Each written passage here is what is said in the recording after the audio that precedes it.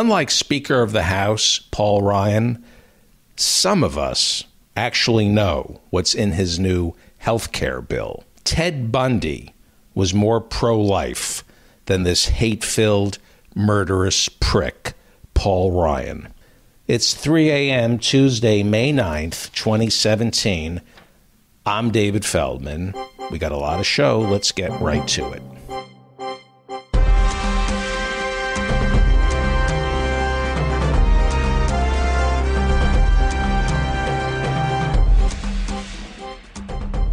On today's program, Jackie the Joke Man Martling. The man cannot be stumped. You're going to laugh today with Jackie the Joke Man Martling. This I promise you. I guarantee you, you will laugh with Jackie the Joke Man Martling. There is not a joke on the planet that he has not heard. There isn't a joke he doesn't know. I continue to be amazed by giving him the punchlines to the most obscure jokes I've ever heard in my life. He knows the jokes. He is the world's leading curator of jokes. And he's on our show today, and he's coming back all the time. Jackie the Joke Man Martling.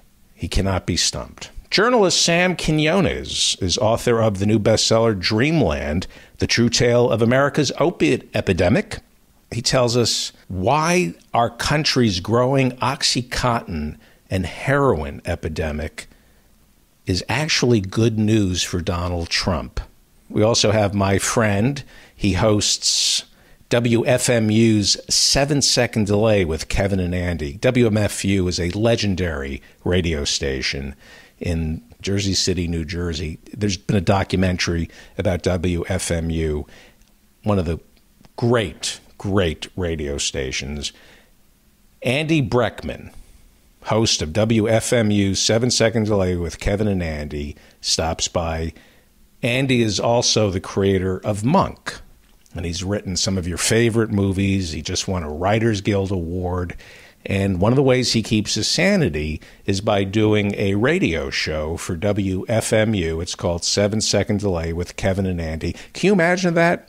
A comedy writer who keeps his sanity by doing a radio show. I've never heard of anything like that.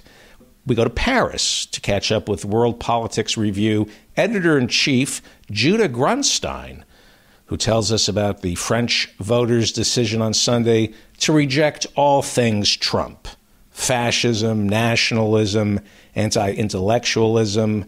They didn't vote for the Nazi in France. Also, from Letterman and The Simpsons, author of Everything's Coming Up Profits, The Golden Age of Industrial Musicals, Steve Young.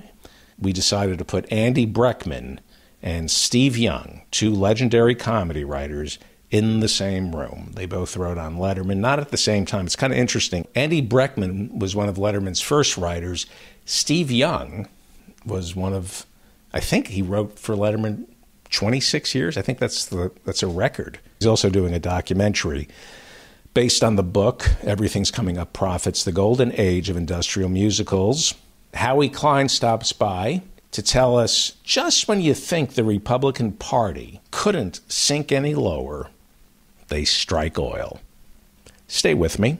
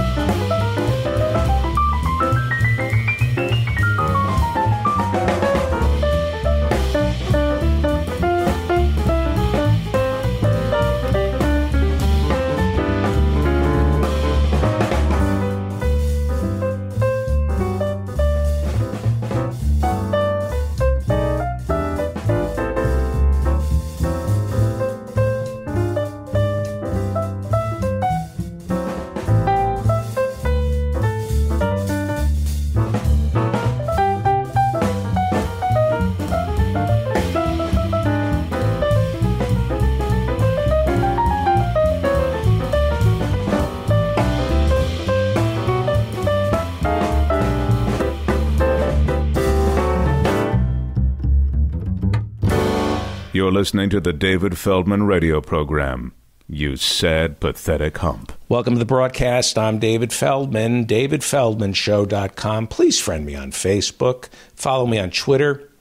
Please do all your Amazon shopping via the David Feldman Show website.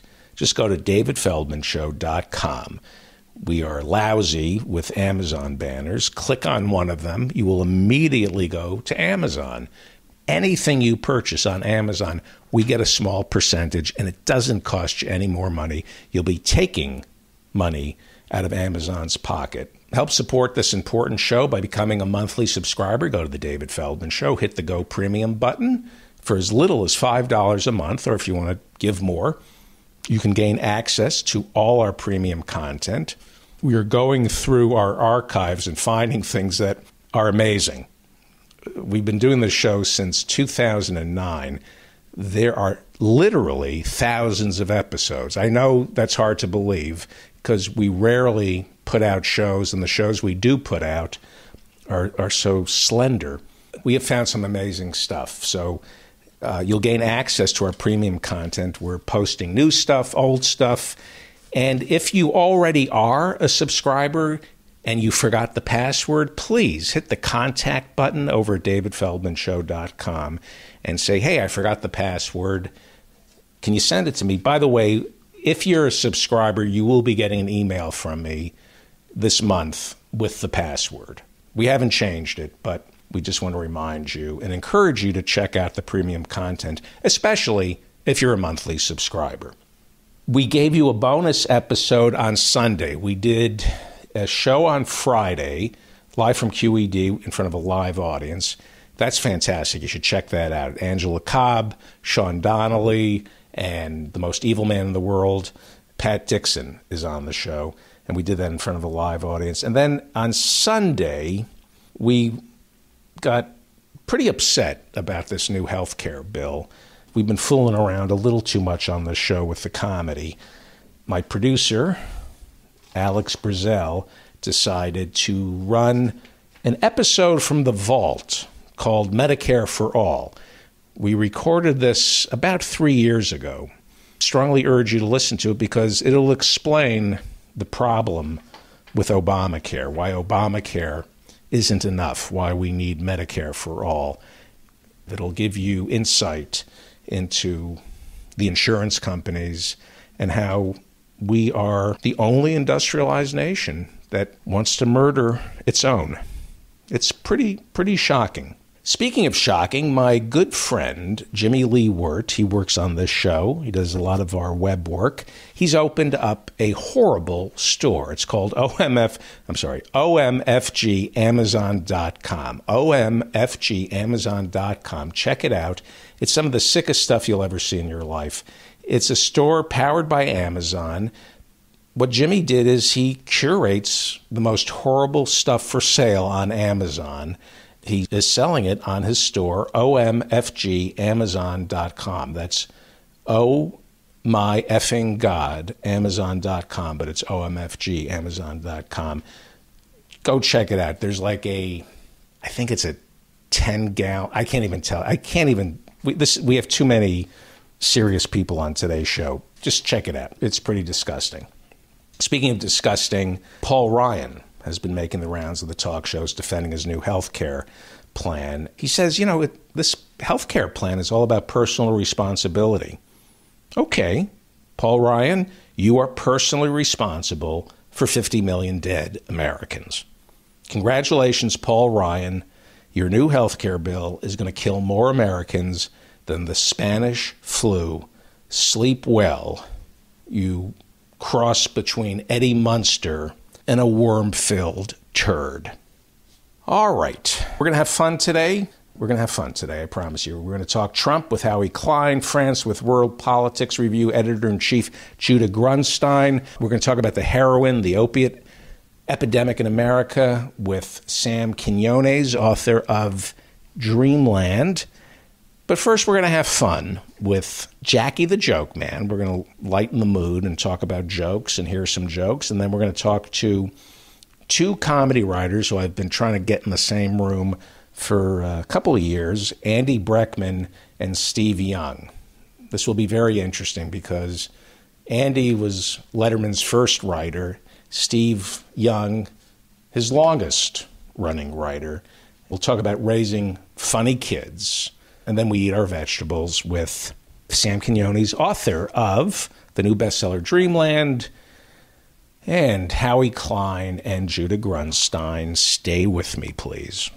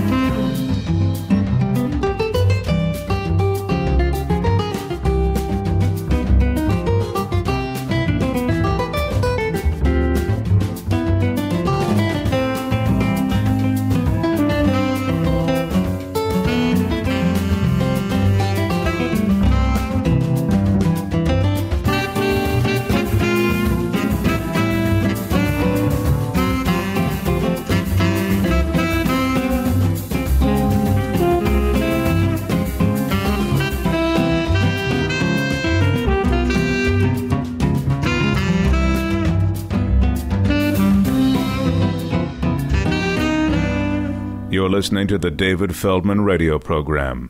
You sad, pathetic hump. Jackie the joke. Now we can talk. now we can talk. Jackie the joke man is no stranger to this show. Just a stranger to women who are under the age of 90. Please. Um, Alex just reminded me that I know him. And he just reminded me that I hate him. you remember, right? He recorded like a two hour podcast Up at my your home. house. Right. And then announced that we didn't have it. I never heard that story. Have I got the right guy? Oh, oh ah! that's great. It was killer. It was me and Micah Fox and some gorgeous stand up bass player and Liam McAnackanigan. Oh, that was at my show. Are you talking about my show? Liam's show.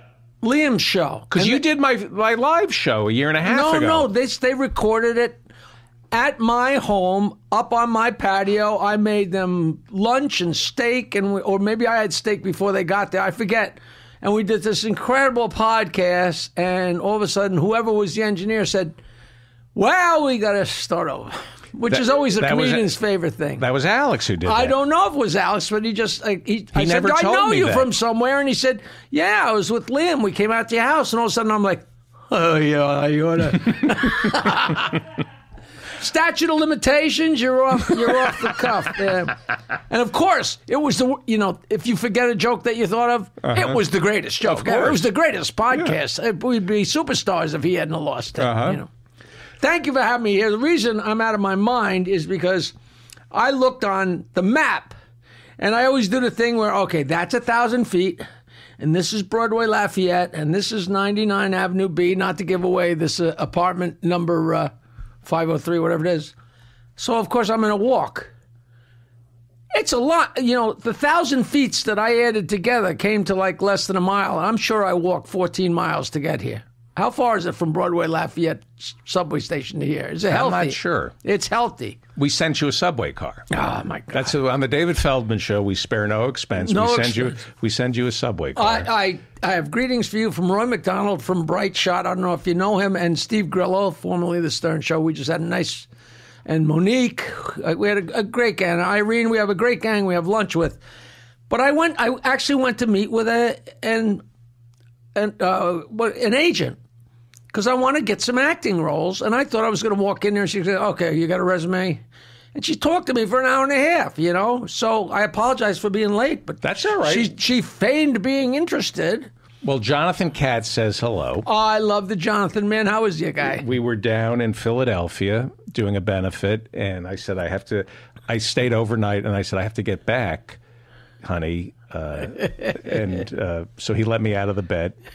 And he said, Tell Jackie, I said, well, he loves all your. We're talking about all the stuff, the, the merch that you give us. You know what Sinbad used to call it? Jack's knickknacks. Jack had his knickknacks. I let me introduce you to my audience. Hello, be- audience. because you are Jackie the Joke Man. And you're David Feldman, and everybody knows you and knows who you are. And I, I have been out of the comedy loop the whole time I was on the Stern Show. I was not in any loop. I would go to Chicago and headline. I go to Denver and headline. It was usually not even an opening act, like the local DJ would say, "Here's Jackie," and I'd do an hour, an hour and a half, and get paid a fortune.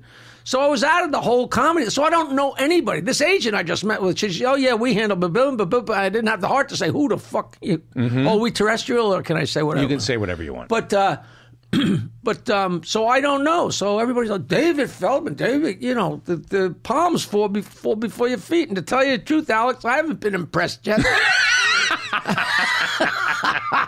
I'll tell you one thing.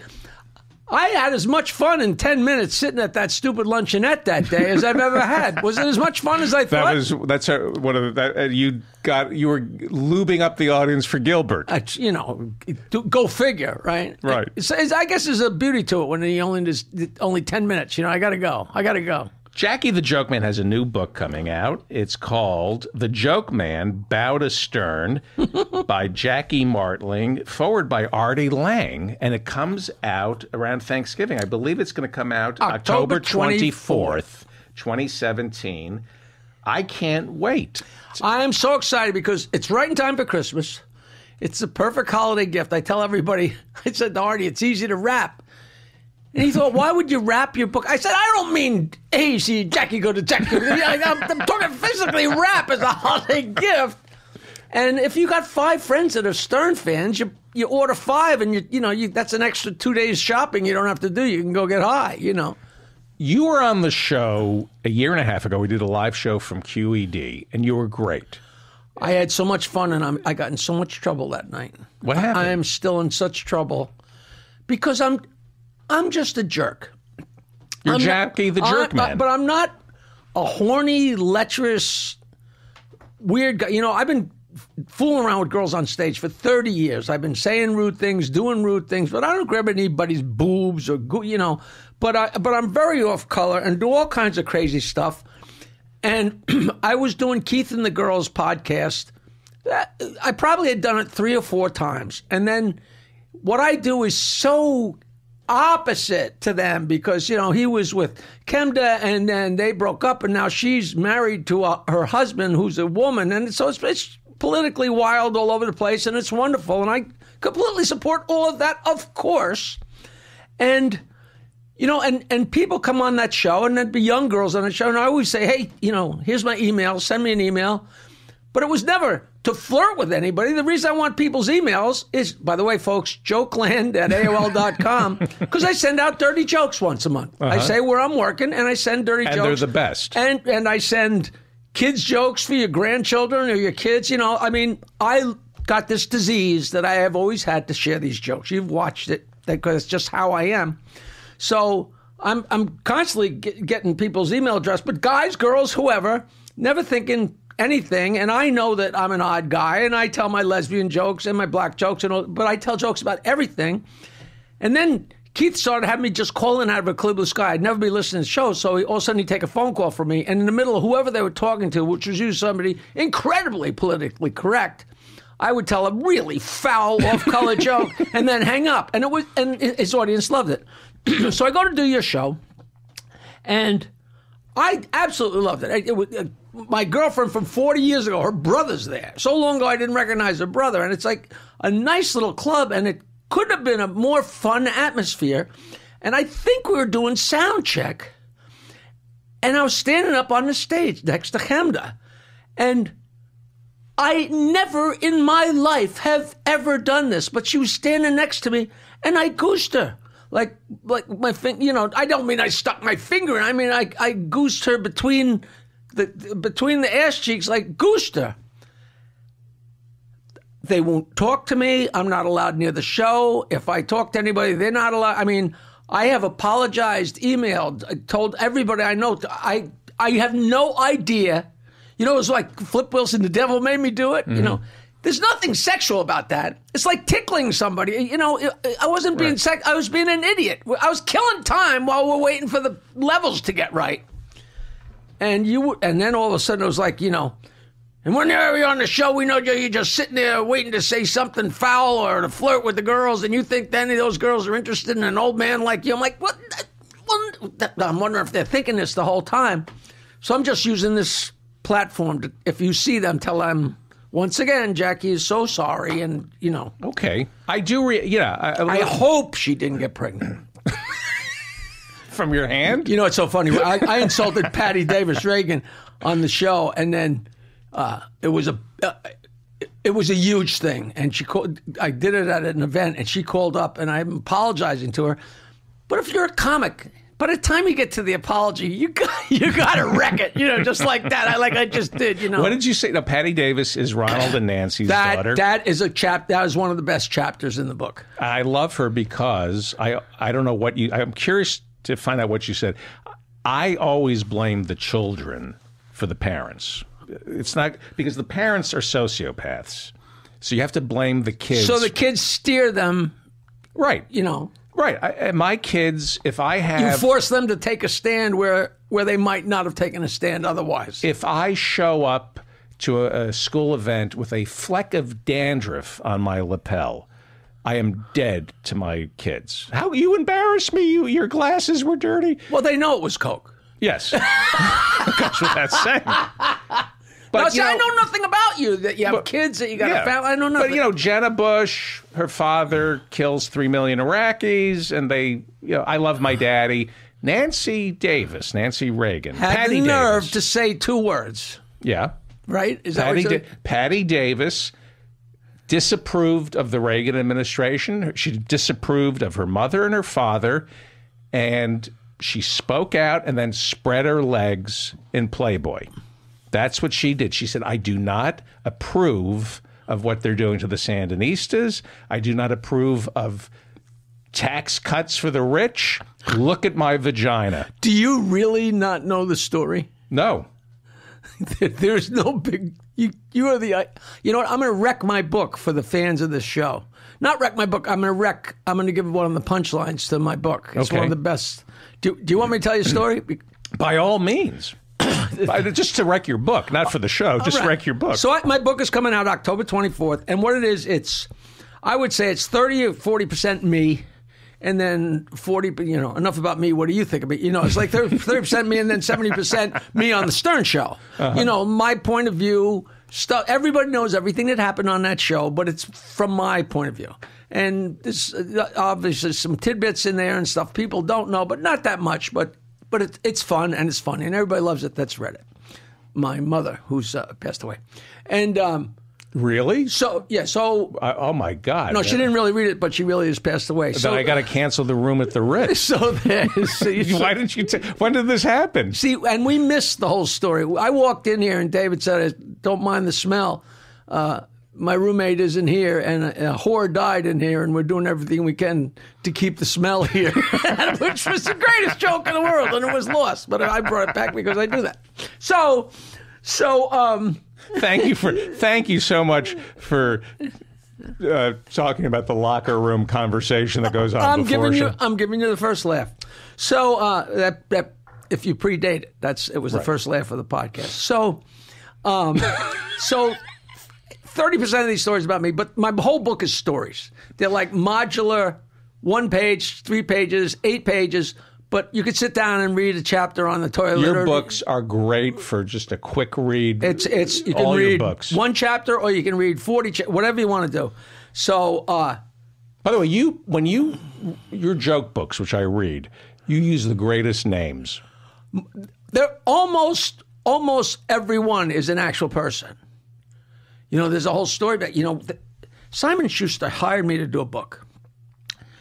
Now, if I hire you to paint my house, I'm not going to tell you, no, no, you should give it three coats, not two coats. You're the painter. You know your stuff. They told me how many words. Okay. So I went through my jokes and cold enough for that amount of words. You know, this one went away and this one mm-hmm. stays. You know, that's the this is the jokes that made the team. Mm-hmm. And inserted everybody's names that I know. I figure they know what they're doing. They were off by a factor of three. They, they, if for argument's sake, they told me 150,000 words and I only needed 50,000. The book is due. I'm like, what the? F-? So I had to get rid of two thirds of the book. So I have people I hardly know whose names in the book, and some of my best friends' names on it. It's really funny. All right, so Patti Davis. So, so Patti Davis. what year are we talking about? Uh, 19. The issue was in Playboy. Oh, okay. I would guess 90, 94, give or take three years, Okay. whatever. Um, so, uh, so each of these stories is modular. So this is the Patti Davis Reagan incident, and uh, she came on the show to promote the fact she was nude in Playboy. And everybody knows the reason she came on. uh, Well, you obviously know. The whole world doesn't know that she came and did went and did Playboy to shove it up her father's ass. Hey, you know, you, you, you were the president. I don't agree with you, and, and she was estranged from the family, etc. I get a call from Playboy. Uh, we need you to host a a show at Webster Hall with Jenny McCarthy, and at the time, Jenny McCarthy was the host of a show called Hot Rocks, which was the Playboy version of MTV, you know, videos, but they were the videos that were too dirty or too hot for MTV, but they weren't too hot for the Playboy channel. So these very, very hot videos are being played, and she's the DJ. So that was Harry. Here's Charlie. Uh, hey, my guest today is Jackie Martling. Say hello, Jackie. Hi, everybody. Okay, that was, and then introduce the next video. So she's doing the wraparounds downstairs. So um, they asked me to host this, and they tell me who's they're going to be there. Grandpa Lewis, Gilbert Gottfried, Patti Davis Reagan. You know, as Mad Magazine would say, the usual gang of idiots. Okay.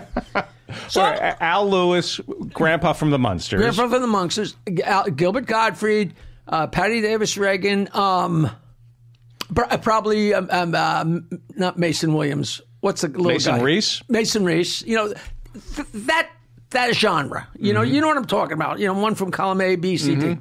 So I'm on my way in. I'm like, you know what? Let me write a, a quick blurb about each person so that when we're introducing them, you know, we, supposedly we're going to do some kind of show and there's going to be, and, and, and look over there is Gilbert Guy, and look over there, right? So I write a line about everybody.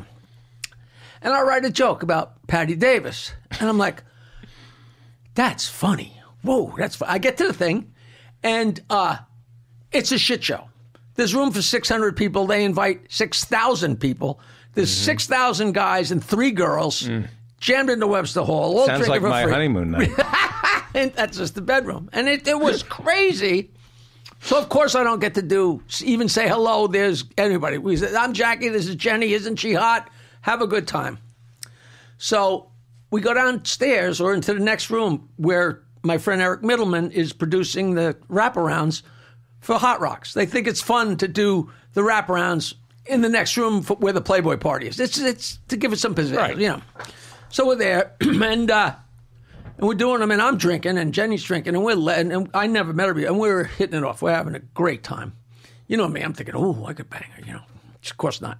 So I say, you know what? There was like a cameraman, and the, Eric was the producer, and a cameraman, like a lighting guy, and make, you know, it was a skeleton crew, five people. I said, you know, I wrote a joke on the way in here. It, you know, it's a little heavy, but it's so funny. Tell me if I should use this. I tell them the joke. They die. Jenny says, yes, yes, yes, yes, yes, yes. yes. We come back, hey, hey, hey, Jackie, you got any jokes? Oh, well, as a matter of fact, and I told a joke, and she's a sport. She laughs just as hard, and, I, and everybody roars. Great, great, great, great. So I must have had four, five, six beers. I killed them with the joke. I'm killing them. Jenny's the best audience. I'm telling you know me. I get going. If somebody starts laughing at my jokes, they're in trouble because I just you know, you know they have to shut me up so they can go to the videos. So I'm on fire. I go upstairs and walk through the double doors to the VIP door, VIP bar at I think it was Webster Hall, and the doors open and nose to nose. nose to nose with Patti Davis Finnegan. and, and I go, Patti! And, you know, because I, I, she'd been on the show, I think, twice. And I said, Patti. And she knew who I was. I said, uh, That's so funny. You know, I, I wrote a joke about you today. and I told her the joke. And as I'm saying the punchline to the joke, I realize that the joke is funny to every human being on the planet except her. because I didn't know, but in the time lapse from the time she posed naked to the party, her father's condition had worsened and she had been accepted back into the fold and they were a happy family again. I have no idea this. She went white. She went ballistic. This it's a Playboy party, and she's Patti, and I'm Jackie the Joke Man. The the photo- the bulbs are going off. It's crazy. I've never talked so fast. I'm like, oh, you don't know. And everybody's freaking out, and it was so wild. And I'm like, holy shit. So the next day is Friday. So she yelled at you. Oh, she went ballistic. It's a miracle she didn't kill me. And you know, and then and then we took a picture. let me ask Hold on, no, no, no. And then we took a picture after that. It was me and her. I'll show you the picture. You got to put it on your website. It's me and Patti and and the Playmate of the Year from Russia and Jenny McCarthy. And the four of us are there, and three of us having time of our lives. Lives and Patti looks like she just ate a lemon. Okay, so the next day, nothing happens on the Stern Show, and I'm like, I skated. Meanwhile, the party was the night before. So, of course, there's nothing in. I'm in Long Island, boy. I don't read the Post. Huge thing in the Post. I don't see, Wow. of course. I walk in Monday, six o'clock in the morning, the mics go on. Well, Howard, he did it again. so they, she starts to say, read the thing that Jackie Martling insulted the ex president's daughter, and it was so horrible, and Jack, Jack, Jack, and Howard's berating me, and what's wrong with you, and we can't send you out. And I mean, they're yelling. It's, it's a, it's, I'm getting scolded by my parents, and, and 10 minutes, 15 minutes into it, Gary comes in and says, Hey, Howard. Lot of phone calls. Listeners want to know the joke, Howard. So he says, All right, check. And I tell them the joke. I'll tell you the joke. I tell them the joke. And Howard is biting his fucking lip. and Robin's, you know, to keep from laughing and trying to keep yelling at me. Mm-hmm.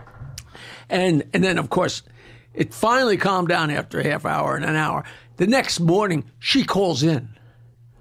And Howard goes into the whole thing, bel- belating me and going crazy. And I know that she only posed in Playboy to shove it up her father's. And I'm like, I refuse to take it seriously. And as tr- much as they try to make it serious, and I'm, I'm trying to pick her up on the phone while we're talking. I'm like, you know, and then, by the way, your boobs look good, you know, whatever. So it was two days of, it was absolute unbelievable radio, and I really could have cared less. But the joke was, I, I said, I said, Patti, you know, they say that you were the first one to know that your father had Alzheimer's because he started returning your phone calls.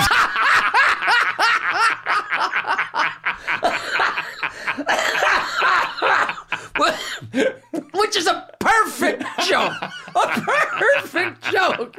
I call up Eric and said, get in there and delete that from that fucking show, man. I'm going to wind up getting killed by the Secret Service. And then Howard's like saying, "Don't you know?" so that that is one of the So greatest. she stuff. called in to complain about you? the next day. What? But she and she like everybody. She, she's calling in. Also, it doesn't hurt her name, and Right. she knows she's got a. bu- As I remember, she was so mad at you, she spread her legs for Hustler. That's what she. she yeah. That so when you're being berated it was by so it was so hypocritical, and I just and it made them nuts that they couldn't get me to crack and feel bad. You know, not to make a bad joke, but when they berate you, they're just doing it for entertainment. It's Yeah. not heartfelt. Yeah, no, no, and they and they know it. And sometimes it was like, you know, it was usually based on an actual lie. But sometimes, you know, and how it could be so convincing with the. I still have listeners yelling at me. He's got me owing Rodney Dangerfield three thousand dollars, and I borrowed a thousand, and it was paid back. You know, and and you know, one day we went to. There's a whole thing they play on the air all the time. And I'm the one that went around to Denver and Chicago, and you know, I'd go and do a show, but I'd also do whatever the station wanted. You know, go to a gas station, go to a bookstore. You know, because I love it. I love people love having fun, trying do, to get laid, right. the whole thing, and um. So I knew all the owners and, and the station owners and the general managers and the general manager down in Florida. You know, I'd gone down there and done the toys. I would say toys for twats, toys for tots motorcycle thing. You know, all this stuff. And me and Nancy never had it together to book vacations. And all here is, you know, December. I'm like, oh shit. So I called Dave in Florida. I say, Dave, me and Nancy, it was too late. Can you help us get a room? And he said, well, yeah, let me see. And he said, oh, you know what? Uh, Gloria Estefan and her husband have a place above the Cardozo Hotel, and uh, they're not going to be there. They'll rent it to you, you know, for for a decent price. You know, they're friends of mine. I never asked for discount. You know, I just said, sure, fine. So we go down, go on vacation, and pay for the room, the whole deal. And all of a sudden, we come back after the, uh oh. Jackie called the manager and glommed himself a hotel room, and he goes through the whole thing and goes, go, "How you using my name?" And mean, well, networking is first of all the whole business, and everybody knows that. Listeners don't know that, but of course, it's all trade, and you know. And I'd done more than my share of favors anyway, but it wasn't a free room. so he goes on and on how I glommed. You're using my name. You can't use my name. You went and got a room. Yak, yak, yak, yak, yak, yak. He goes through the whole thing. And he gets done. I say, all right, well, now that you're done with your fun, I think it's only fair for me to tell you that I, we paid for the room. They edited that. so every time it airs, they, the listeners think that I ripped off, which is like, which is dirty pool, but that's, you know, this is the business we have chosen. You know, mm-hmm. I didn't get upset at it every time. You know, Why do you think? I, I I don't want to talk about Howard, but I just very quickly, and then we'll move on. I, ne- I never get people come up and say, ask me questions. Say, "Oh, you must be sick of hearing that." If I ever get sick of that, punch me. I live in a house on the water. He paid for it. At least that's what he says. When did you you joined the show? When? What year? that is that the epic tale of what led me there is a very important, great part of my book. But what happened was I was a musician. I became a joke teller. I started making albums. I sent my albums to him in 1982 because I send them everywhere.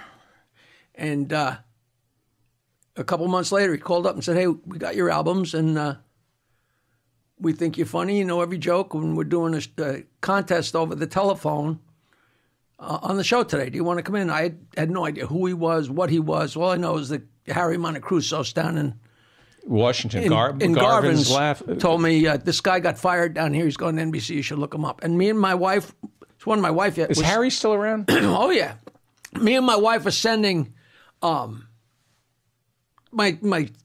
By the time it got to be 1982, I had three comedy albums, three LPs, like LP LPs, with the matching cassettes, and we sent them to everywhere. If I ran into you on the street and you said, "Oh yeah, my uncle has a club," you got the whole package. Hey, you should look up this guy Howard Stern. Howard Stern, care WNBC. That's how I got to him. That's how I got to Gershon Legman, the classic I was just going to talk about Gershon. well, Legman. that guy, and that's how I got Rodney. A, a blind letter, right? So, so I, I started called- reading that book, by the way, that you gave me about Gershon. the big thick one. Yep. Oh, I, oh, I'm so glad I sent it to you. That's great. That's Yeah, great. thank you for that. So- Go ahead. Well, I liked you. So, I don't know why. So, uh, So okay. so he gets the album. So I say sure, and uh, I mean I'm in my mother's attic. The the first Joke Land is in my mother's attic, and um, where I edited the albums and had my dial a joke and everything like that. And I'm saying sure. Nancy calls up and says, "Oh, that disc jockey called. He wants you to come in." I called him up. He got right on the phone. So I went into NBC. You know, and here's Carson, and here's you know all, all these pictures, and it's like it's a far cry from Governor's Comedy Shop in Levittown. And I walk in, and it's Howard, Robin, Fred. And I sat down, which was the exact same combination my last day in March of 2001. Same four people. so we do this show, and I'm like, whoa, you know? And at the end of the show, Howard said, Ben, you're a lot of fun. Why don't you come back next week? He could have just as well said, thank you very much. You know, it was nice to meet you. I got, I got a hair in my throat. So, I, and meanwhile, he's going, Jackie 922 Wine Martling. You see him at Governor's. He runs Governor's Comedy Shop, 516 922 Wine. the dialogue jokes is exploding. And then the next week, yeah, yeah, Jackie nine today. Why don't you come back? And after the second week, he calls me up and says, "I got some bad news." I'm like, "Well, it was fun while it lasted, you know." And he goes, "Listen, I can't say five one six nine two two one on the air anymore because it's dirty and NBC's getting complaints. But we want you to come in." I'm like. I said, fuck nine two two one. I thought you were calling up to tell me so. And I Right. was I was there one day a week for free for three years.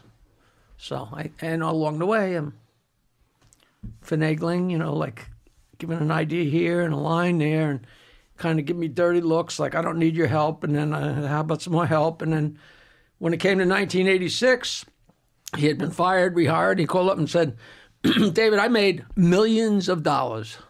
And we were on in 55 cities, and we're the greatest radio show in history. And my entire job description for the entire 18 year run Jack, I need a price. We'll go in the mornings. I need you two days a week. I want you to come in and do your thing with the notes.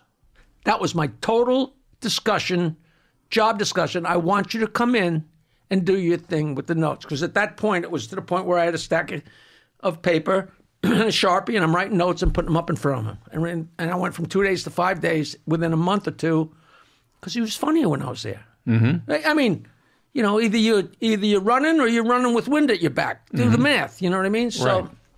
and that and that was the total discussion. That's as far as it ever went. And you know, and people, some people knew I was writing notes. Some people didn't. To this day, there's people that, you know, because I got picked on enough and laughed good enough that it almost was enough to justify m- my presence. You know, just being, just laughing and uh, look at that asshole over there.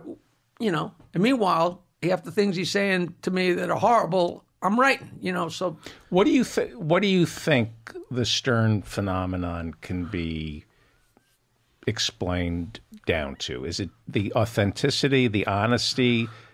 Is it No, it's as simple as he went where nobody ever went on the radio before. He talked. He, he, he described. He said when he was a kid, he listened to the radio and said, "Why don't these people talk like people?" He came on the radio and talked like a mm-hmm. person. Talk like we talk like kids in fifth grade. right? You know, we used to say twenty. You know, four four hours of fifth grade fun was one of the promos. You know, but then it could get incredibly smart. It could be top of line smart and then turn into a fart joke, which was the beauty of the whole thing. You know. Gershon Legman, you are a genuine student of jokes. Well, that's that's the whole deal.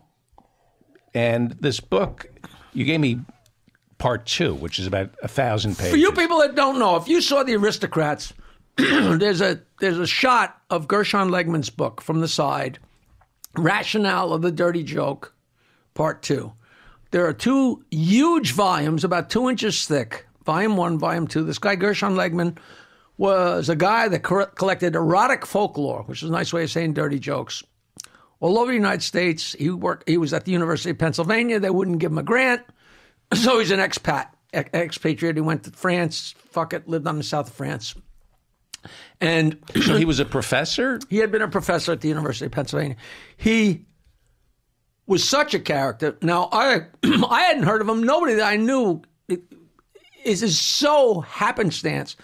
But when he wrote these books, he was kind enough to put the jokes themselves in italics, which is so great because you can just go from italics to italics. Mm-hmm. You can read it as a joke book. Now I'm a guy who knows every joke in the world, and I would go through and I've seen damn near every joke I know is in there. And then, you know, you can't, it's like the Bible. You can't sit and read a lot at one setting. I can only read five Right. pages, 10 pages. As much as I like jokes, like, whoa. And it's all in there. And then I'll come across something like, oh, I can't, that's in there, right? And, you know, jokes from Rodney's act that you think were written specifically Well, for we've talked about this on the show. Uh, My favorite joke is my wife cut me down to once a week. That's not so bad. Two guys I know she cut out altogether. Right. And on the last show, I mean, to me, that is the the ur text of all comedy. That's the joke that somebody wrote for Rodney specifically for him, and it was two black guys talking to each other in the Civil War, and the subject was rationing. You know, they ration cigarettes, they ration chocolate. Why? Well, my wife even cut me down twice a week. Well, man, I know something because you cut down, cut out altogether. And it's like there's the joke, and I'm like, holy, 1863. And meanwhile, that's from forever ago.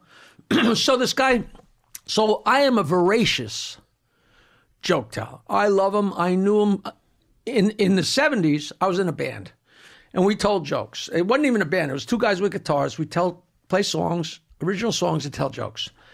And by then, I knew all the jokes. And I would go, take a break, and somebody'd come up and say, "All right, I got one you haven't heard." And you say, "All right, I'll count down from ten. And when I get to zero, if I don't know the joke, I'll buy you a beer." I never bought a beer. If a guy's saying, all right, a priest and a rabbi are going down the river in a canoe, two seconds in, I'm like, oh, this is the Indian and the nun on 42nd Street. I mean, I could see the whole thing, right? So we didn't know anything. So we're two guys playing guitars and telling jokes in the same two bars every week. Nobody bothered to tell us that a comedian has an act and plays to different audiences so we're doing the same audience every week, so we got to have a different act every not not really an act, but I knew every joke, but you go through them all so fast. So we're going through voraciously through every book we listen, every Redd Foxx album backwards and forwards, and anything to get a new joke or a new line. I would like, I'd be, whoa, I got a great new joke. I'm going to make Bates laugh. You know, that was my partner. So I'm Master. I'm Master Bates, and I'm looking through, at the back of a comic book, you know, or or some per- periodical. Any two books, 99 cents. You know what I mean? Or any 12 books, one penny. You know those things, like uh, Columbia Record Club. And you'll be hard pressed to pick nine nine albums that you really want, you know. You know, Count Basie plays Mary Poppins, you know. so I'm looking all of a sudden I see Rationale of a Dirty Joke, part two. I'm like, even if it's a pedantic piece of crap, there's probably a joke or two in there. So I sign up for the other 45 books, and this thing comes, and it's this joke book with the jokes in italics. And I'm like, what the wow! I feel I feel like somebody just mailed me, you know, this I couldn't dream that this existed. So I go to the forward, and the guy so he goes on and on and on. And the forward is about 30 or 40 pages. So I start reading the forward, and I finally I get and so I flip to the end of the forward, and it says G. Legman Valbonne, France, and a, a city code. I got nothing to lose. I write a letter. Dear Gershon, I am flipping out as a joke teller at this at this book of yours.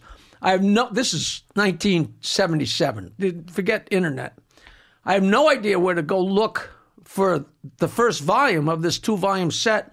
No idea what to do. Can you help me at all? and I put in cassettes of our jokes mm-hmm. and all kinds of horseshit. I got nothing to lose. I mailed to France. Couple weeks later, what a wonderful thing you sent. I love your cassettes. You're the funniest wow. son of a bitch. I really love it. You know, I have two copies of the first series. I don't need two of them.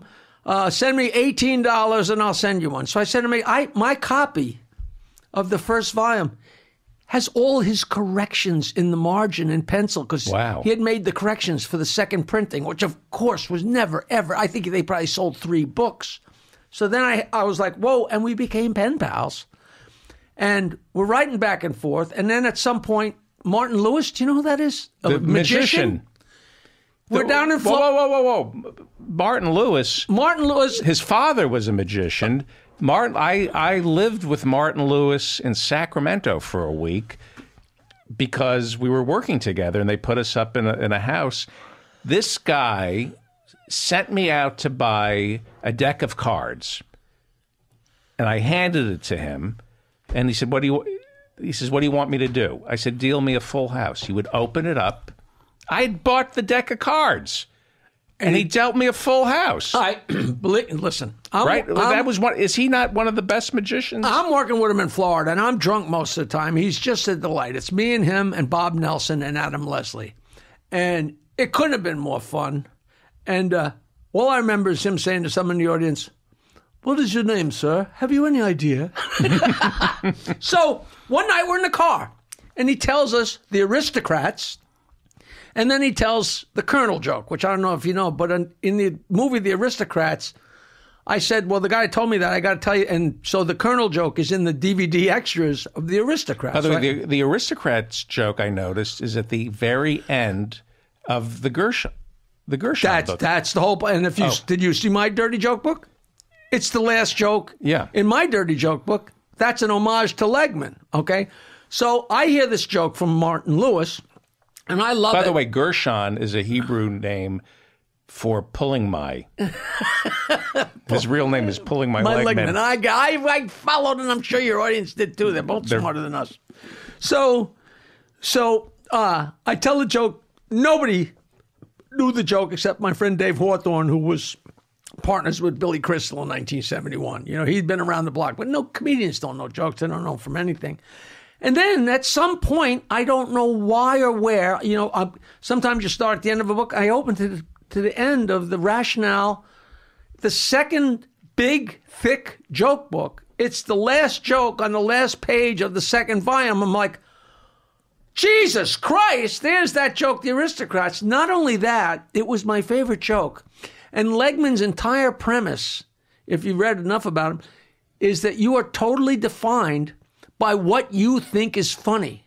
And I thought that was the funniest joke in the world. And he goes, and here's a joke that was told to me by a guy, and he goes to describe Jay Marshall, and he describes me. He said, Here's a guy who was raised in squalor by two parents that constantly fought but stayed together for the good of the children. I'm like, he was in my fucking house.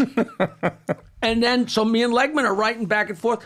There was this thing called Sex to Sexty, this horrible trash magazine full of bad jokes from Texas. And I, there was some volumes I couldn't find.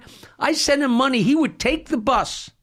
Gershon Legman would take the bus, go to Cannes, and make me Xerox copies of each page and send them. And then I started making more and more money with the Stern Show. So I'd send him hundred dollars to take his wife out to dinner, and he had no money. So I, like, and I, you know, and, and his daughters are running around the south of France wearing "Stump the Joke Man" T-shirts. You know, it was like, and this is years, this is eons before the Aristocrats movie. And what happened was when the internet happened, I put that joke as told by him on my webpage and my version of joke on the way and did a whole thing about the aristocrats and when Provenza, when Paul Provenza and, and Penn Jillette came to my apartment, they said, Martling, we have to put you in the movie because we did a search on the web for the aristocrats joke and we only got two hits and they were both your page. so that's that's the story. Of I had actually heard when I was a kid. I had actually heard the aristocrats joke. Is that right? Yeah. So, but Gershon Legman, going back to him, so he was a PhD, a doctor, I, I yeah, I'm pretty sure he's PhD and he was taught at University of Pennsylvania. Yeah, and uh, like uh, it's all in the web. Like he, uh, I, I, he had a falling out because he wanted to pursue. Jokes. You know, fo- uh, folklore and jokes, and he put out two huge volumes of limericks. I mean, this guy was crazy, you know. and, and he's he maintains. You say that your favorite joke reveals. Who you are, and So it's a what, Freudian- generally, yeah, yeah, it's a whole deal. Freudian. Uh, what is your favorite joke? Well, at that time it was the aristocrats, but you know, for a while it was. It's a it's a moving thing. Like I always tell people, my favorite joke is the newest one I heard that I'm going around telling. So the aristocrats biggest is your favorite joke because it's about a family that performs no, together. No, no, it just happened to be. It, it just the But, but, outrageous. but but Legman would say there's something revealing about Oh, you. absolutely, absolutely. Why that was so funny to me? Not not that it was a conscious thing. Like, wow, that reminds me. You know, it was like it's a it's a lot more subtle than that. You know, but. uh but my I, favorite- I, I think every time I laugh hard at a gay joke, I'm like, "Oh God, Gershon!" You know, It's the way you laugh at a gay joke. oh my! But you know, the whole it is it is pretty interesting, you know, and the fact that some people, you know, I don't like dirty, you know, somebody that you know, you, H. Allen Smith wrote this great book called Rude Jokes that I've never been able to find. I, I have a copy; it's fallen apart. In the beginning, he says, "I'd like to take all the people that don't like dirty jokes and put them in a canyon." So the rest of us can stand on the rim of the canyon and piss on and this guy had four pages talking about this friend of his that wrote hair lip. Like hair lip joke, like like. They, it's written out. I'll send it to Wait, you. wait, wait, What's the I- what's the hair lip a, a joke? cleft palate. You yeah, but what's the joke? no uh, jokes about guys that there's a lot of jokes where there's a guy with a cleft palate Oh, in the joke Because he was making fun of me. That's that's the classic. But you know, you know, you know, like there's a, the classic where the the guy's got a hair up and he's so depressed and he commits suicide and what the? And he goes in and says, Goes to a bank and says, How would you like to hire me as a general manager? I says, Sorry, we have a general manager. Okay, thank you for your time. he goes to the next bank, How would you like to hire me to be a vice president? Sorry, we got a vice president. Okay, thank you very much. He goes to another bank, Yeah, I would like a job at the teller. Sorry, we got all the tellers. but, Uh, no, okay, okay. And he's so forlorn. He's walking down the street. He's a beautiful blonde walking the other way. He says, Hey, how'd you like to have sex with a poor, forlorn fella? She says, How'd you like to kiss my ass? He says, Well, I'm not saying I will, and I'm not saying I won't, but it's the best offer I've had all time.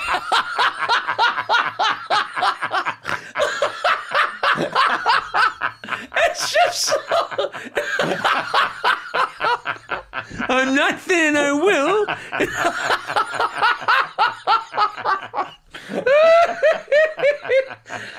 I have never told that joke ever, and and this joke's four pages long with H N R R T. You know, hello. Oh, and it's just fucking And priceless. who? d- d- But he doesn't know who wrote the joke. No, no, no. This is this is his friend. He was quoting. He was probably t- cut and pasting his friends. He said, "This is so and so from so and so." He he was like a, a form of a legman. He said, "I couldn't believe this guy could write hair lip because he knew just enough." It's like when you write a joke about a stutterer. You don't make every every word a stutter. You make the, the, the hello, how you d- mm-hmm. d- doing? I hope you're having a good good. You know what I mean? There's an art. It's all art. You know, Do you have a hair lip. I have a comb over lip. Meanwhile, uh, the kid across the street from me growing up had a cleft palate, had a hair lip, but he was probably s- six or seven years older than me. Way back then, I was born in 48. Way back then, they might as well have been operating on that with a pickaxe. You know what I mean? So his, he really money. And he had, so he had no friends. So he taught me electricity. We had, I had a puppet stage with a full working curtain and electricity and everything because this, me and this older kid, he showed me how to do everything. It was, you know, he was my entree to show business. you know, he, his parents had a little bit of money. They lived in this old farmhouse across the street. He had a 16 millimeter sound projector, a sound projector, like he's showing Steamboat Willie in the, in his attic. You hmm. know, no, I never saw anybody that had a, you know, But he was alone. and he was all alone, and he had a huge train set, the length, you know, and I was his only friend. It was, you know, but but so the hair lips, you know, it, it send me through the roof, you know, Every joke is written down somewhere. of mine. Yeah. Oh yeah. You know, I was I said to my girlfriend, I got this lovely girlfriend Barbara, and I said, you know what? I had an epiphany.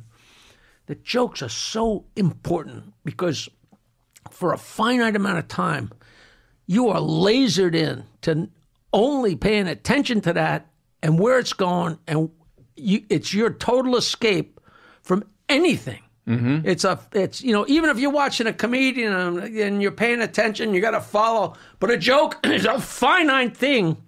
It's going to happen right here, and you can't go anywhere. And I said, you know, and that's There's such- a zen to it. in, yeah, there's it's an indelible. It's just the most wonderful fucking escape. Now, did we have? Did we talk about Albert Einstein?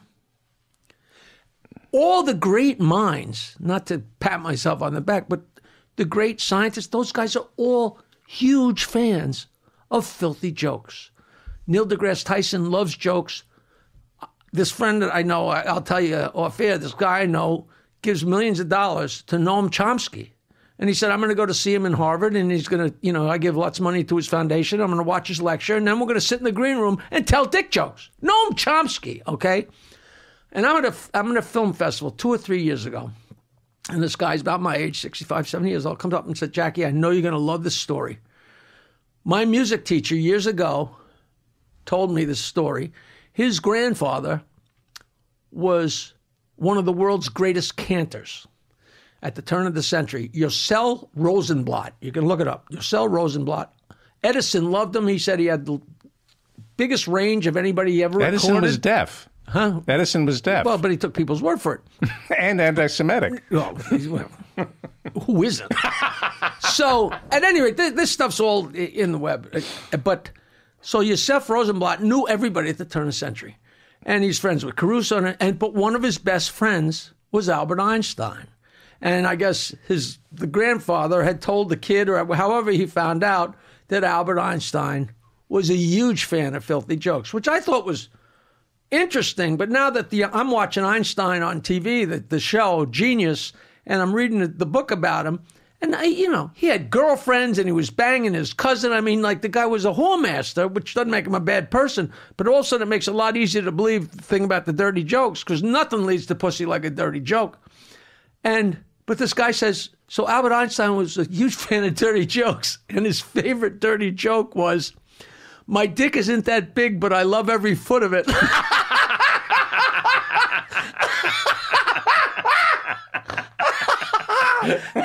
That's succinct and brilliant, and it's a dick joke, and oh mm. man.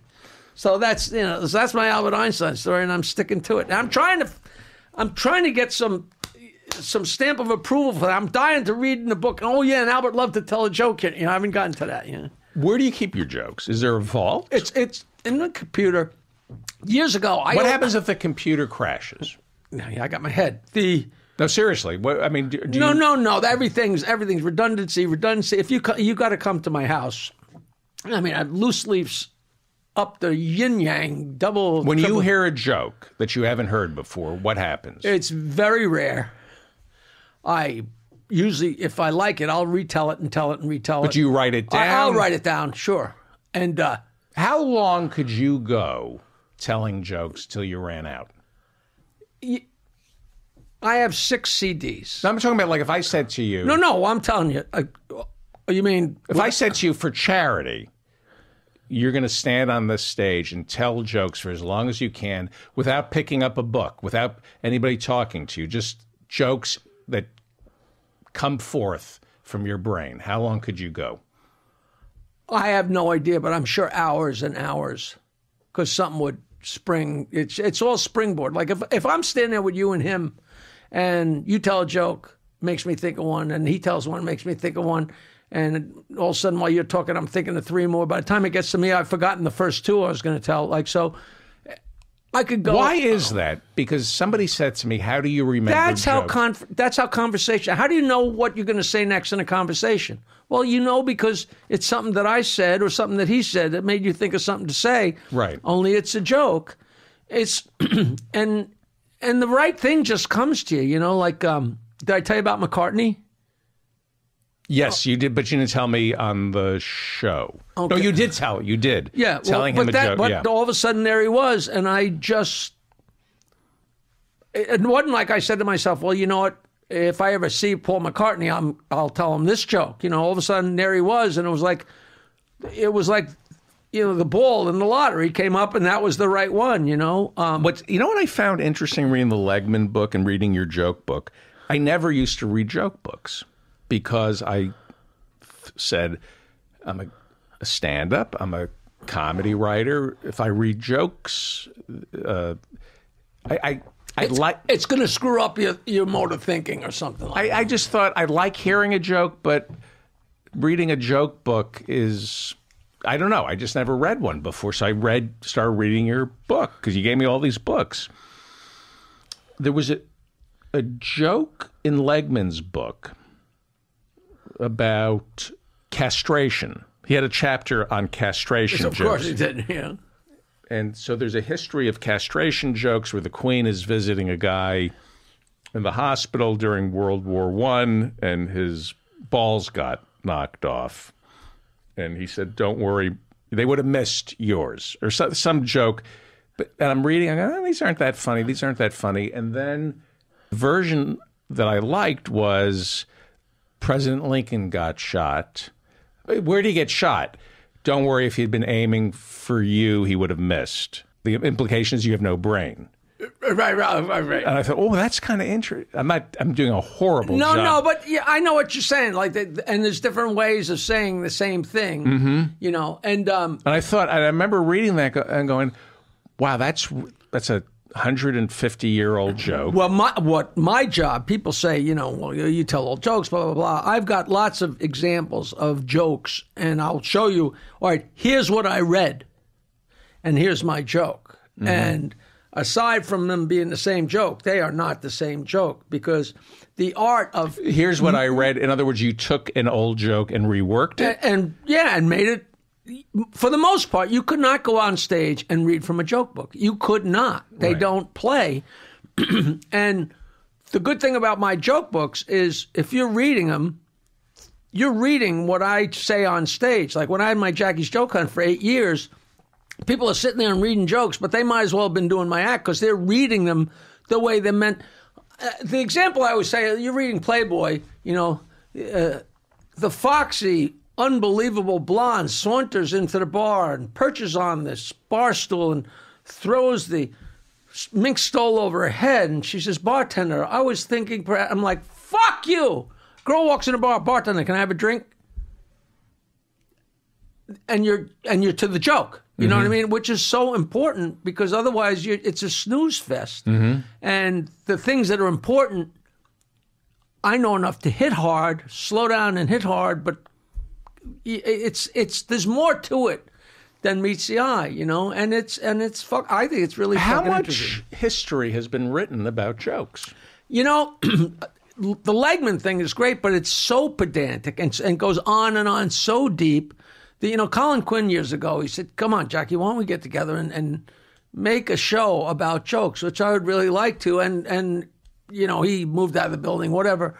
Uh, because I I still think it would be amazingly interesting. Like I did a show. Do we know what jokes were told in the 1500s? Do we know? Yeah. Of course we do. The same ones. How do we know that?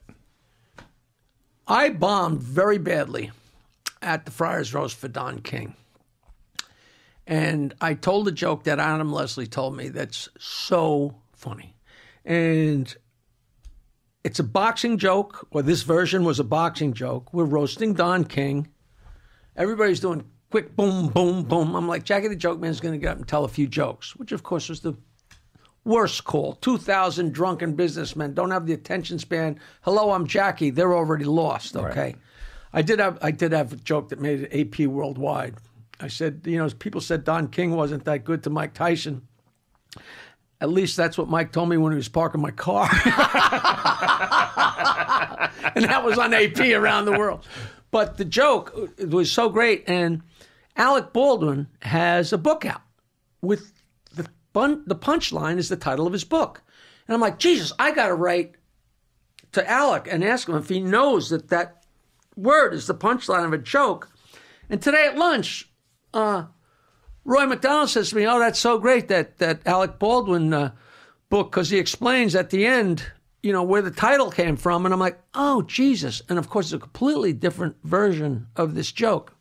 But I'm, I'm answering your question. What's the it or not. title of the book? I'm not going to tell you the title. Of the, you'll see in a second. Okay. So the version I told, which is an indication, because my version of the joke is from 1958. Here we are, it's 1958, the World Boxing Championship, Madison Square Garden, and the announcer comes on. You know this joke. It's one of my favorite jokes. Okay, so the name of Alec Baldwin's book is Nevertheless. Mm-hmm. So for you folks that, you know, we'll get you the joke. Uh, you know, well, you're going to hear a version of joke that you'll get the gist. So I go to see this one man. My friend John Ross, who listens to this show, he's a great comedian. He told me that joke. It was a Kate Smith joke at Yankee Stadium. Okay. I told that joke to, I did the show Leverage, and afterwards we're all getting drunk. Well, I wasn't drinking, but everybody's having fun because they just found out they were renewed. And even though I just shot one line in the show that wasn't going to air for six months, I took credit for the renewal. you know, I told that joke, and Timothy Hutton leaped to his feet and hugged me because he laughed so fucking hard. Right? And he had never heard it. No, no, no. So, so I'm uh, this guy uh, Chip uh, Duffa. Deffaa. Do you know him? He's a, he's a screen uh, uh, playwright. He wrote a one man show called George M. Tonight.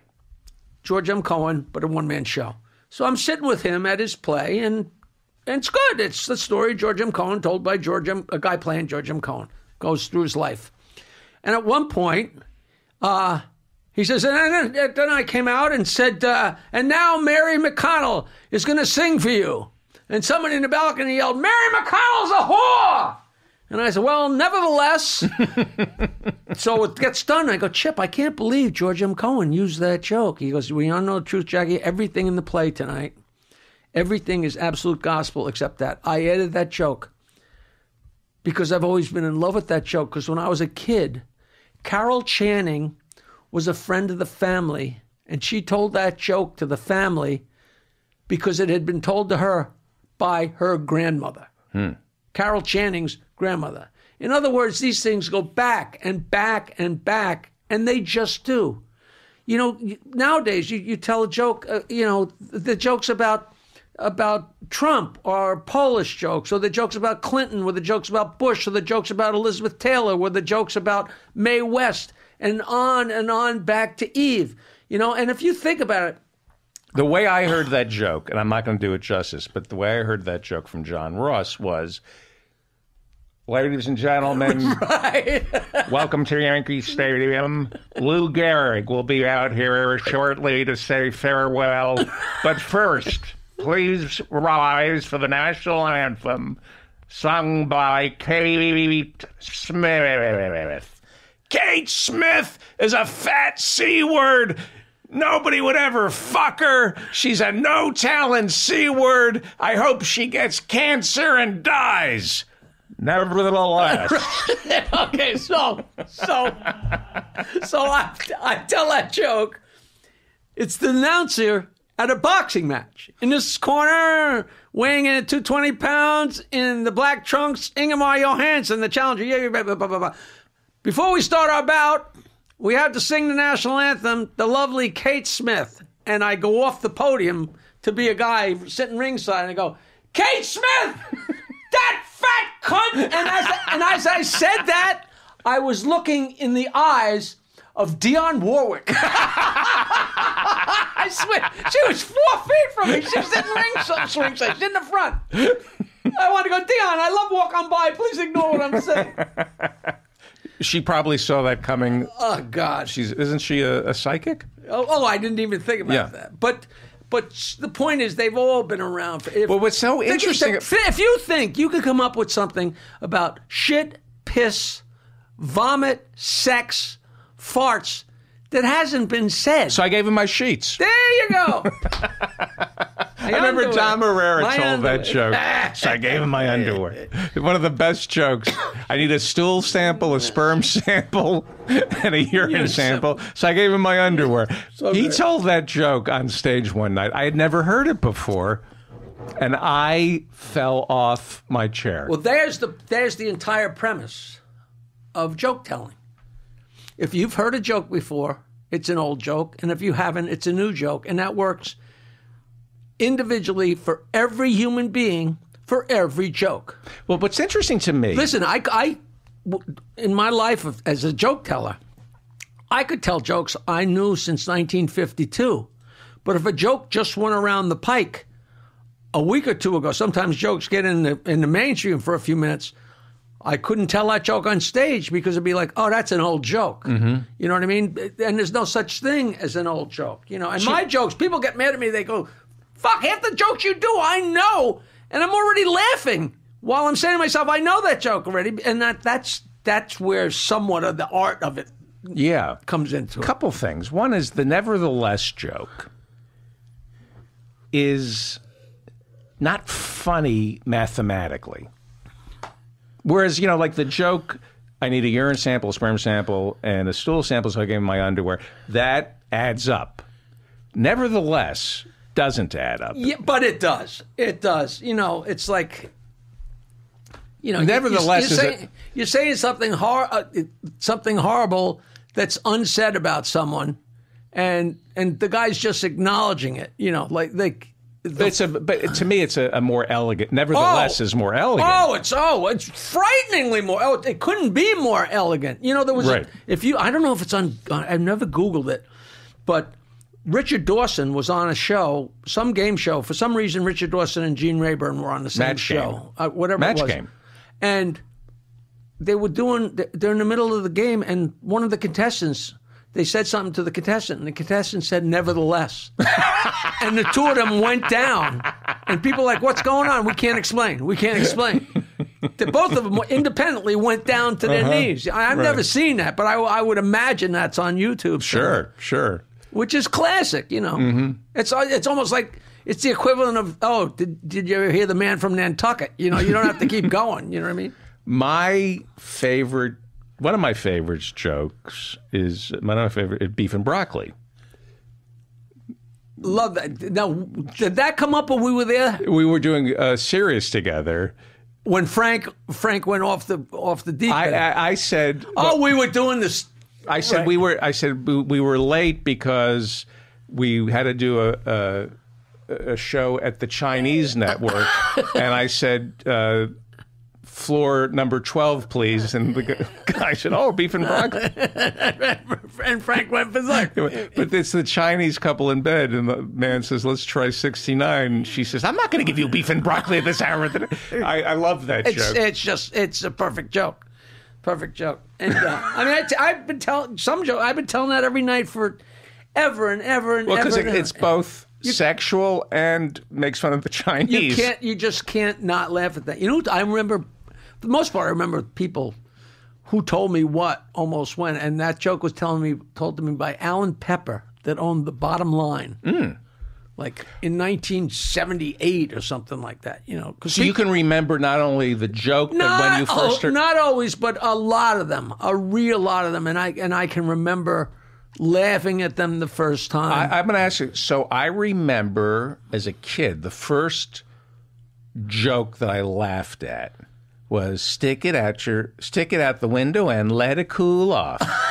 Do you know that one? Please. Huh? My aspirins. my aspirins, my aspirins. I re- that as a kid, I remember Josh Freed told me that joke. We were playing football. I must have been five, and he told me that joke, and I thought it was the funniest thing. And that sticks. I'm telling you, I was I tell it every night. I was in third grade and uh, we were having a snowball fight. And in those days, there was no such thing as a dryer to throw your clothes in and get warm. So you had to sit there and drip dry and try and get warm before you could go out and finish the snowball fight. And we're sitting on the floor of my buddy's house. And I'm in third grade and he's in fourth grade and he's in second grade. It's a small town. And there's maybe four, five, six of us sitting there. And my cousin walked in who was in eighth grade, which is way older. And he pulled out a piece of paper and he read a poem. And it was the night before Christmas, Dirty Parody. And I'm telling you, David, I to this day, I the, everybody was enchanted and laughing, and it was the bo- most bonding, wonderful. And some, you know, all years of getting famous, and people say, "What was your first joke?" Blah, blah, blah. You never know. And I, you you go back and you remember that something must have clicked in my head because I remember every joke since Okay, then. hang on for a second. So, And eventually, over time, I pieced that back together, and then it became one of those things that went around on mimeograph. Remember mimeograph, like Yeah. the church, and then it went around. It was the night before Christmas, and all through the house, everybody in the family was drunk as a louse. Grandma and Grandpa was singing a song, and the boy in the bed was pounding the shit out of his dog. Ma, the cat house, and me out of jail just settled down for a nice piece of tail. I remembered not knowing what a cat house was and not knowing what a piece of tail was. But I you- so you do he- remember this I remember what he said, but over time I pieced together what he had said because there's pieces of it here and there. And I remember at the end, it, I uh, I heard him exclaim as he drove out of sight, "Piss on you all! It's been a hell of a night." Another line that was in it was, "Away the windows, I flew like a flash." I tripped over the uh, the rug and fell flat on my ass. And, and there's nothing funnier than falling flat on your ass. To a third grade kid, I would pee in my pants, you know. okay, so I'm. I don't know if this isn't going to be interesting to my audience, but you're helping me remember my first laugh. Worcestershire sauce. Ugh, what's the joke? I just remember laughing at A guy was trying. That a guy was invented a new sauce, and he thought it was really great sauce, and he was trying to come up with a name for it. And and the janitor from the building walked in and tasted, it, and he said, "What's this here sauce?"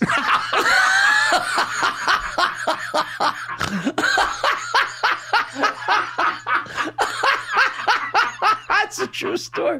that was what the so the first two jokes. I I remember st- sticking out the window and let it cool off. It was a woman complaining about she can't find her aspirin, and then he was obviously telling me a racist joke. Right. The first real. And the Worcestershire sauce, I don't remember until you told me. I just remember laughing at, At- Worcestershire sauce. Right. My buddy worked at my buddy Warren Mertens worked at a drugstore, and his first day of work, this little old black woman came in and said, "What's that?" sir?" he said, "Excuse me." He says, "What's that?" sir?" And he's like, he's embarrassed, you know. He said, "I'm sorry, man. What'd you say? What's that?" says? And he goes in the back. This is not a joke. He said to the boss, "There's this little black old lady, and and I I can't understand what the fuck she's saying." And the boss said. Just give her her Winston's and her Alka-Seltzer. that was a true story. What's that? That?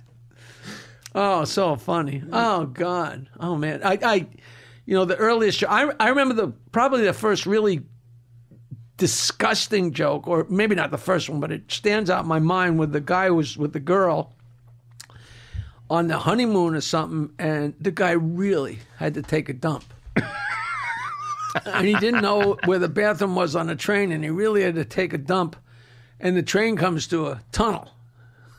You're in a tunnel, so the guy pulls down the window of the train, sticks his, sticks it out, and starts taking a shit. And they come out of the tunnel, and the conductor says, "Hey, you with the cigar in your mouth? Get your head back." Up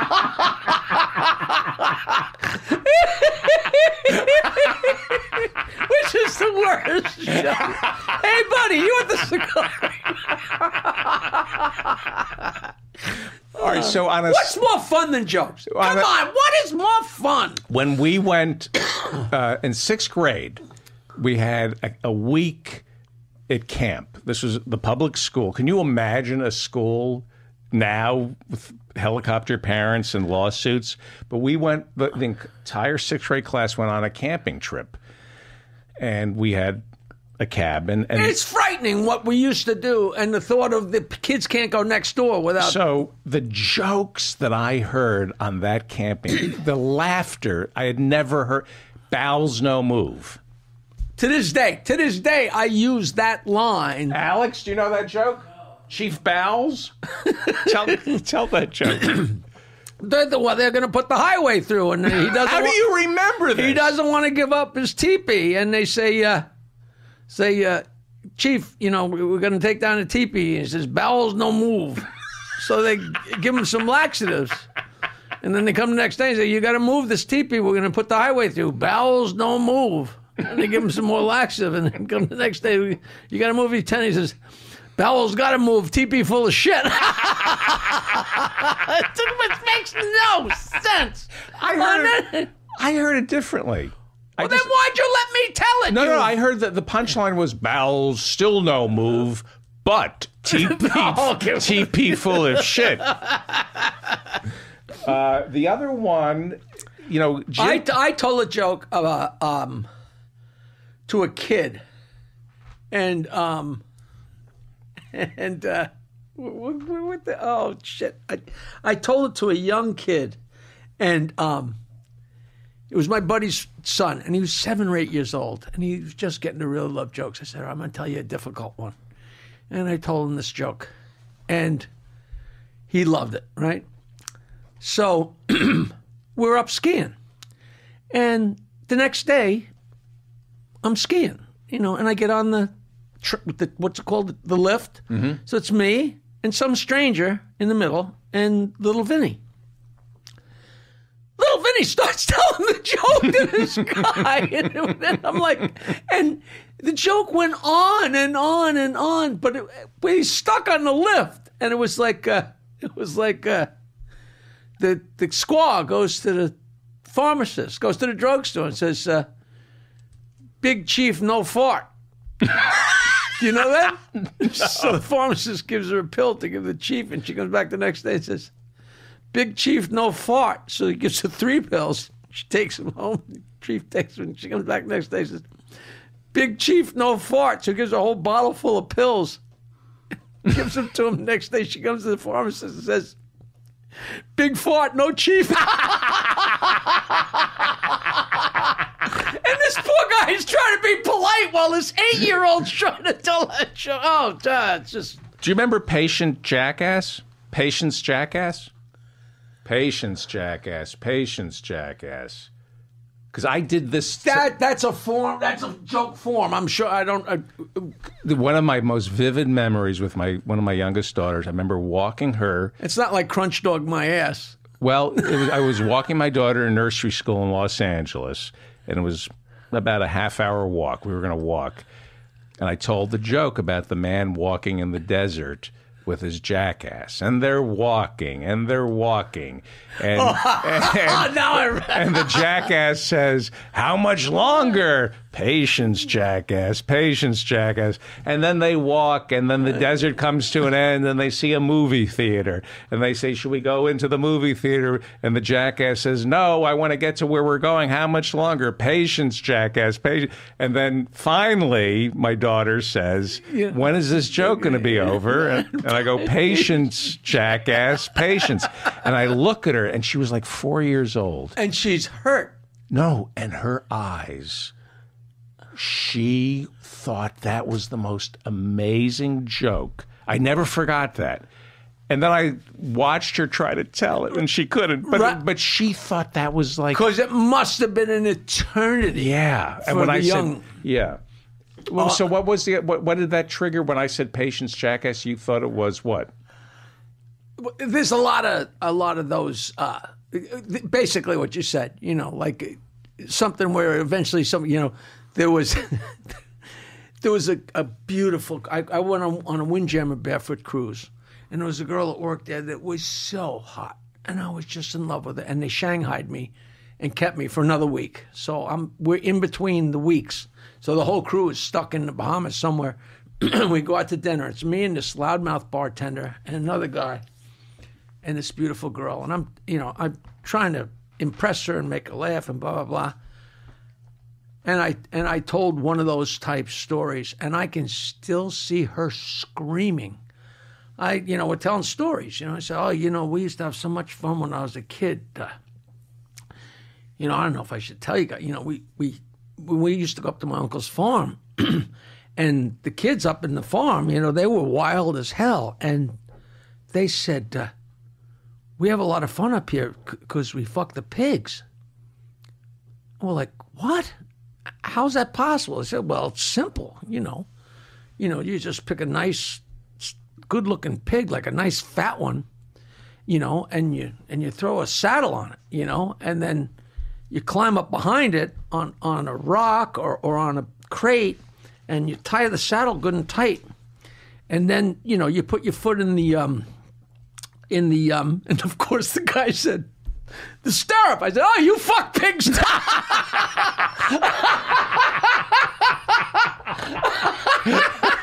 It's just, you see, it's the same thing. Like it- it's the, it's the, you know, Uh, it's the fish hook in the mouth. You Oh, know? that's so great. Oh, and she went fucking ballistic. You know, this All was. Mm-hmm. this was the loudmouth. You know, and he got his come up. It's Alex, I'll blow you for a glass of water. So I remember, the, I'm just trying to remember the, the jokes that I laughed at the hardest. Uh, a guy named Greg, I think his name was Greg Lyon, a reporter. When I worked at, at KRON, Where are you from? I don't even know. I'm from New, uh, New Jersey, but I was I had a job. I in- should interview you next time. So I, I, I had a I had a job in a newsroom in San Francisco. I was like low man on the totem pole. I answered phones, and I, they used to tell jokes in the newsroom. And, and I remember Greg Lyon told me a joke, and the punchline is, "Why do I need a baseball bat?" And he said, uh, "Oh, you'll need the baseball bat because Harold don't go for that shit." Oh, oh, oh, oh, oh. Do you know that joke? Singaloo the cook. What is that? Singaloo the cook. What's Singaloo? the- the guy, the guy is stuck in a in a in a bar uh, in a town in the middle of Alaska. How do you fucking know Did- this? remember, I just said I'd count down from 10? And by the time I got to zero, I would know that the guy with the baseball bat was the Chinese cook in Alaska. That's what I just did. That's what I just did. The guy says, "Listen, I'm really, I'm really horny. You got any women here?" And they said, "There's no women in this town, pal. We got Singaloo the cook in the back." And he said, "Hey, I don't go for that shit, man." And a couple nights later, he's drinking, he's drinking. He said, "Come on, come on, your sister, your mother, anybody. I need a girl. Hey, we got no, we got single. I don't go for that shit." So finally, he gets drunk and he says, "All right, all right, all right, I'll take Singaloo the cook." And the guy says, "All right, go in the back room and I'll send back Singaloo, Singaloo and Alan John in a few minutes." He says, "Who's Alan John? They're gonna hold him. He doesn't go for that shit."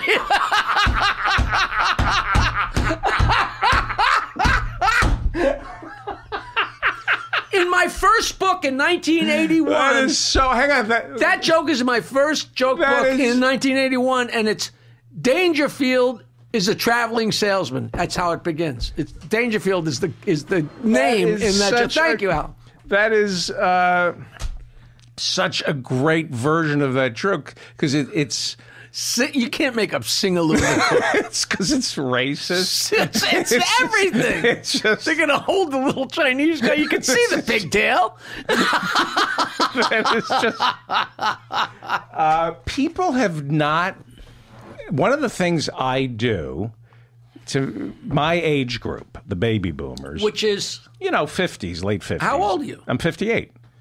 So do you believe I'm so old that I would kill for 58? So, one of the things that I do in my age group is somebody says, oh, "I just got, I just got back from China," and I, and I always say, "Do you notice that the Coca Cola tastes very salty over there?" Or you have to keep an eye on your Coca Cola. I you okay? You lost me. Me tell joke, me go pee pee, and and there's I, I there isn't anybody my age who if I say if somebody said you know this is really offensive I apologize to my listeners Do not. but they'll say they'll say oh um, you know my sister and her husband they just adopted a Chinese baby and I and I'll go you got to be careful my sister adopted a Chinese baby and the Coke ever since then, I don't know what it is. You go, you have Coke, and it just tastes horrible, and they lose it. They all know the Miko PP and the Coke joke. I don't know what the joke is. What you know it's funny because a girl that I went out with 15 years after I started telling that joke was uh, uh, uh,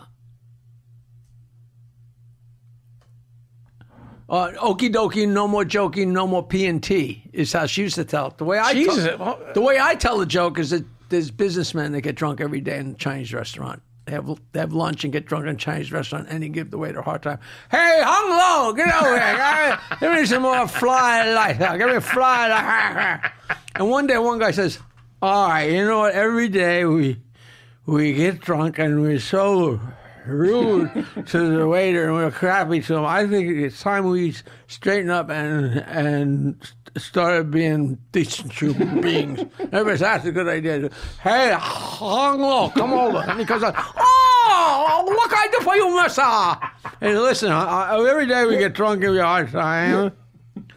Uh, uh, but from now on, we're, we're gonna, they're not going to give you a hard time, and we're going to be a good tip every day. Oh, what do you think of that? He says, Oh, very good. And now I don't have to piss in your coffee. Which is the joke you're talking about. Well, Which no. makes no sense because the Chinese restaurant, and, and my girlfriend said, no, no, okie dokie, no more jokey, no more P and T, which makes more sense. And The, well, the version I, as I remember it, it was Hop Sing from Bonanza. Oh, of course. It, it, it doesn't. Please, Hop Sing, Hung Low. It doesn't. You know, please. And it was me Chinese, me tell joke, me go pee pee in your Coke. Maybe. no, no, no. What he's doing is, you, you, do you know that joke? yeah, yeah, that's the same thing I just said. That he's Okay. pissing in their coffee because he doesn't like, you know. Okay, so you know- Jim Nabors, when I was growing up, there was a rumor that Jim Nabors was having an affair with Roman Gabriel, the quarterback for the LA Rams. And it was so bizarre. Because he was. Was that true? Oh yeah. Jim Nabors was woo. But Roman Gabriel from the LA Rams? Oh, I'm just making it up. Oh, okay. Well, they was called the Rams, but You almost got me. but I, I just couldn't believe it. I, I, I, then I go off to si- the sixth grade camp, and they tell the joke, the Gomer Pyle joke. Do you remember this? Surprise, surprise. that ain't my finger. Do you know that joke? Oh, of course. You know, But now what? I don't remember what the joke is. the, what you know, the, you know, uh, the the guy who's uh, uh, the guy who's, who's getting an exam, and the doctor sticks his, you know, is got, giving the guy exam, and the guy says, "Doc, stop fucking around, get your finger out of my ass." He says, "I'm not fucking around. That's not my finger." But I had heard it. There- it- There's a million versions. yeah, the Gomer Pyle is with Bunny, Sarge's girlfriend, and she says, "Come on, Gomer, stick it in." I don't. I oh, Miss Bunny, and All right, surprise, surprise. That, that that's not my vagina, and surprise, surprise. That's not my finger. Is that what you're talking yeah, about? my father had two great jokes that he used to tell. The pretzel grip, the wrestler. That joke is in my very first book, and the wrestler is Nelson, like in Bob Nelson, but like half Nelson. And I remember do you, how's your punchline? well, but I remember telling my shrink, my sh- you know, I I've been seeing a shrink since I was 18. It's not helping. and if I tell me about it. No, I'd be dead without a shrink. And I, I, I was in Freudian. I was, and he asked me about jokes and what my father's favorite joke was. And my father's favorite joke was the pretzel grip, Pretzel hold. the pretzel hold. and he thought it. My my shrink at the time thought it was very revealing, of course, that that was my father's favorite joke. See, he's another legman, but you know, like, like Yeah. I, is it more telling that that's his favorite joke, or that he told his son that? You know, my father very rarely told jokes, but Do you remember the pretzel grip? oh, please, please. Tell the pretzel grip. Nelson is the American champion wrestler, and he's going to fight the French wrestler for the world championship. And the coach says, "Listen, Nelson, you're better than this guy, but he's got the pretzel hold, and you got to be really careful because if he gets in a pretzel hold, you know you're sunk." And I Nelson, don't worry, coach, I'll stay away from him. So the they go there, and the match starts, and within three seconds, the French guys got Nelson in the pretzel hold, and the coach says, "Jesus Christ!" He throws in the towel and goes back to the locker room. He hears this loud cheer, and Nelson comes running into the locker room and says, I did it, coach, I'm champion. And the coach's like, What do you mean you're champion? He said, The guy got you in the pretzel hold right away. What the hell happened? Nelson says, All right, I'll tell you what happened, coach. I was I was out there and I, I thought I could stay away from him. Jesus Christ, right away he gets me in that pretzel hold. I, I'm in this pretzel hold and I don't know what to do. And I look and I look in front of my right in front of my eyes. I, I see these two testicles. so ah, I bit him. the coach says, I don't understand. He says, Coach, you'd be surprised what you can do when you bite your own balls. that's that's what you're talking about. Yeah, my father's version of it. How, how are we doing on time? Okay, can I get five minutes? what? I know. Uh, my father's version of the joke was there was a retired wrestler, and he wanted to prove to his kids that he could still wrestle. So he calls his agent up. He says, "I need one one final match. I just want to prove to my kids that I still got it." And the agent, It, it's and it, it's fantastic. It's it, but every all roads. it's Right. like it's like putting a it's like putting a dart in the wall, and you draw the but, target around. but I think that that element is why it was my father's favorite joke. Oh, of course. why it's Freudian. You know, the old man wanted to prove that he To still kids, got it, right, and then he bites his own balls. I was friendly with Richard Dawson's kids, and this Richard, is when you lived in. L.A. And Richard actually told me this joke: the commandant thinks you're trying to escape. That's the punchline. Right, right. They, they throw his arm out the plane and they throw his leg out of the plane or something like that. It said, How do you know that? Of course, I know them all, man. But Richard told it. It was it was a RAF pilot. Yeah, well, of course, of get course. shot down over Germany during World War II, and the Germans go, you know, we have bad news. We we have to remove your leg. Your arm, He said, you know, could you do me a favor? drop it over London on your next bombing mission. do me a favor and drop it over over It's, London. that's just it's miraculous. you know. Yeah, uh, we got bad news. You're the gangrene. We have to remove your right arm. do me a favor when you're flying over London. Do Just- me a favor. just Just drop it drop it over there. Would you do? And they come. We got more bad news. We have to remove your the gangrene spread your left arm. Could you do me a favor? "N- No more. The commandant thinks you're trying to escape. It's, it's just beautiful. You know, we used to sit around and play poker, uh, and uh, my father would, as the years went by, he'd get drunker and drunker and come in later and later, and it, it, it was no source. I mean, no endless source of disgust and craziness, and my mother and father and the battles. But meanwhile. That was just the background for the six guys, me and all my friends, or my brother and all his friends playing poker. And it was like, you couldn't believe the scene. Mm-hmm. You know, forget about the reality shows. Now, this was unbelievable. And we're all sitting around playing poker one night, and the old man came in extra late and extra loaded. And I will never forget this. He comes in because he was not a joker. And he walks in, and my mother's pissed off. And he goes, Ah, yeah, I'm, I'm late. Uh, He's like, uh, I got an accident, and you know, me and all my friends, they're polite, you know, so they they he's got their attention, and my, you know, and he goes, yeah, I was coming up 106, and I and I hit a lady's cat with my car, and you know, and uh, and she came out, and I no, she, he said, I went, I knocked on the door, and said, listen, your cat ran out in the street, and I, I didn't see it coming. I ran over and I, I killed your cat. I'm really sorry. She comes out and looks at the cat and he says, "Listen, I feel really bad. I, I want to, I want to give you twenty dollars." And she says, "I want hundred dollars." And, and I told her, "Listen, you know, I was, I'm being a nice guy. I'm coming up the road, and he run out of nowhere, and it wasn't my fault. But I want to give you twenty dollars." And she said, hundred dollars." And a cop pulls up and gave me a ticket. And of course, one of my friends says, a what what'd you get a ticket for, Mr. Martling? And he says, discussing the price of pussy in a public. and this is my father, and my friends went batshit. And my mother's trying to be mad at him. You know, oh God. Wow, we have to wrap it up. Can we do this again someday? Yeah, I, well, oh, you could thank.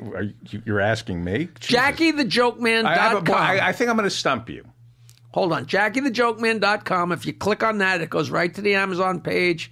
Please buy my book. And I do, I tweet jokes every day at 420 marijuana time at Jackie Martling. And it's always fun. And I love it here. And you're, you are a delight. Obviously, we're both good audiences, so it's fun. Yes. And now, if you stump me, I will blow you. And if you don't, you buy me dinner. Go ahead. Okay. My son, you will find as you get older, the first thing to go are your eyes. The Amazing Watson. God damn it. What are we having for dinner? That Why do you, you used to crush walnuts and now you're crushing coconuts? with his cock. With his cock. My father used to That tell is the jo- funniest fucking joke That in the is the the greatest joke in the world. The Amazing Watson. it was the Our- amazing it's our- Ronaldo. It's our, 40th anniversary. Let's go back and see The Amazing Watson. Tell, tell, let's end on this joke because this was my father's favorite joke. I heard it. A couple goes to Mexico to see the amazing Ronaldo. A couple is in Las Vegas for their honeymoon, and they see tonight The Amazing Watson, and they go in to see The Amazing Watson, and he comes out and puts three walnuts on a table, takes out his heart on, and smashes the walnuts. and it's and they're like, "Wow, that's amazing." And then 40 years later, it's their 40th anniversary, and they're in Las Vegas, and they see signed tonight The Amazing Watson. They can't believe that uh, he's, it's still The Amazing Watson. So they go in, and he comes out, and he puts three coconuts on the table and smashes them with his cock. and they can't believe it. And they go in the dressing room afterwards and say, "Wow." You're still here, but when we saw you 40 years ago, you were smashing walnuts, and now you're smashing coconuts.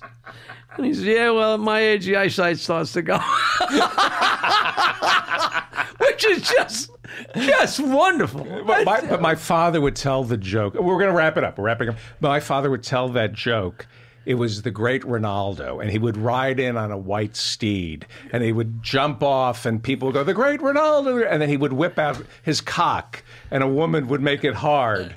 And Right, but you know, it's like it's like anything. It's it's you know, you can create the tale. It's Charlie the Boil Sucker. You uh-huh. know that joke. what's that? Charlie the Boil Sucker. No. And that you Larry Miller used to make it longer every year. One year I think at the comic strip Christmas party he made it like 55 minutes. But a guy needs a job and he gets a job sucking the boils off people. and his first day he goes to this lady's house and knocks on her door. It's a 450 pound woman. And she brings him into the living room. She takes down her panties and lifts up her dress. She got a huge boil on the inside of her thigh. So he wraps his lips around it. He's sucking on this boil. And all of a sudden she cuts this huge fart. And he goes, Lady, you know, it's people like you that make my job disgusting.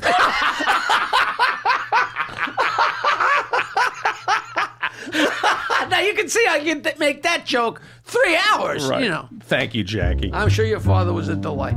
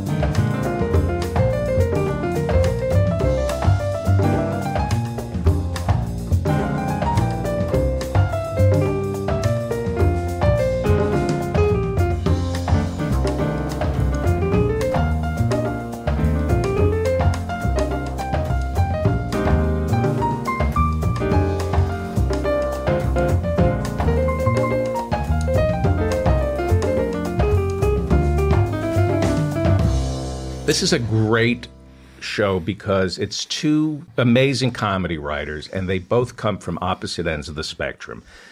I'm going to give these guys a proper introduction. To my left, or radio right, is Radio Rush. is Andy Breckman, and I wanted to put him on with Steve Young because they are two very amazing men, two great comedy writers, both of whom are legends, both of whom worked for Letterman. Let me introduce Legend, Breckman. legends is a funny word. That's an elastic word. Andy Breckman created Monk, the hit oh, television show. He just won a Writers Guild Award. He has written on Saturday Night Live. He has written for Letterman. He was there at the beginning, and he's written movies starring Meg Ryan and Walter Matthau. You are an actual movie writer. And I've been I've been very lucky. Yeah. Well, yeah, some You've written- movies, some movies. Yeah. movies with Steve Martin, and you've written on the Academy Awards. I'm just going to keep going till I've had I've had Steve, some movies made that I wish weren't made. Yeah, that's true too. Steve Young. You weren't there at the beginning. Oh no, I was just a tiny boy when the Letterman show was launching. Steve Young, Harvard Lampoon. Didn't even go to Harvard. That's how amazing he is. That they just put him on the They just put him on on the magazine. Simpsons. Long, I think you were. I'm going to say without you, and you'll say no, but I would say. Well, that's not fair to certain people. I would say you, uh, David Letterman.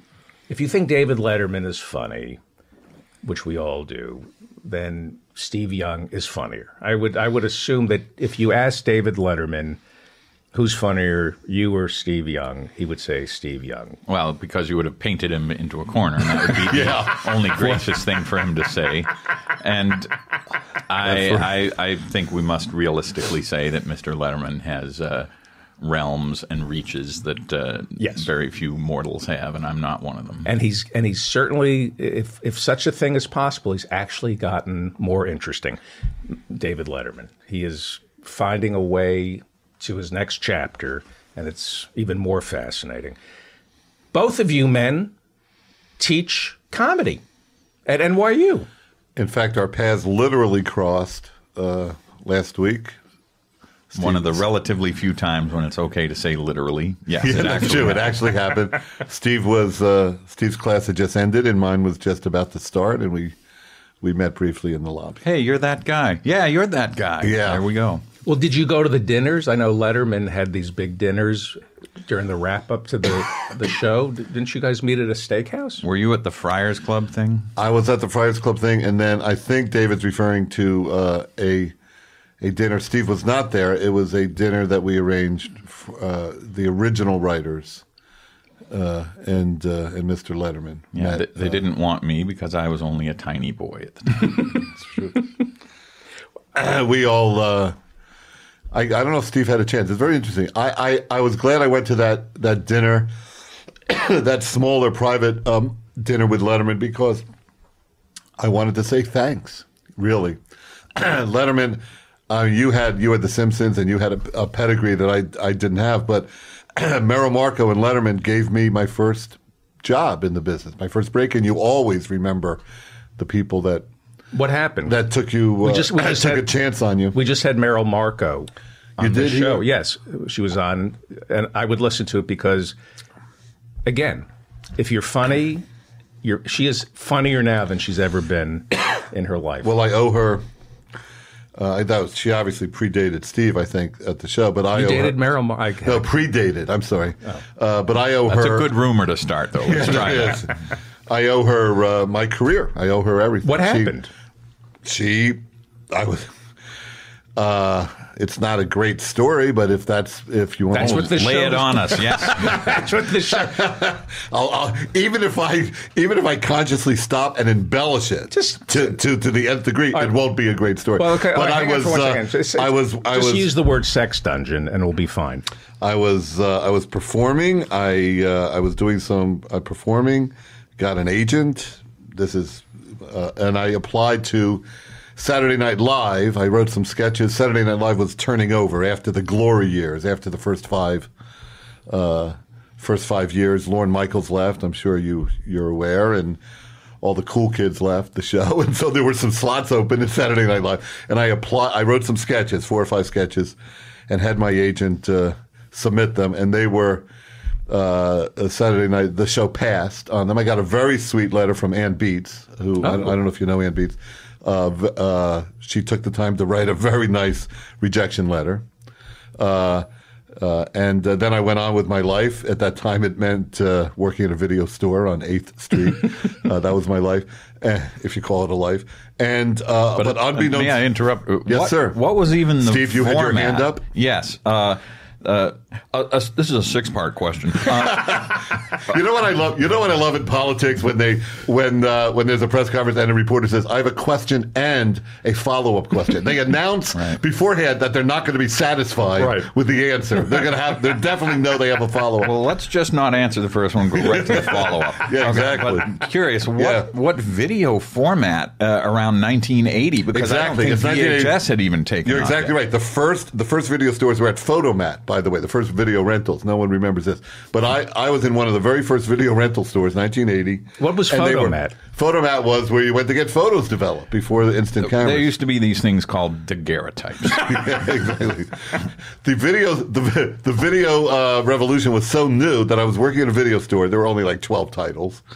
Nine of them were porn, uh, but the video revolution was so new that uh, we had a woman come in the store, rent a videotape, and then take it home, and then call us from home and say, "Now, where in the TV does it go?" She didn't Really? even know she needed a machine. That's how Really? new it was. Anyway, I hope that wasn't porn. No, 'cause it she doesn't know wasn't. where Yeah. that goes. I am very anxious to see this film, sir. I need to have this running Yeah. up in the next few minutes. yes.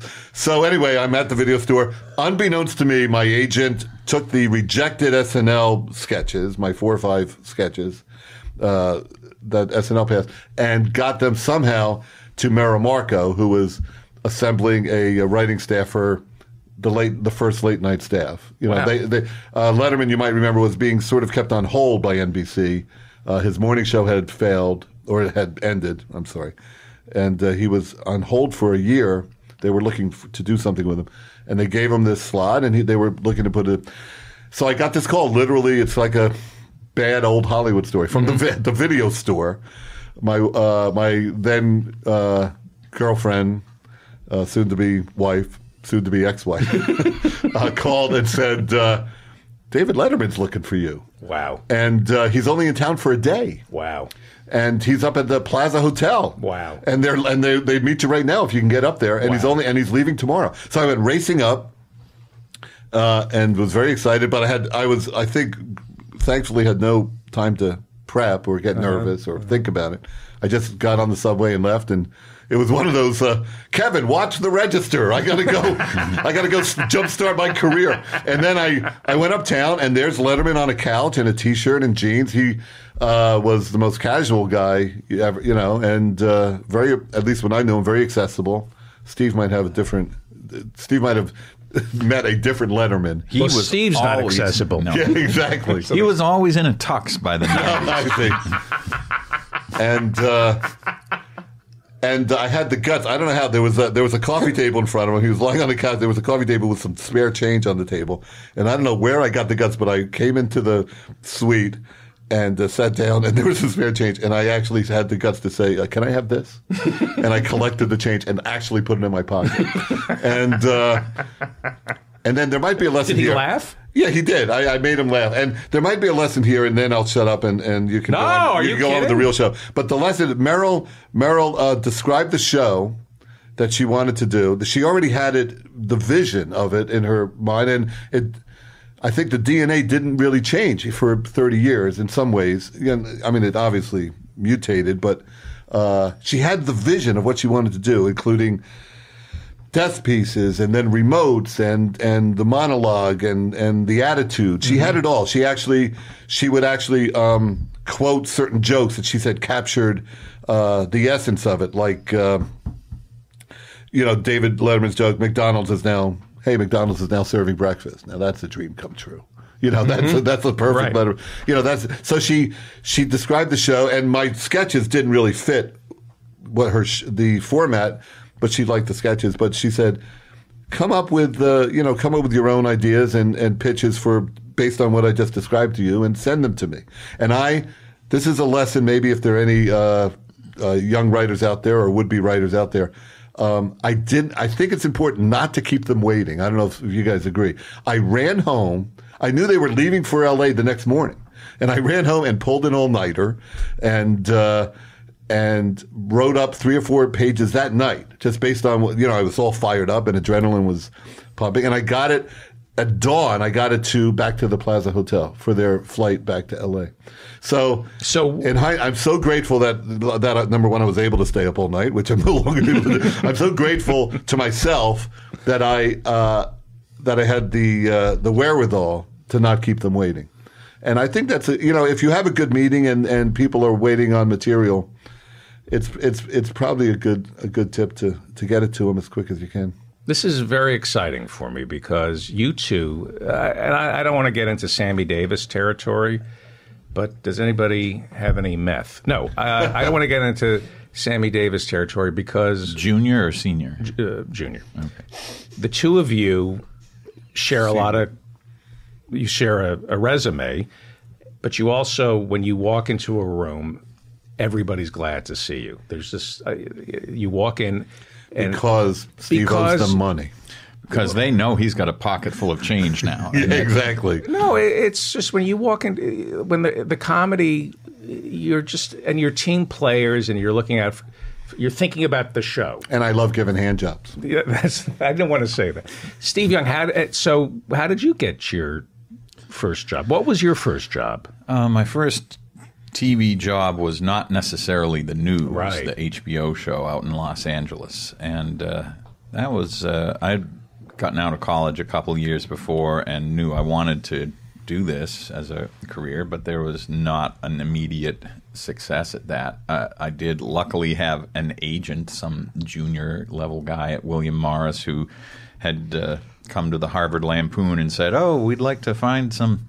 Uh, some uh, promising young comedy writers. And I said, William Morris, why is the cigarette company looking for uh, So I had no idea. But uh, I wrote a Cheers spec script and pr- printed it out on my pin feed early generation Macintosh printer. And I'm, I'm sure it was fine for a 21 year old or whatever. But Uh, for a while, I was bartending in Boston and just kind of scratching around trying to. Was there any out- business in Boston f- uh, for a bartender? I can't imagine anybody drinking in Boston. Yeah, it's a very teetotalish uh, sort of town. Um, So you went to work for not necessarily there's Pat Lee, John Moffitt, Rich Hall, who was on the show he last w- month. had uh, largely cycled out. This was uh, He, he went to Letterman, probably, right? he had uh, been there Did Rich write on Letterman? He did the morning show. Yeah. he- I, I find that uh, often in my career I arrive someplace just as the golden age has ended. In the case of not necessarily the news, the generation of performers that everyone knew and loved mostly Conan? had left. Conan had been a writer there like a year before and was gone now. Although I found his cartoons, uh, scraps of paper with his drawings on them in the desk I was using. But uh, Did you keep them? uh, no, no, Who I didn't have Who the knew? didn't have the foresight. Also, my pockets were very full at the time. Uh, I did find that uh, it it was a fine place to work, but I was only there six weeks. I had been the sort of last hired, first fired at their first whiff of budget trouble.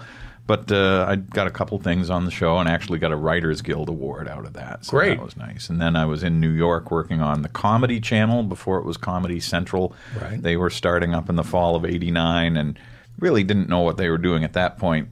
It was a lot of let's take old movies from the vault, cut five minute funny scenes out of them, just show the isolated scenes and have sort of VJs introducing each thing and doing patter and little comedy bits between each thing. And so I was on one of those shows for a while. And what? So tell me how. Uh, very quickly, let's get to how you ended up becoming the legendary. I don't want to go ahead. How did you get on Letterman? What happened? Uh, that was early 1990, and uh, the show I think had just had its eighth anniversary, and uh, I believe it was out in L.A. and a lot Eight of years. yeah, this was uh, 82 to 90 by this point, and a lot of writers went out to L.A. in addition to doing their work at the show that week. Went on a lot of meetings, and uh, in the coming month or so, about five or six of the old line guys said, "Oh, by the way, we're we're leaving." Is that And- why and- Dave went to L.A. to get rid of everybody? I, I don't know if he's that strategic a thinker about getting rid of writers. I think he has other ways of doing that. But, but suddenly there was a, uh, the sense that there were a lot of openings, and the comedy grapevine in New York, which I was tangentially plugged into, was full of people saying, "Oh, you got to get your sample in over at Letterman because all the writers are leaving, and this is a great time." And now, why did he require urine? Most people need. can you back up? What was that? when in, at, You mean at job interviews? no, no. It's, the, the sample that they required was urine. and Yeah, it not doesn't a- have to be your own. Oh, okay. Go on. Uh, uh, New York in 1990, you could get it on any street corner. You could write either 20 monologue jokes or, yeah, vial of urine. Yeah. And the vial, a lot of people overlook that. It has to be a nice vial. Yeah. It has to be glass. You can't come in there with some cheap and styrene. they don't, they don't return the vial. No. I, I, think they're just in it for the vials. you know, I I was unusual, I've been told. I got the cap back. Yeah, here's your Chemex. uh, uh, reading the tea leaves there. Yeah, Wait, so- but, yeah, but I But then think you Steve, pull an but, you, all-nighter. Steve, but Steve, I know a little. You you leapfrogged over The Simpsons just now, Oh, didn't the, you? The Simpsons uh, was uh, later, and I Oh, it was, was only- later. I'm I, sorry. I wrote one episode. It was a Oh, freelance sorry. thing. I was never on the staff there. well, you know, I'm sorry. Being a freelancer on The Simpsons is a, is a is a huge honor. That's that's not done a lot. Yeah, and I don't think they do freelance episodes anymore. I think after a couple of years or so, uh, in when I did it in '96, I think they didn't do it too much. At that The Writers Guild, for a while, uh, required staffs to hire freelancers. But this was before The. Simpsons was a guild Oh, show. oh, I didn't. Oh, okay, so it doesn't apply. But Okay. luckily, my agent at the time was clever and said, "Let's get you this Simpsons gig as if it were a guild show, and so you're going to get residuals for your episode." And at the time, Wow. none of the other writers were doing that. Wow. Yeah, a good- I still get an was eleven that dollar check once in a while. was that the same young William Morris agent that found you years earlier? And I think by that time, I, I had moved on, as writers occasionally do. So you get to Letterman. I get to Letterman, and um, uh, I, it was great. I was going to the big leagues from the Comedy Channel up to the big Thirty Rock uh, legendary show, and I got there, and there were a few old line writers left. Steve O'Donnell was the head writer who hired me, and was this wonderful talent and a great friend to this day. And uh, you had Randy Cohen and you had Adam Resnick still there and Jerry Mulligan, of course. Wow.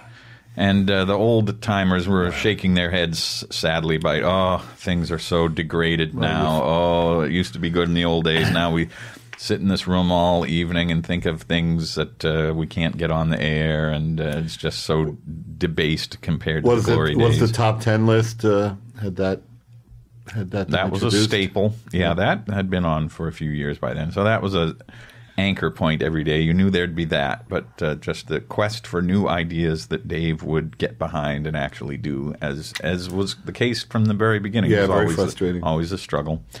But uh, that was a sort of quiet period, and you felt like, wow, the show is. Uh, reaching the end of history, and we had 25 years to go.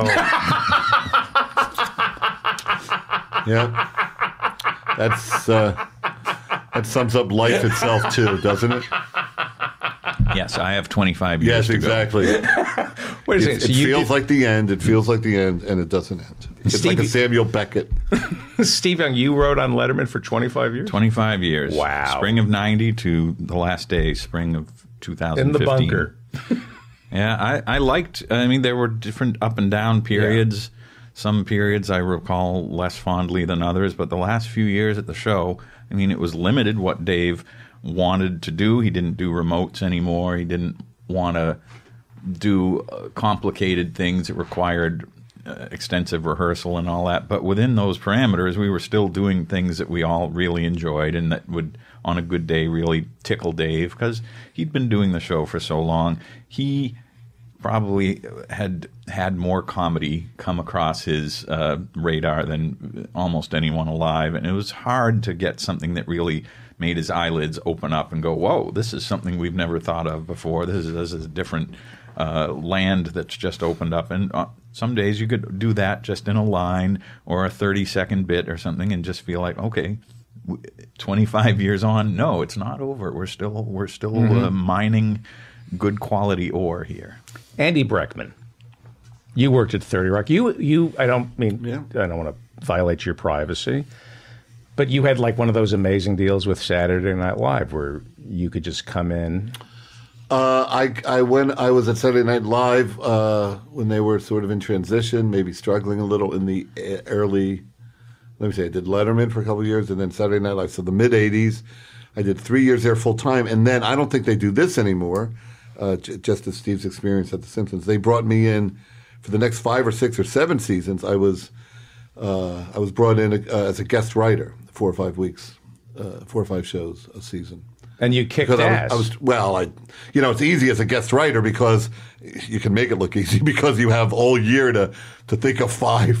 Everyone, the, the challenge is thinking of twenty two ideas every week. Uh, but I had all I had to do was think of five uh, half decent ideas. So I, uh, I, yeah, I always came in with something. But uh, I was trying to get a movie. What's interesting, yeah, and you did. Uh, what's interesting about the two of you is Steve is of the, you know, the regimentation of Harvard, work hard, play hard, uh, harvard play hard and you know Letterman. And Andy, both of you are, come f- came from it from two different. You entered comedy. You mean I don't work hard?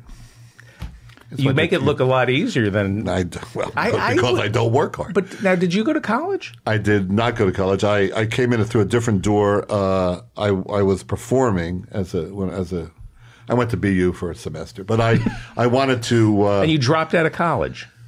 I dropped out of college to see if I could make a living performing. I thought I was at the time. I thought I was Randy Newman or uh, Right. Loudon Wainwright. I don't know if you know Sure. that reference, Yeah. but doing comedic music and, and songwriting, and nobody, none of my so-called friends would tell me I had the courtesy to tell me I didn't have the talent to do it. So I tried it, and the, the problem was. Um, the problem was I didn't fail. I didn't succeed. Obviously, I didn't. You know, I'm not a household name. Obviously, I, don't, I didn't succeed, but I didn't fail. I got. I kept getting work, enough to keep going. The carrot was just dangling, and uh, and years went by the way years do. and I was uh, I was in my uh, mid twenties, and uh, Is this still- where we get to it. have the sex dungeon reference put into the story? exactly? Okay. Uh, yeah, I made a living. Let's just say that. Uh, so. Uh, But yeah, you- so I, I, I, I made I was doing I was doing well enough to keep going, uh, and then thankfully, thankfully, I stumbled backwards into uh, into sketch writing and and uh, and and found uh, before Letterman I had a, another credit on a kids show, uh, but thankfully I realized I could do something else because that's a tough life. Have I ever seen you stumped? I, I don't think there's ever been an idea presented to Andy Breckman that you couldn't that- solve. I don't honestly know what that No, seriously, a movie idea. I've pitched you crazy movie ideas, and within five minutes, Well, that's my, my favorite thing to do is to break stories and uh, and to work on in, broad strokes, work on ideas, and that's my favorite thing to do. My least favorite thing, like a lot of writers, is writing. uh, that's that's hard, uh, uh, but uh, I do love the I do love the bantering and and the kicking ideas around. And my favorite place to be in the world is a is a good writer's room. And I don't know if Steve agrees, but uh, I loved the Letterman writers' room. I Yeah. felt like this is where I'm becoming the fully realized version of myself. I I definitely agree. It's it's uh, it's my favorite place to be, and I'm I'm working to get another show going. Not be, not to get a show on the air really, or to or to write, which is going to be hard. But I just want to get a writer's room Right. again. I just love being being with the, the Harvard boys. Love them, and uh, my, my favorite words uh, in the English language are when the head writer says, "I, I have to shut the door." When when it's getting so, because he's going to tell a, a joke, or the room has just gotten Yeah, we used to get okay. Close the door. We're going to talk about this in, Now, were in there- were terms there- that we don't want the rest of the world to hear. Were right there now. women in the room at Letterman? intermittently and usually yes i mean that was always uh, i I think increasingly over the years a, a project that all these shows have grappled with because uh, yeah we we want it to be a place that people don't feel excluded from and all that but it i mean Did it did it damper some of the the jokes that that you were throwing around? very little uh, very little You're talking about jokes that weren't for the show. Yes, of course. Right, Well, yes, as the- ninety nine percent of the jokes are. the the the shockingly uh, not even that it's graphic or crude, just like the conceptually horrifying uh, sometimes was was the direction we. well, my- in my in my experience, and I think Dave Dave you'd agree. In my experience, the fun is being with funny people and and and and poking at it, poking at them, and poking at them until you can get them to laugh, uh, and that often meant uh, crossing some boundaries, uh, and uh, but just getting just getting people you respect to crack up is the was the goal for me. Right, like you The- the pretending. not getting material on the air, but just making them. Like, and you know, Andy has this gift of like pretending not to understand the assignment and playing dumb. The, one of the, one of the jo- most jo- you know Brian Reich. I always A little bit. Brian Rich. I always mispronounce his name. It's Brian Rich. Yep, very funny, very funny guy. You were probably in college with him, I right? think he was a little younger. And just a frighteningly brilliant guy. He invented the masturbating bear on Conan. Now, yes, but I think it's worth pointing out bears had been masturbating for millennia at, before this Conan business ever happened. But not while What? wearing a diaper. And life. Pimpbot. And well, I'm sorry. And Pimpbot on Conan. oh, that I'm not. Oh, you never saw pimp Pimpbot? It's No. amazing. Anyway, so Brian's like this frighteningly, brilliantly funny guy. And we were traveling somewhere, and Andy and Brian were in the back seat. Okay. and it was dumb and retarded. her. It was it was the most fascinating conversation for four hours. It's very easy for me to play dumb. the two of them just trying in a conversation, He is. He is bringing uh, it down. I mean, not dirty. he's an example. If you can, if you can make Brian laugh, that's made my day. That's that. If you can break him, that's because he's as smart and funny as Yeah. uh, as anyone. But just you guys, I, I can't articulate it, but they they would start a conversation that would go on for an hour, and the premise was would be wrong. It would be based on some wrong fact, and then they would pursue it down. It, was it was fa- it was anyway. Um, yeah, Betsy Borns has a is a great comedy writer and writes about comedy, and she has a new podcast going back to women, the first writing job I had was on Roseanne, and she hired women. And my recollection of the female writers on Roseanne were they were as filthy, if not filthier, than the guys. I mean, they would, I, I don't want to mention any names, but there were female writers who were doing Lucy and Ethel, you know, with the candy, pretending to be blowing guys, you know. So I, the idea that women can't be as horrible in a room as a guy is. No, I wouldn't say that uh, belief holds any water, but I do think that there are cultural influences that begin when you're a child, and if you're a girl, you may be influenced and socialized to think you're supposed to be the quieter one, and Oh, right, boys are the boisterous, noisy, attention-getting ones, and then this is hard to uh, overcome later if you think, well, I'm a funny person, but I'm not used to thinking that I'm the the one who's going to get up and get the attention. And maybe writing is a little different than performing in that, but I will tell you that in the later years of Letterman, I was looking at the writing submissions coming in, and even after we told agents, we are always very interested in seeing uh, promising uh, women writers. We, we we don't want you to hold back on this. It was twenty five to one men to women submitting to the Letterman show, and maybe by that point we weren't the hottest show. Maybe there were other shows that uh, the most talented women thought this is where I'm aiming for. So maybe that's not a real sample, but that has always stuck out to me as an example of the underlying uh, social, cultural, blah blah blah, hyphenated uh, th- things that are going on. What I would do if I had a particularly raunchy joke in a room uh, and there was a woman in the room is I would spell it. You didn't know that women can spell? What? They can spell. Holy, mo- Holy, holy moly! There's a there's a there's a real flaw in my plan.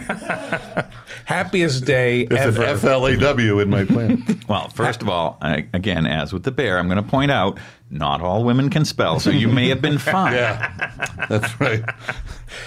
well, yeah. We're looking for very funny, very illiterate women. Yeah. The women went out and created Broad City and Amy Schumer and Sarah, you know, right? And girls and all that kind Yeah, of stuff. They, yeah. they probably. Well, they probably had a male producer helping.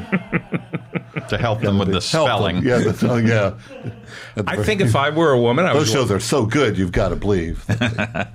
It's funny that the Letterman show was. Cr- Dave will say this was created by you know Merrill Markoe. Yeah, pretty much created the format. Many of his long-term uh, Uh, producers were, Yes. were women, and, and there were very talented women coming in and out over Right. the years. There is a I did I was doing somebody's radio show the other day and there were it was me, the host, and three other women, and then Rich Voss came in, the great comedian Rich Voss, and the male energy took over. And I, we were all three of us have daughters and you know we look over and we see the women and there is a male energy that is Trying to impress them. well, and it dominates. It's not necessarily more powerful. It's just louder. There's a, and there's a female energy. There is there are two different This energies. confirms my theory that men want to get laid. I've been saying that for years. And you've just confirmed it. so that we were Men showing. are anxious to impress women. Yeah, it's well. Look, I can't sink a three-point basket. I, I can't hit a curveball. This is all I can do to, to, to you know, to get women to. have you What ever- about your comedy songs? believe me, that doesn't work either. You've got to believe me. I, I tested that for ten years. have you ever laughed a woman into bed? Um, well, I uh, I don't have an option. I don't know what else I what else do I have going How does a for me? comedy writer Except now I could go up to a woman, you know, and say I, I make a very handsome living. As a comedy writer, what, what do you do? You you meet a woman, you hand some jokes to a funny guy. I, I don't know. Do you guys agree? Do you guys agree that I don't? Are you? I know you're single now. I don't know if you're dating. I don't know what Steve's situation is, but a woman who laughs is a gift from God. You know, just a, a real laugher, and I love. Uh, you know, both my I've been married twice, and both my wives uh, were very generous with their laughter, and that's That's just the, the juice. That's the energy that keeps me going every day. But is that I wouldn't know what to do with a tough room at home. that would be hell on earth. that what your daughter This is a to tough say? room, just sitting at the kitchen table. That what your daughter used to do? Oh yes, I uh, my daughter uh, at the at the at the dinner table. If Dad, if I told a joke or tried to be funny and it it didn't work, it, if the joke wasn't funny, uh, my daughter Rachel would start crying. Playfully crying and saying, "We're going to starve." that was her. That was her thing. Around the house. I'm not going to ask you personal questions, but let's just say, Steve Young, you you've had That's right. I live in a dwelling. What's it like? Is it wonderful? It's not bad. I mean, it keeps you out of the elements. I haven't met your kids. Andy Breckman's kids Yeah. were raised, are being raised exactly how my kids were raised. No, actually, better because I because don't know better, but they are constantly pitching. You go, o- you walk into the house. There are two beautiful kids. These are the from the the new Oh, marriage. from Beth. Well, it's funny you say that. As we're sitting here in New York, in, in, on the Lower East Side, my son Evan, my ten-year-old son, Who I have a feud with. who you're having a yeah, celebrity feud with my ten-year-old son. Uh, good luck on that feud, by the way. Uh, He wouldn't do a roast battle yeah, with me. um, I wanted is- to do a roast I battle have to pick him up. I have to leave in a few minutes to pick him up. He's at comedy school uh, class. Really? He's doing stand-up comedy on uh, at the Gotham Comedy Club. Oh, He comes out and does like every every at the end of every semester they come out and do five minutes, and so you got to come to see it. I'll Oh, my God. Uh, but his last comedy routine was uh, he came in and said, you know, every comedian needs a hook, needs a gimmick. I'm the comic without a phone, and he did a whole five minutes on how he doesn't have a phone. Uh, very funny kid. And he But why doesn't would- have a phone because you're not funny and you're starving. Yeah, because he's ten. I don't know. When did your kids get phones? He's ten. So wait a second. Don't you think this would have been fun? There was a benefit. Andy, by the way, hosts for WFMU, I have a show, not unlike uh, this. and Steve Young should come on your show. He'd be, he he's always welcome. He has the most amazing show. You would have so much fun. I would go with you just to watch you go be on his show. Well, Steve was telling us about his dwelling. no, I You're- want to. I want. you- I want. Hang on for one second. Ah. So All right. they were doing a benefit for WFMU, which is the greatest radio station. I'm familiar with it. I know Irwin Chusid. Yes, he's people- my lead-in oh, actually okay. on Wednesdays. And there are two great radio stations in America KPFK in Los Angeles, where my radio show is, and WFMU. Beautiful, and it's just a beautiful building. So they were doing a benefit at Monty Hall. That's the name of it. Oh yes, I, I've been there. I've done a show in there. Oh, great! Oh, yes. By the way, I, I did your show. In Jersey City, that's it's now become a real hot venue. Yeah, you can get over there on the PATH train. Right? Yes. Yeah, The fine. number of people who heard me on your show. Uh, okay, well, So anyway, they're doing a benefit for WFMU, and I it was a talent show, and I said, why don't Evan, your ten year old son, and I do a roast battle? he doesn't know you. and I it would be fun. And I I would kick his ass. That's just wrong. no, it isn't. so It's many- hysterical. All right. Well, let me ask Steve Young. Let me ask Judge Young. I'm going to have to thread this needle very carefully. Yeah, exactly.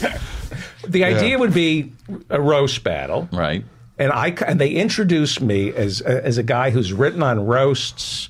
He's written for Triumph the Insult Comic Dog, and he's going to go up against Evan, this ten year old.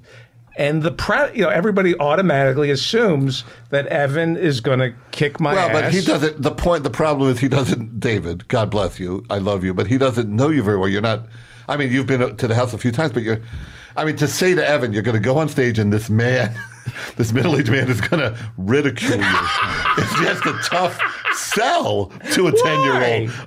But no, but for Why? the funny. But for the funny. Okay, maybe, but he doesn't know you. He all right. What did he say? doesn't Did you- love you. Most. I don't even. I, didn't even. I don't know. You didn't it pitch used to be that your average 10 year old knew all the Feldman references. Now I don't know if they do. I don't. Just yeah, it's getting tougher and tougher to get him into your van, isn't it, Dave? I don't know. I just, Yeah, I just, comedy van. Hey kids, come in the van and we'll work on a routine. I wanted to do a double with my son. They call them doubles.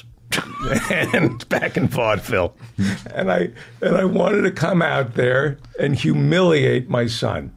And we used to do it at parties when we. It would be so much fun to have a father son Yeah. comedy team. I I don't know. Has it ever? Has there? Is it unprecedented? Yes. Father son comedy team. yeah, and we would do. I mean, uh, you've seen bro- siblings, of course. we would do it when we had parties. My son and I would come out, Yeah. And I would ridicule, you know, the comedy team. I don't want to mention the name, but and I'd come out, and everybody would automatically assume that he was going to make fun of me, and I just humiliate. I would pretend to read his report card, and just tell him what I caught, tell people what I caught him doing. What I would do is I'd have Evan come out, and every time I moved, he would flinch, like, he's, like he's scared of me. They will. I will. well, well- I will sit uh, uh, once a year. They deign to invite me to their beautiful. always home. invited. And the the kids, when I walk in, they immediately start pitching me show ideas, jokes, and it's, it's You're all very show busy people. This, 'Cause this, they don't think I this could stuff tell doesn't happen at my house. really. Yeah, uh, the kids. Are your kids? Uh, did have, have your kids gone into show business? No, uh, I have a. Well, that's a badge of honor for my you. older daughter is about to go to grad school to get a, a master's in social work. a fine, Sprang healthy sense of humor, uh, but uh, not seeming to be inclined I'm toward sorry, she's getting world. it in what? uh, social work. She wants to get a Oh, wow. become a clinical therapist. Wow. Uh, a, certainly a very healthy and robust sense of humor, and Right. but doesn't seem to think that she needs to be creating it. So that's Right. fine. The younger daughter is in college now, and I don't know what she'll end up towards. She also is a very funny person, but she doesn't seem like she has a, a, a great drive to be brought into the world. Well, that means that that means you raise them well. That means they're happy. That means they're well adjusted and they don't have that void in their life. One of my favorite quotes in the in in, in the world is um, "Happy people do not make history." You know, Wow. history is being made by by people that are driven.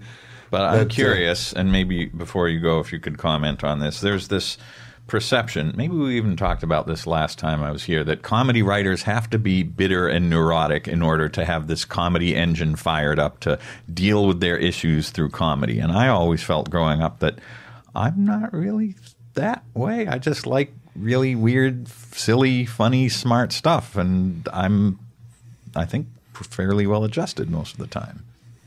I don't know. I don't know where it starts. I don't know. Like I look at. I have five kids. I have three from a previous uh, administration, as I say, and, and then two from two from that. And and four of the four of the five are not interested at all in show business or entertaining people or getting on stage. But my fifth, at my youngest, Evan. Uh, it is important to him. It's how he looks at the world, and he filters everything through comedy. And So if I I, have- don't know if it's genetic. I, I mean, I don't know if I raised him differently. So Uh, if I have another half dozen kids, I might get one. yeah, I don't know. Okay. I, I don't know if you want one, uh, but I don't know if it's uh, I don't know if he's the lucky one or the unlucky one. Yeah. But but that's that's uh, you know he's his identity is kind of built around being funny, and he loves making kids in the class laugh, and he will he will come home sometimes from school and say, "I got off a great zinger, got off a great zinger today," and and that's that's who he is, just like you and I do. Is he at Got the a point of trying to impress girls with this? uh, yeah, exactly. That's who he is. I mean, that's and that's who we are. That's it's. Do you give note? I, I got into trouble. I would note my kids. oh, you would re- do a little polish. I did. It was like I would correct them, Yeah, yeah. Like it was like it was math. But It was that re- can be fine if they see that you're not trying to diminish them, Mm-hmm. but actually trying to help them. Have you done that? Well, no, no one brings me comedy. To, No, I'm talking about during in a conversation with my kids. I've never tried to help your kids with comedy. They will make a joke, Mm-hmm. and I will. And when you they were younger, and I would correct their witticisms, and they actually didn't complain. To their credit, no, sometimes there were so many more horrible things that I was doing. sometimes around the dinner table, somebody will uh, try a humorous remark, and and I'll say or this, and I'll have the Yeah. ho- hopefully slightly Mm-hmm. punchier version. They all all go, oh, of course. Well, there you go. but that's all right. I think I know how they feel. You're you're funnier than me right here. When your kids make you laugh, That's the greatest. it's the greatest. It's the greatest. Now, our But is it intentional? Because I've found that most of the most of the mo- hilarious stuff I think that has ever happened in human history has been done by little kids who don't know what they're doing. but I think they try to make you laugh, and then if I really laugh and it's a genuine moment, it's not unlike I think maybe you and I shared. If you can get Letterman to crack up, you know, if you can make that Letterman laugh, that was something you you savored that uh, those moments, and they didn't happen every day, at least not for me. But and it's probably the same for kids making their their dad laugh. I'm always amazed when my kids can do things comedically that I can't do, like get a laugh. like I can't do sarcasm. And both of you guys, well, you you're not sarcastic. Steve Young, obviously. I think it's in there somewhere. I have Yeah. this, uh, m- and maybe this is a little different than the male comedy paradigm of being super loud and energetic. I usually find that I do well with the calm, deadpan, Mm-hmm. just slip the shiv into your rib cage sort of thing. I've never don't- been. a- that's I- not in my DNA. It's not in my DNA either. I can't Yeah. do it. I remember when we moved into our house, I, one of my daughters, 10 years old, we had gotten sconces. And I never thought, Oh my God, he's finally telling the sconce story. I've been asking for this for I don't know how long. that's basically what my daughter said. That's exactly. Uh, we were, my wife and I was like nine in the morning. We were both leaving for work, and we couldn't believe we had a living room with go. with sconces. And go. Oh no no no! I want to hear the end No, of this it's guy's a story. horrible- No no no! No, no, I'm no. so sorry. That was So you have to go. I do. I have tickets for Guardians of the Galaxy, and I have to get back to New Jersey. Okay. Will Evan come in here?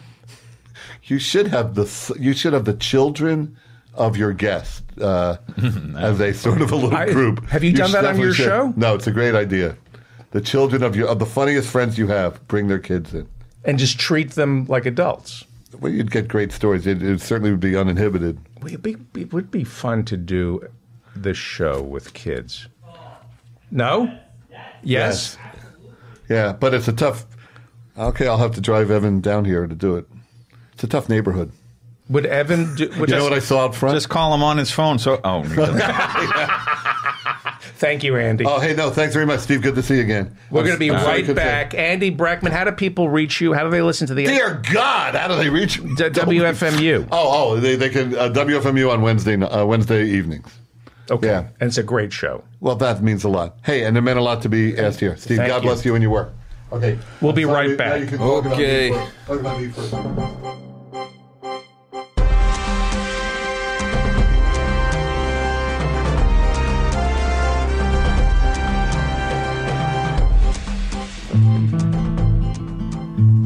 So, what, what do you have for us?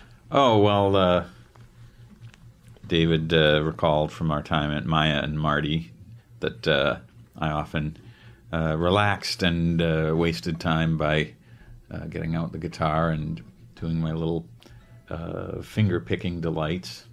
I thought that was just not for relaxation. I thought you wanted to be alone when you whipped out your guitar. you were trying to get people to leave. Yeah, well, some people take the hint better than others. You actually studied guitar, as I understand it, as an as an adult. You didn't play it as a child, right? Yeah, I in college I had lessons for a while and uh, learned some chords and could just basically strum. And then I was, I don't know, almost almost forty, I think, when I decided I really want to get back into this. And I very luckily found a teacher in Manhattan who was excellent with finger picking, and I thought, oh, I don't know anything about that. And it turned out, oh my God, I was born to do this. And uh, what if I had gone down to my grave, never knowing that this would just uh, the faucet uh, was a trickle, and then it was a gush, and I just, oh my gosh, this is great. I'll never be bored again. So, and then I went up uh, uh, to a different teacher. He said, "I can't teach you anymore." Uh, the first teacher, yes, Val, uh, a woman said after a while, I'm going to have to pass you on to a, a higher level teacher. But then she worked with me on piano and music theory for a little while. But then I worked with a teacher named Woody Mann, who's a hugely well known and respected uh, country blues, ragtime. Um, I think he's also quite well versed in jazz, and uh, I learned a lot from him. Haven't taken lessons in a few years now, but the, the fingers still mostly work. And then I started writing little bits that would occasionally get on the Letterman show. So, what do you have for us? Well, this was uh, something we we were doing one of our staff Thanksgiving montages, and, and somebody said, "Oh, Steve, write a, a horrifying little song about Thanksgiving." And so I wrote uh, this thing about how uh, turkeys are slaughtered and processed, and uh, I wrote it thinking, well, it's only going to be a little part of a montage, so there's actually not even the first part of the song there. It just sort of comes in in the middle. Right. Then this happens. Then this happens, as if something's already happened. But now I haven't rehearsed this. I think I can still get through it. But let's see. Then the next step after the slaughter. Loosen the feathers in boiling water. The head's cut off and the feathers are plucked. Now the insides we deconstruct. Pull out the organs, they must be inspected. No sign of disease can be detected. Gizzards, livers, necks, and hearts are set aside as the giblet parts. The carcass then must have a cleaning. The turkey carcass passes a screening. On Thanksgiving, let's all sing of industrial turkey processing. Gobble, gobble, gobble. Gobble, gobble, gobble.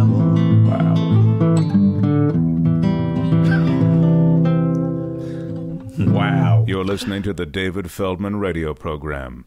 You sad, pathetic hump. Welcome back. And by the way, uh, Andy Breckman has to go. He had to leave, which he pretty much said already. Are you teaching? Yeah, I'm just uh, finishing my second semester as a an instructor at NYU. They've got this uh, dramatic writing department, and I'm not teaching a writing course per se. It's more of a TV. No, my name is David. course. David. Why do people always call me per se? because they, they think that you must have something to do with that expensive restaurant. You look like a man who understands the finer things in life. So you're teaching drama? No, it's just a sort of TV history overview, whatever I wanted to talk about. So some of it has been based on my own experiences at certain shows, and some of it is just reaching back further into history to things that are generally considered worth knowing about, but your average 20 year old might not know about. For example, Well, um, the Dick Van Dyke Show, Mary Tyler Moore. People may have seen these things because they've been on like TV Land or whatever, but then all the way back into uh, the Honeymooners and I Love Lucy, Wow. Dragnet uh, in the 50s, and then again in the 60s. All the early stuff like uh, not only uh, your show of shows, but also even like the Texaco Star Theater with Milton Berle, but also all sorts of oddities, which some of which I bet you know, like uh, Pink Lady and Jeff. Mm-hmm. Yeah, nobody had ever heard of that. Jeff Altman was a comedian. NBC was trying to bring back the variety series, which was always hard to do. And they found two Japanese, I believe Japanese women who didn't speak English. Well, they were a singing sensation duo in Japan, and they had some huge uh, selling records and everything. And I think it was Fred Silverman at the time at NBC said, "Oh, we got to jump on this. We got to get them over, put them on a variety show." And somebody said, "Do- do- "Are we sure they speak English?" Oh, yeah, I'm pretty sure they do. And then they got the whole show started up. No, they didn't speak English at all. So it was all. Uh, they had to learn their lines phonetically and didn't really understand what they were saying at any given point, and you couldn't really do rewrites at the last minute because they couldn't learn how to say a, a different string of nonsense syllables that me- meant nothing to them. Had it been a hit, hit, it would have been considered a stroke of genius. It, it seemed like so far uh, out into left field as an idea that, yeah, I mean, it could have been seen as who would have imagined it, but by this point, the variety show as a, a genre really was on its last legs, and I think this kind of killed it off. I talk about in the class. That, well, Can you went find from- it on YouTube? you, there's a few clips. There's like an 18 minute best of, and and the word best is used under advisement, I think. But you can tell that this was a sort of remnant of the 50s and 60s TV world where variety shows presented unironically were no longer really mm-hmm. gonna fly. I mean, you had all the way into the '70s with Sonny and Cher and the Osmonds, and and and by the I think this was early 1980. We are several years into the world of SNL. National Lampoon had also done a lot to build a new comedy sense in a, a new generation, and we were almost ready to have it really come into its own fully with David Letterman. So a, a non-ironic old line variety show was really a, a very risky move, and then this uh, show's terrible fundamental flaws just uh, sank it. I think they had five episodes that got on the air, and there was a sixth that never aired. So you teach each week one television show. Well, or one either kind of genre. Like one week we were talking about cop shows, and that's when we were talking about Dragnet and Kojak and Hill Street Blues, which kind of brought it into the modern age with shows that don't neatly wrap up at the end of each hour and storylines go for months or even years. Uh, some of it was, oh, let's talk about variety shows, and we ended up all the way down at Maya and Marty. Okay, so you would do a class in, say, police drama. How do you prep the class? Well, sometimes it's just all right. Here's uh, some.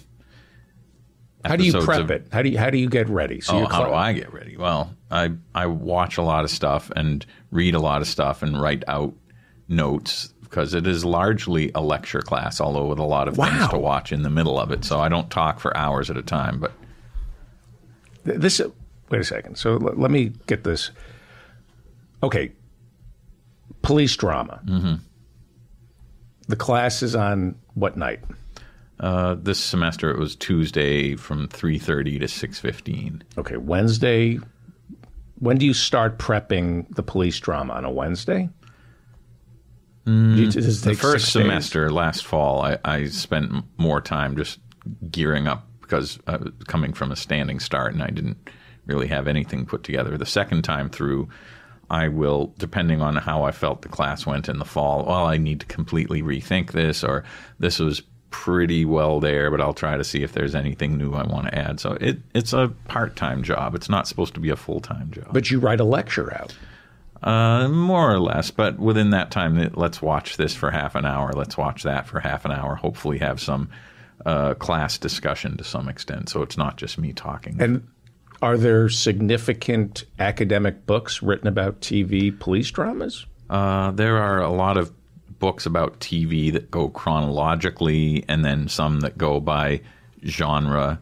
Uh, David Bianculli is that the guy's name? He just had a, a book come out in the last year or so that has uh, chapters on different genres like kids shows, cop shows, medical shows, uh, late night comedy variety shows, and he'll have his pick for what are the five most significant ones in each genre and write about them, and then sometimes have interviews with significant people. So that that uh, that book informed me. There were a few other books I bought, but a lot of stuff is just available on YouTube. Not everything. Sometimes I would have to go buy sets of DVDs to show them uh, I Love Lucy or MASH or something.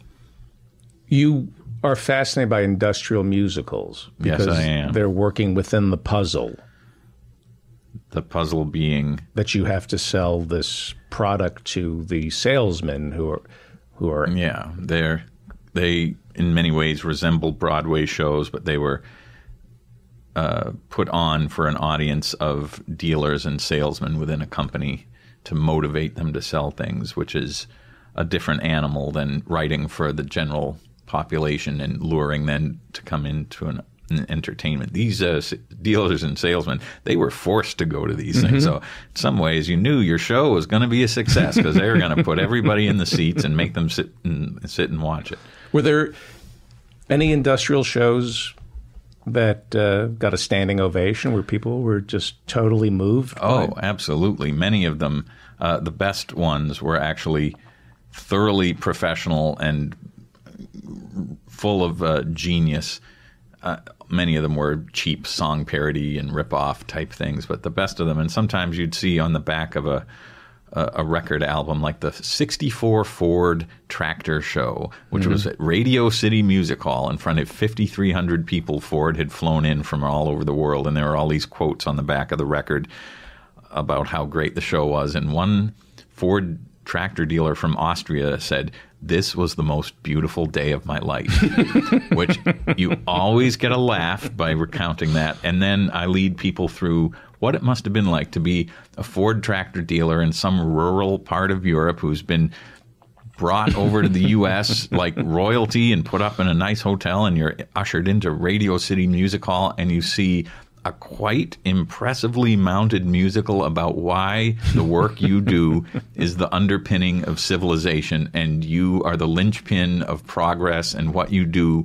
God damn it, it matters, and you're a hero. And I'm sure on many, many of these shows, and, and composers have told me they would see this people in the audience just with tears streaming down their faces like i've been validated i've been entertained i've been uh, informed i've been motivated but really i've somebody gets it that i'm trying really hard and it has meaning which gets lost sometimes Wow. so uh, it as corny and weird as it is it is worth studying partly because it gets down to these primal human needs and emotions which these things when done properly met expertly and thrillingly So you appreciate the context.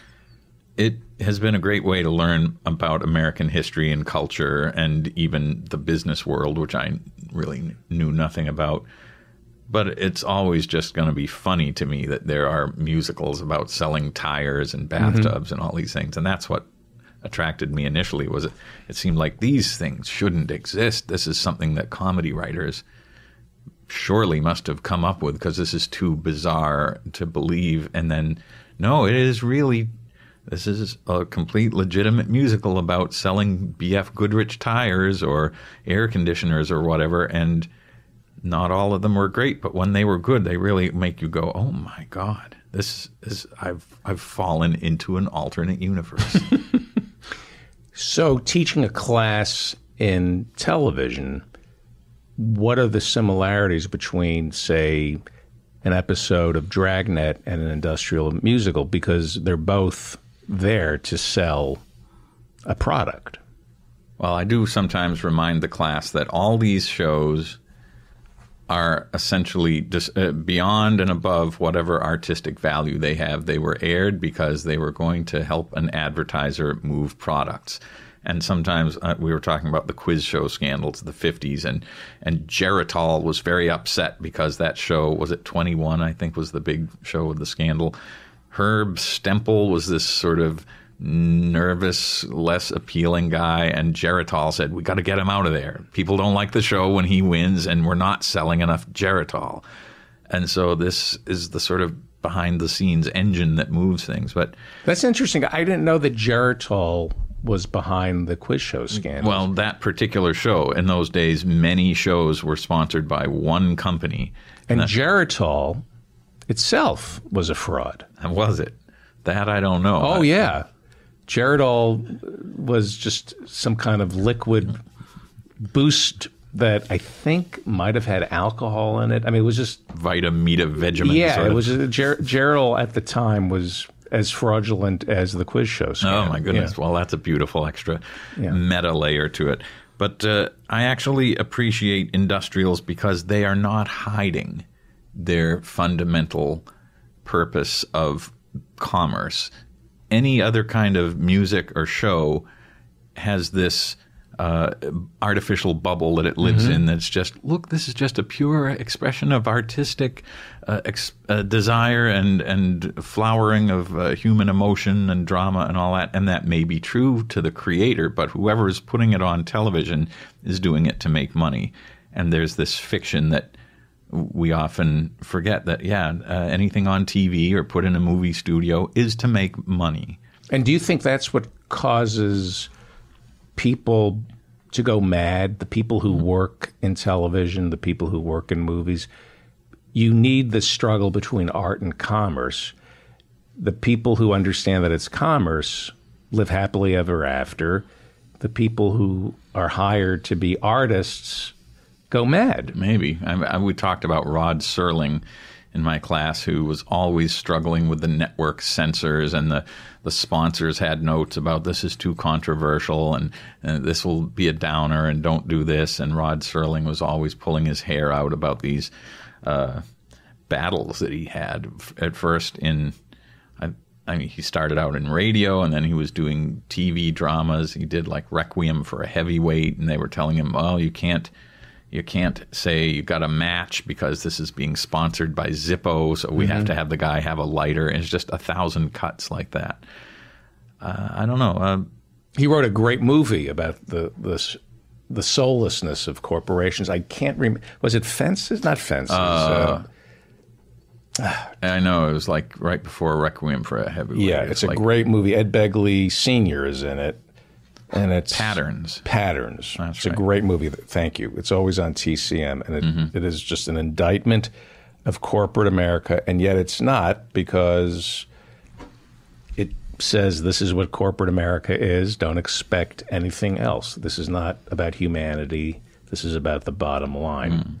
Well, I think like anything else, corporate America can have a spectrum of its. Uh, moral worth and ethical values. And certainly there are and have been companies that have wanted to treat employees well and mm-hmm. value their feeling taken care of.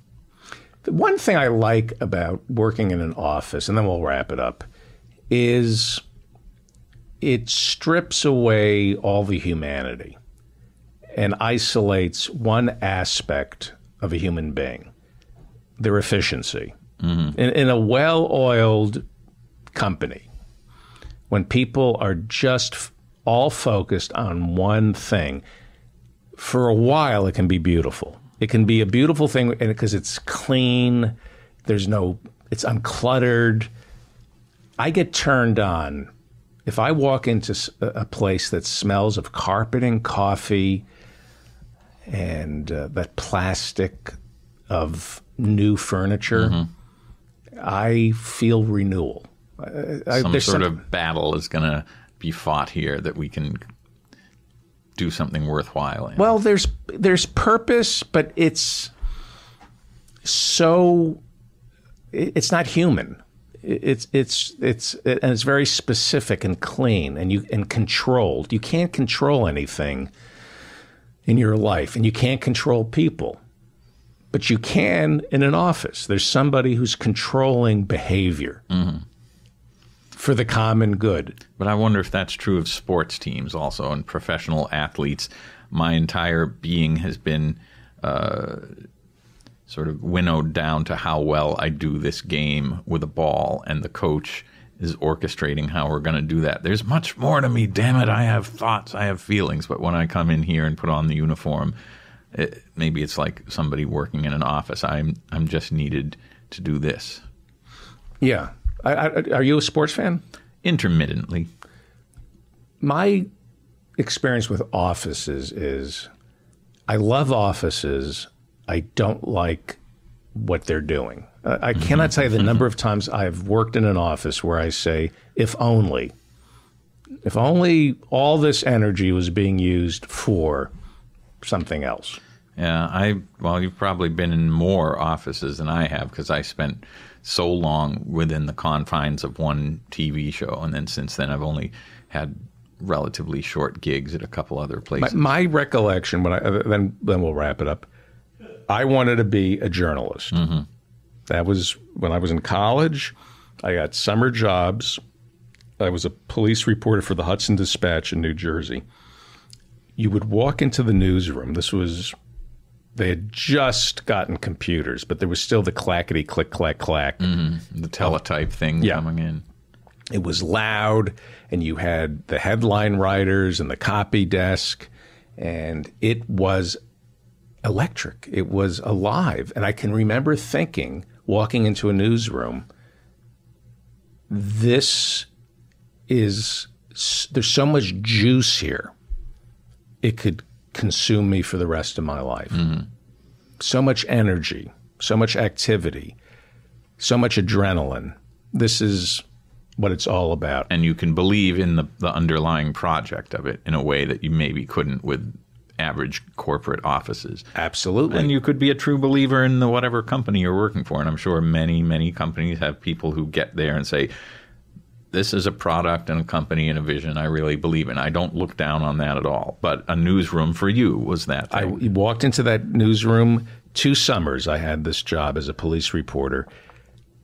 I, you know, then I moved to San Francisco. and I got a job at KRON, the NBC affiliate. I got a job in their newsroom, and by then it was all computerized. Whisper it was just a whisper. Everybody was a whisper, and everybody in it was good looking, and they were there to be famous. It was local television news, and everybody wanted to be famous. Everyone wanted to get up to the major market, national, blah, blah, blah. Yeah, and I thought, oh, this is, you know, I guess what you think you want as a kid doesn't really exist, right? Well, you don't know what you're getting into when you're a kid, and I don't know if you knew what you were getting into when you started in comedy. I I had little notion of it myself, but sometimes it's just a job. Sometimes it's uh, flights of wild inspiration and uh, and hanging out with other people that you really like talking to, and it's great. And then sometimes it's just grinding away word by word on something that you think this is going to end up compromised, but it has to be done. Right. I think laughs and the laughs are like an orgasm in that some are amazing and some are oh, I'm getting old. that was not Steve Young, how do people follow you? Hmm. Well, I don't know. Uh, are people necessarily to be followed? Uh, I, You I have do- to. You All have to be followed. All right, fine. Uh, well, I have a, a Twitter, Pants Steve. And there's also uh, industrial musicals. There's mm, the the one I run. There's also the industrial musicals documentary. Twitter. If you're if you're looking to follow things, there are three of them. and when are you doing a, another live show? I don't know. Uh, uh, actually, don't have any plans right now. I'm kind of uh, letting that lie a little bit fallow, and perhaps uh, we'll have a new onslaught of them once the documentary is done and out. Great. And uh, oh yeah, um, Facebook has a wonderful industrial musicals page with Oh, really? yeah, and I, I put up little like album covers and labels and fun pictures, and you can go to listen to some links that we have online. But Right. if anybody needs additional things on the internet, yes, certainly go go ahead. But uh, I, I've I've lost interest in Twitter mainly. I, I will say that. Uh, I look at it like once a week or something and almost never post anything. So don't try too hard to find me. Thank you, Steve.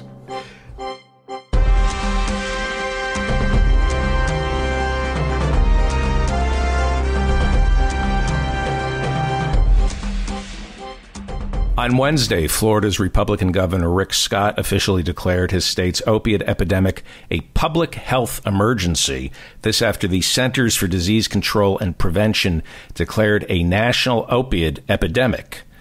For more on this, we are joined by Sam Quinones. He's the author of Dreamland, as well as a journalist, former LA Times reporter, author, and storyteller, and he joins us today from Los Angeles. Thank you, Sam. My pleasure. How you doing? I'm doing okay. I want to ask you about this opiate epidemic, and I'm really playing devil's advocate here. But when I see the governor of Florida, Rick Scott, saying there's an opiate epidemic, I'm suspicious. And I think back to the crack epidemic. I remember in the 80s, crack was insurmountable. And we locked up a lot of people of color because of the crack epidemic. When I hear of Governor LePage of Maine complaining about people of color coming in to his state in Maine to have sex with our women and then sell them drugs, specifically opiates, I'm suspicious when I hear that there's an opiate epidemic. Is there an opiate epidemic in this country? There certainly is.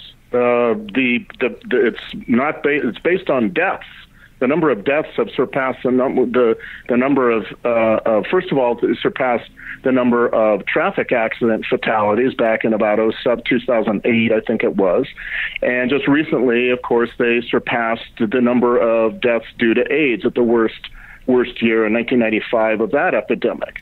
Is that Uh, so because cars getting safer and are we curing yeah, AIDS? part of it, but it's also in the history of the of modern America. We have never had uh, a year when when when um, uh, another there's another accidental de- form of death that overtook uh, automobiles. That's part of it certainly, but but these these are hitting stratospheric new levels for the for the for the country. And and again, of course, uh, uh, in in 2015 there were more deaths due to uh, due to uh, opiate overdoses than than there were uh, deaths due to AIDS in 1995. So uh, the, the the reason for calling it such is because it is the it is the worst drug scourge we've had in modern America. If you're measuring by the number of deaths due to overdose, that's that's I think where where people are coming down on this. Can And you I give me a number? Can you give me a number? Oh, I can't remember what the latest numbers are, but it's in the tens of thousands. We're talking about 35,000, 37,000, I think it was. Uh, It's uh, the numbers. I don't have the numbers handy immediately, Okay. but but but it's it's very significant numbers of people, and truthfully, I think that's an undercount. And the reason I think that's an undercount is because a lot of this is happening in small counties, counties that don't have um, really good death investigation systems. They have coroners, they have who are also maybe funeral directors, maybe they're also ER docs who have a full time job. They don't have a lot of money, they don't have budgets for testing everybody who uh, t- toxicology reports. I think there have been reports out that, that somewhere perhaps between 20 and 30 percent of the deaths that actually should be counted uh, are, are not. So it's likely that it's an undercount. But nevertheless, we've we've definitely had a, an enormous increase in deaths, and these track uh, almost in, almost step by step.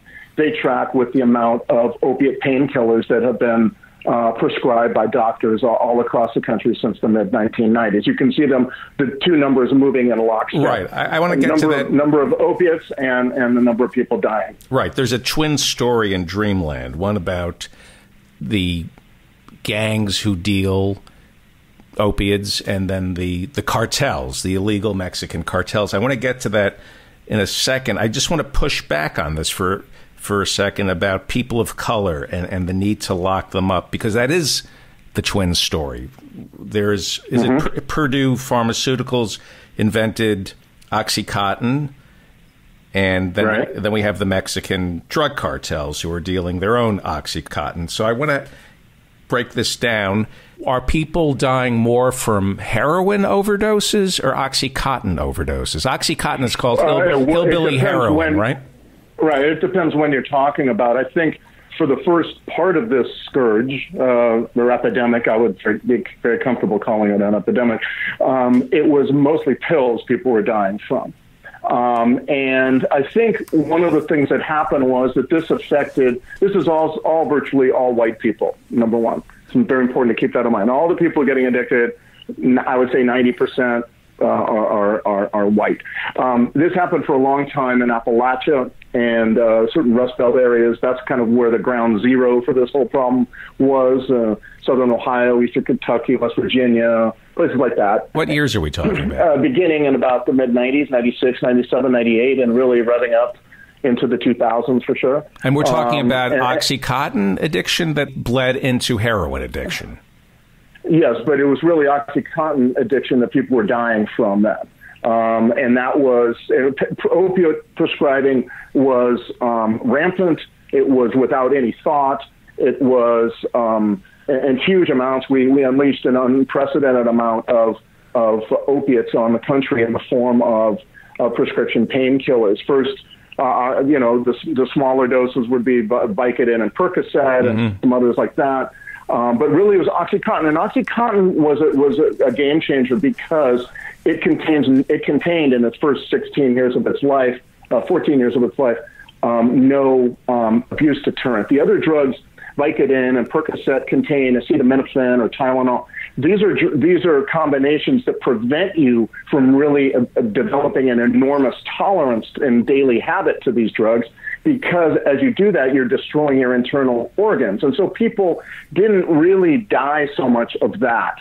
Uh, because it was very hard for you to get up to a to- very high tolerance that would be very dangerous for you. But OxyContin includes none of that for the first 14 years of its life until two- 2010. And so it takes people very to very, very high tolerances. And that's where it gets very dangerous and people begin experimenting with too much.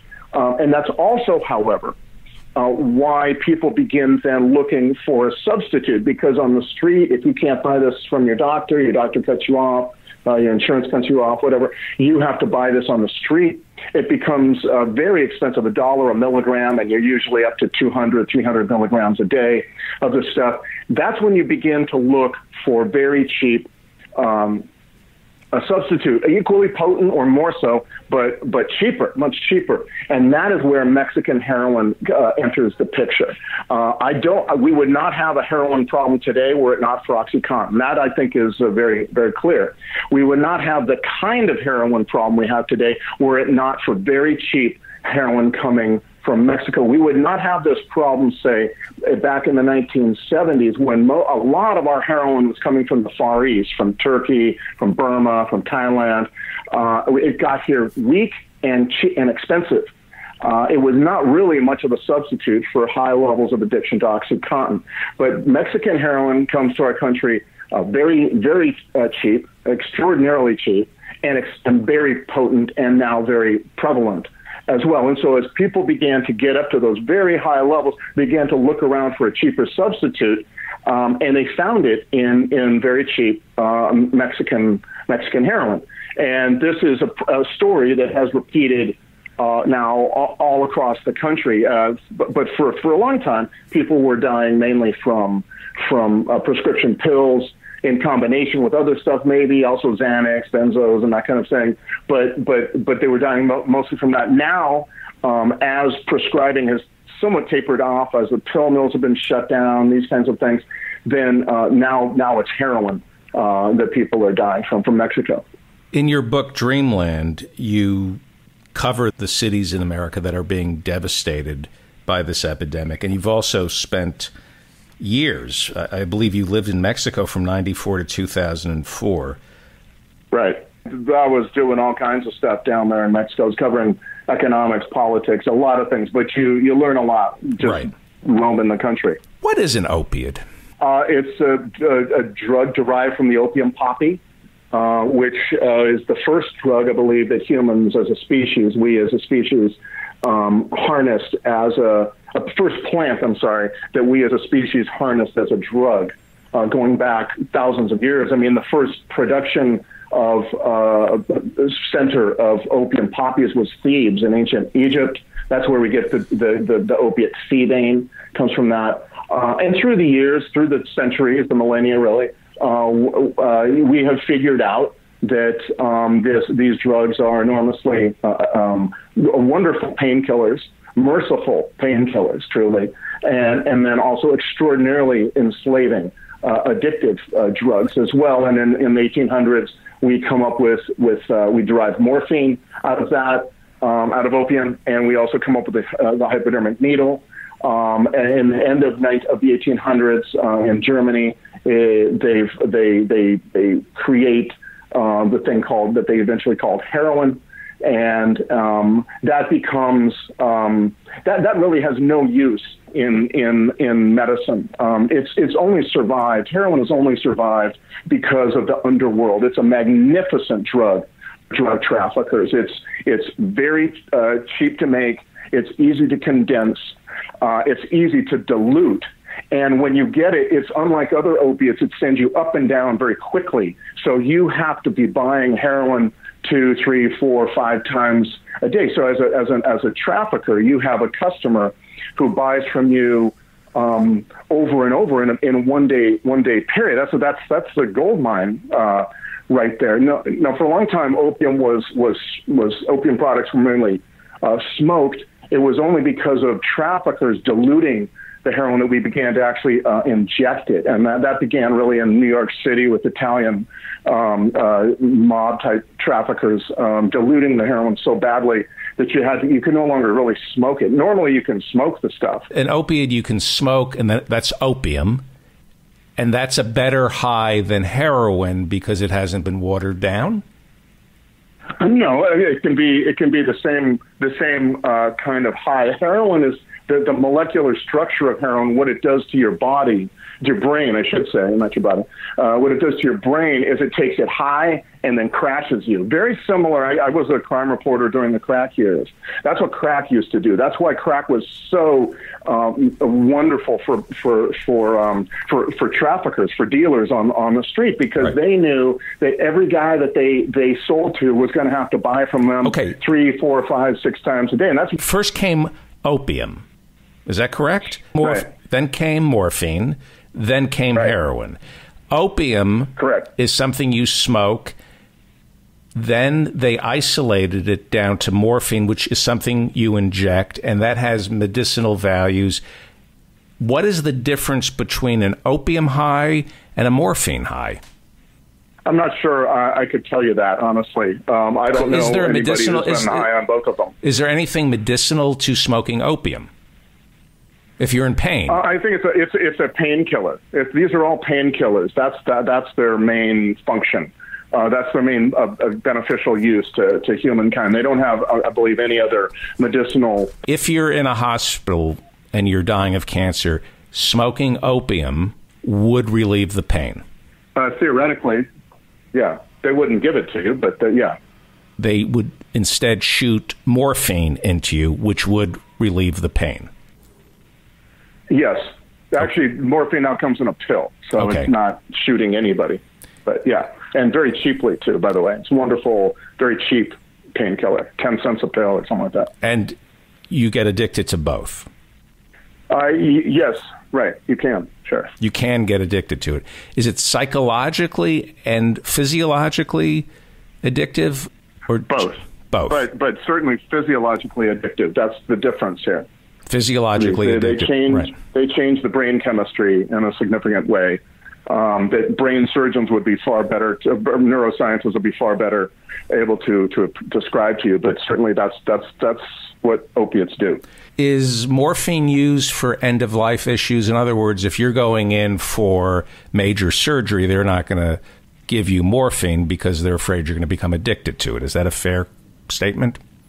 Uh, no, I mean soldiers have been given morphine for for many, many, many, many years. Um, I think I think no, it's it's. Uh, I was I just had a heart attack, and I was given uh, morphine. Um, you know, uh, during my operation. So I think morphine is still very much in use, and as well it should be. It's a, these are good drugs to use and in certain situations. What about the? So did you find it addictive? Did no. You, do you crave it? No, I just had very little amount, of, and they didn't give me any to take home. Okay, that's a big difference here. Okay, and you're saying that heroin came from the streets of New York City. This is fascinating. You're saying that heroin came from the streets of New York City because the mafia was watering down well, no, it, it, was invented by Bayer in in Germany. Really, the um, it's a long story, but basically, it was invented by Bayer in in Germany. It then be, was purveyed by doctors as a non-addictive painkiller, and it was used in a lot of uh, the the elixirs, I guess you might say, of the late 1800s, early 1900s, until they began to feel uh, realize that it was really addictive, mm-hmm. and then it becomes more uh, the, the, the cost and benefits of heroin, the costs are far outweigh the benefits. And so it really should have been pushed to the back of the shelf, figuratively speaking, and left there, right? Well, um, it, it wasn't because um, the, the, the underworld discovered it, and in particularly in New York City. That's where all the heroin manufacturers were when the drug was legal and it, it, remained as kind of the center, and it began to get a lot of the opium from the Far East. Once again, why was heroin more attractive to the mob than opium? Because it's a perfect product for for you if you're a drug trafficker. What you want is customers every day, all the time, who cannot not buy your product, and heroin uh, takes you up and high and down within a p- space of a few hours. And so at each crash, you need more. Um, and so you are uh, creating people who need to buy your product three, four, five times a day. At the same time, it's very easy to conceal. It's very condensable, which is one reason why, by for example, a wall will not stop heroin from coming through the, the southwest border. It's very condensable. It's also easy to cut. So you can you can take a kilo and cut it into three, four kilos, and it will still be able to be sold. And then at the same time, um, it's it's uh, it, it's it's easy to you you can cut it and make a whole lot lot more money than you than than with with uh, with other drugs. So you're creating a, a faithful, I would say, enslaved uh, uh, uh, customer base.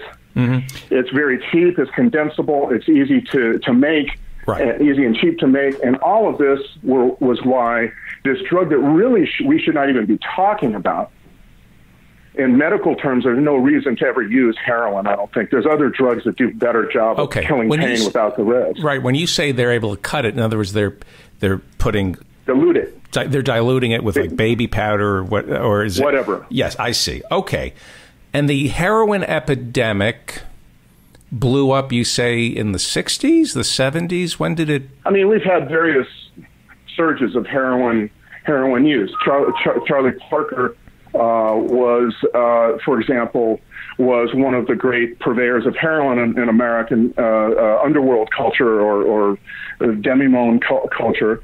Uh, because uh, he was such an amazing saxophone player, is horribly addicted, died at 35. His body looked like he was at 55 uh, at the time.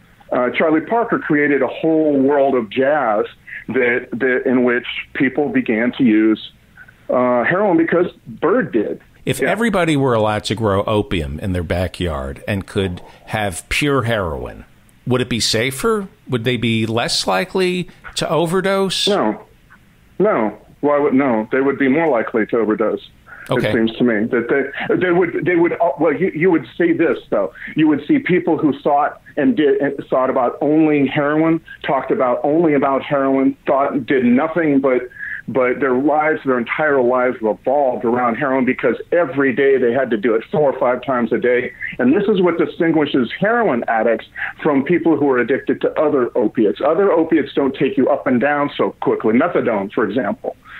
Um, very gradual thing that, that can lead you throughout the day. It's still very addictive, but you don't end up talking about dope all day long. You you can actually function as a as a human being in the world instead of constantly. This is this is the the, the common denominator among all uh, heroin addicts. They just want to talk about dope all day long. They have no interest in anything else. It's just this big kind of uh, the, the most boring people in the world. Basically, it's because all they want to do is talk about the, the next time they buy dope or what good dope they had or where to get the next best dope. Well, I've heard that Philip Seymour Hoffman, who died from a heroin overdose, and Lenny Bruce, who died from a heroin overdose.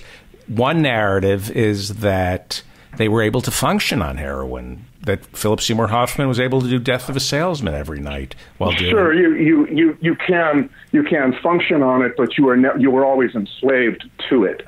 You can you can there are there yeah sure people can function on it, but you must always be doing it all day long.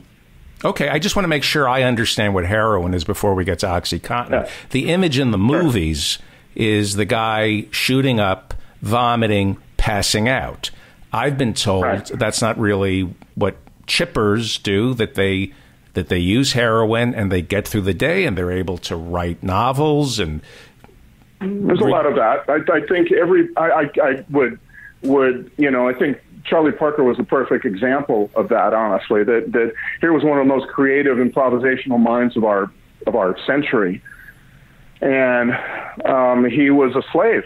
He was a, a slave to that drug and he and a lot of younger guys got enslaved to it as well. I'd be hard pressed for me to say that he was more creative when he was on was when on when he was on dope than he would not than he would have been had he not been on dope. Obviously, I'm not mm-hmm. pushing people to try heroin. I just am suspicious right. of drug wars. And you know, Eric Clapton wrote Layla on heroin, and my question is, people are enslaved to alcohol and people are enslaved right. to heroin.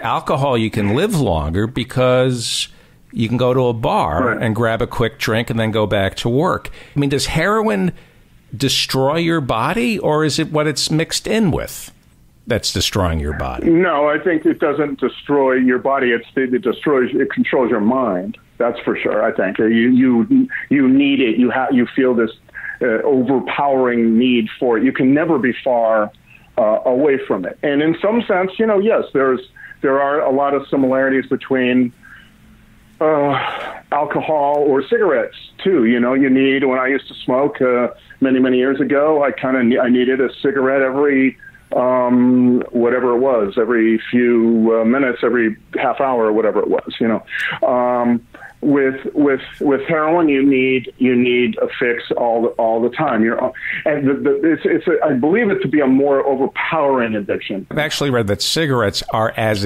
addictive as heroin. I guess the question I have, and then I want to move on to Oxycontin. My question is. I was told as a kid, don't ever try heroin. If you so much as touch it, you'll be enslaved to it for the rest of your life and it'll kill you. And I just wonder how addictive heroin actually is. And I wonder if the drug itself is going to kill me or is the dependency on the underworld for that drug the thing that ends up killing you. That's what I yeah, wonder. that's a very that's a that's a that's a good question. My, my feeling is though that this these are um, uh, remarkably enslaving uh, enslaving drugs.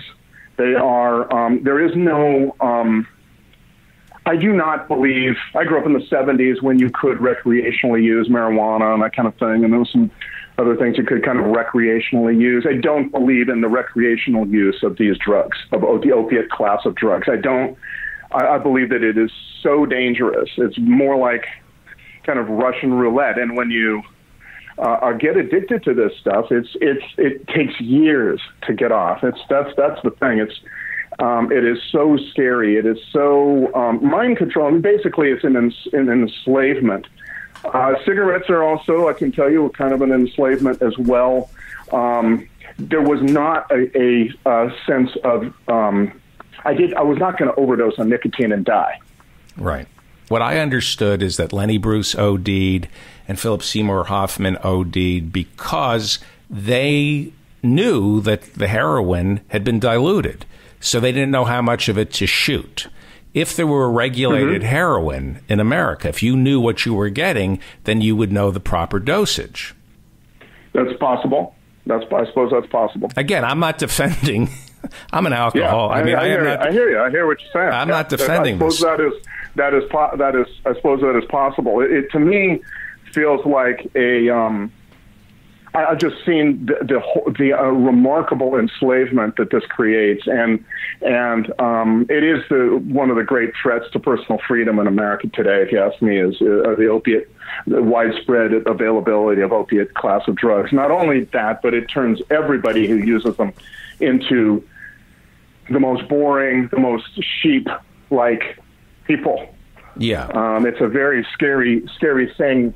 Unlike cigarettes, and unreally like alcohol too, it's a very scary thing to see how listless people who are addicted to to to, to heroin uh, uh, uh, can become, and how uh, very desperate, very quickly yeah. people addicted to, I, to again, I, become. I, I know that there is an opiate epidemic. I'm not arguing Uh-huh. with you, and I, I'm just playing Sure, devil's. no ad, problem. I'm just playing devil's advocate here. I do believe on a gut level. I have a friend who lives in Vermont, and she was telling me we have an opiate epidemic, and we have to hire more police because people from New York are coming into Vermont and dealing heroin to our kids. And it just sounds like the same song I've heard over and over again. There always has to be a boogeyman for the police to ask for more money. We always have an epidemic. It's always a crisis. There are always toe tags in the morgue that can be traced to a specific drug so that we can give money to the police and lock up more people of color. It just seems to be the same song over and over again. You, mentioned 50,000 people dying each year from opioid overdoses. More people are dying from medical malpractice in hospitals. More people are dying from guns. I mean, we choose. No, that's not true. That's guns? not true. Thirty thousand people Yeah. kill themselves every year from guns, right? Yeah, and that's right, and that's exactly right, and that's what I say. It's not, it's it, the more people die from from from uh, from this than from than from guns, and and we have outstripped in many states homicides and suicides do not equal the number of people who've been dying from these. How do you measure an opiate death? Does it have to be an overdose? Yeah, that's what they're measuring. Sometimes it can be poly drug use. That's I mean, it's, it's it's a little. It it can get a little fuzzy. What exactly killed the person? Was it Xanax? Was it Right. um, was it a huge amount of OxyContin or was it alcohol?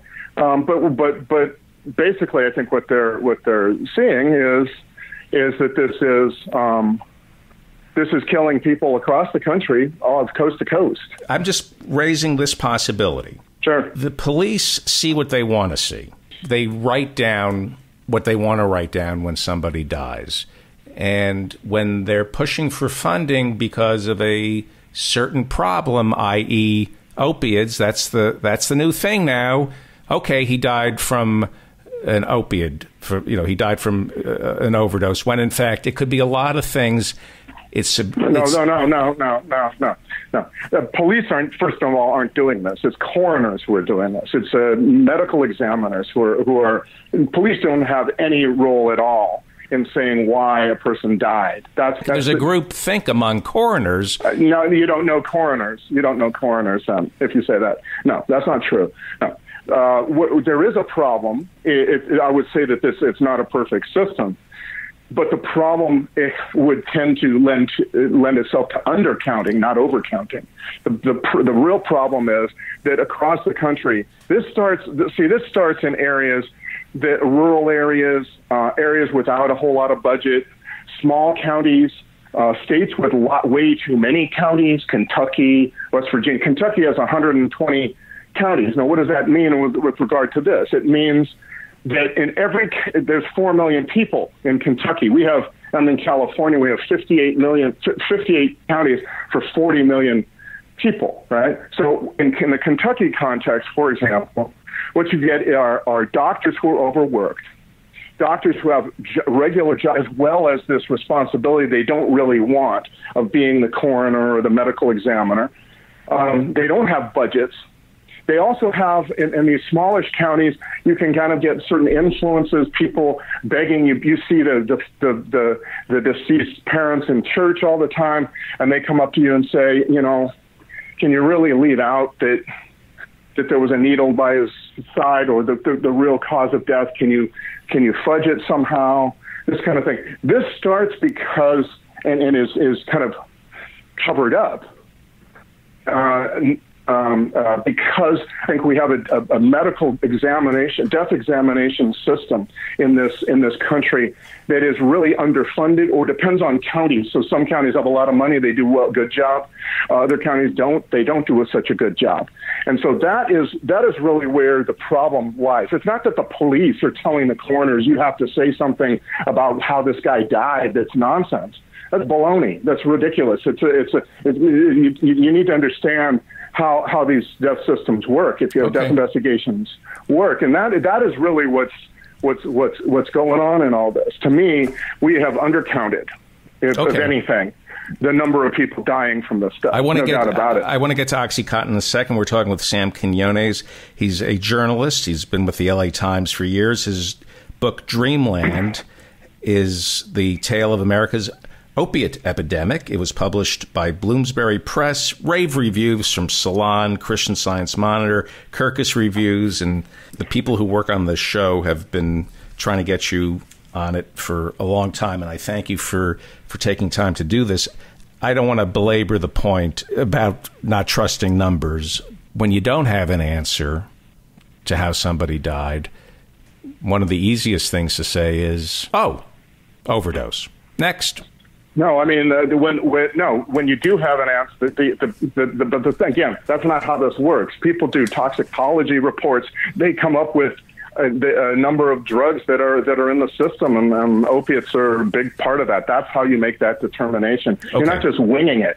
Right. Um, sometimes, sometimes they do when they don't have money for those toxicology reports, which is why I'm saying that frequently these dru- these these drugs are um, uh, the de- as, as a cause of death are undercounted, not Okay. over uh, counted. By the way, you're right and I'm wrong.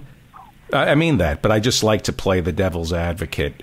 And there's this little, there's this little piece in my brain, especially because the crack epidemic in the '80s turned out to be hyperbole, right? Uh, depends on who you talk to. Well, let me ask you about that because I I believed that we were lied to about the crack epidemic. That that they said that crack is the hardest thing to kick. That you can't kick crack. Once you smoke it, you're addicted forever. And they discovered that that wasn't true. That it wasn't as dangerous. Well, it's it is it's ex- horribly difficult to kick. I was a crime reporter during the during the crack years, and it is no joke. Um, um, it is probably easier to kick though than opiates. I would give it that. Um, uh, will you be ad- re- addicted for the rest of your life on crack? No, you can get off of it. But my God, I saw many people struggle and struggle, and it was brutal. right. Uh, it was not a not a damn joke. Okay, so Rush Limbaugh, I guess 13 years ago, 12 years ago, was arrested in Florida for illegally purchasing and using hillbilly heroin, Oxycontin. He was able to do his show every day. He was taking like a handful of pills every day. Right. Wh- when did Oxycontin begin? 1996 is when they released it. Purdue Pharma, the, the company that, that makes it, uh, released the drug in 1996. And um, it got, uh, the, the, what makes it different from other drugs is that um, the way it was promoted. Promoted to doctors very, very aggressively, almost like over the counter medicine to doctors, giveaways, uh, claims that this was virtually non addictive when used to treat pain, all of that kind of stuff. Um, and that that's really what set that drug apart. A- apart from the other thing that I mentioned earlier, which is that this was an opiate without any abuse deterrent involved, and that was a crucial. That combination right there turned turned it into this major juggernaut of a drug. Thirty-six billion dollars, I think, was a figure I saw uh, of sales of OxyContin since 1996 when it came out, um, and it it again turned people into the kind of addicts that drugs up to that point had not. This also, but also have to say that this point, these were years also when doctors rethought completely how they prescribed this stuff. They completely rethought how, how it was supposed to be prescribed, and they, they began sending huge amounts of, of these drugs home with people. That never ever happened. That did not happen before, like say the mid '90s, roughly. Um, and that is also a big part of why we got um, a whole nation people uh, strung out on this stuff. a nation of people strung out on Oxycontin. Nobody should feel any pain. Nobody has to deal with the truth. And how did that manifest itself in the 2016 presidential election vis a vis the 2012 presidential election? I think in a lot of areas where Donald Trump Donald Trump needed to win in order to become president, you can take a look at those areas, those counties. Talking about Ohio, talking about Pennsylvania, North Carolina, Wisconsin, Michigan, those those swing states, and you take a look at the counties where he won by 65, 70, 75 percent, as opposed to Romney the four years before you know, uh, with 49%, say. All what, what, what a lot of those counties have in common is widespread opiate addiction.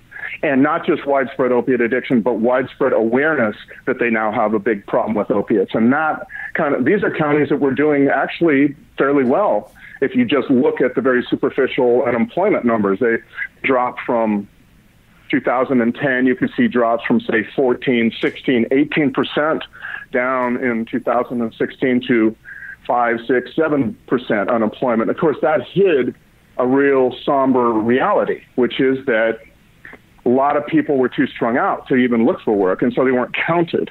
But also, uh, you would you would think with numbers like that that people would be more optimistic. What what lends itself to a feeling of foreboding and, and pessimism is the fact that everybody knows somebody now who's strung out, even if maybe in their own family it hasn't hasn't touched their, their family. Everybody in that in that in that community knows somebody, the pastor's kid, the quarterback, whatever it is, um, uh, workers at the, at the, on the line where you where you where, where you may work. Um, and this lends itself to a kind of a feeling of like things are not going well. It's a kind of an opiate malaise, I think, that really I, I believe was a was a crucial, crucial, I mean, essential component in why Donald Trump won states that, that put him over the top. Those five states in particular that I mentioned. Uh, it's a problem all over the country. But if you look at the counties where he won really big, in the state of Ohio, the, the linchpin of all this, you look at the state, the counties that he won really big by 70, 75 percent. All those counties have horrible, horrible problems. They also have problems with unemployment, right. a whole b- bunch of other stuff. But one of the common denominators is opiate addiction. I think Trump, in many ways, is like OxyContin. He's the drug. You know, he's the well. What what he has been is, in my opinion, is he uh, uh, uh, these pills offered an easy answer to a complicated problem. Right. The complicated problem was the mystery of human pain. How do you deal with it? It's a, it's a true mystery. The, the, pain in, in, in the human body. How do you deal with that? Medicine began to say we have one answer for everybody, and it's an easy one. It's cheap. Hallelujah and it's called opiate painkillers, and we just blast everybody with it, and that's what happened for twenty. What's been doing that for twenty years? But they're taking for psychic pain as well, right? I mean, that's where a, a variety of things. There's so yeah. many examples of this. It's you could go on and on and on. Right. Um, but but the same thing I think is true of some of the policy prescriptions he's come up with. Primarily the the, the, the wall to solve all our problems right. of drug addiction right. and immigration at the same thing. This is a. This seems to me to be, uh, uh, uh, again, a, a, a simple silver bullet magical solution to a very to a very very a set a set of very very complicated uh, problems that need to be dealt with in an adult way and not in a childish way. Right. Sam Quinones is a journalist. He's former LA Times reporter. His latest book is Dreamland: The True Tale of America's Opiate Epidemic. We didn't even scratch the surface. Thank you for your time. My pleasure, David. Have a good have a good day.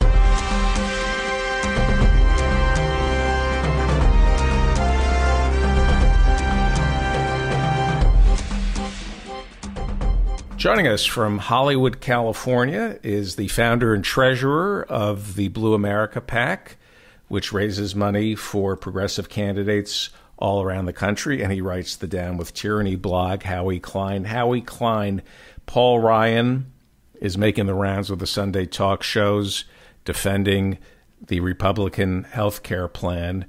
How does he sleep at night? he may be a zombie and, and doesn't sleep. I don't know. But before we get into Paul Ryan and his hideous appearance yesterday with George Stephanopoulos, uh, I mean on Sunday, um, I just wanted to uh, mention to you that I've never lived in Hollywood in my entire life. Do you live in North Hollywood? No, I don't. I live in Los Feliz. Right. But to most people, that's Hollywood. Why is that?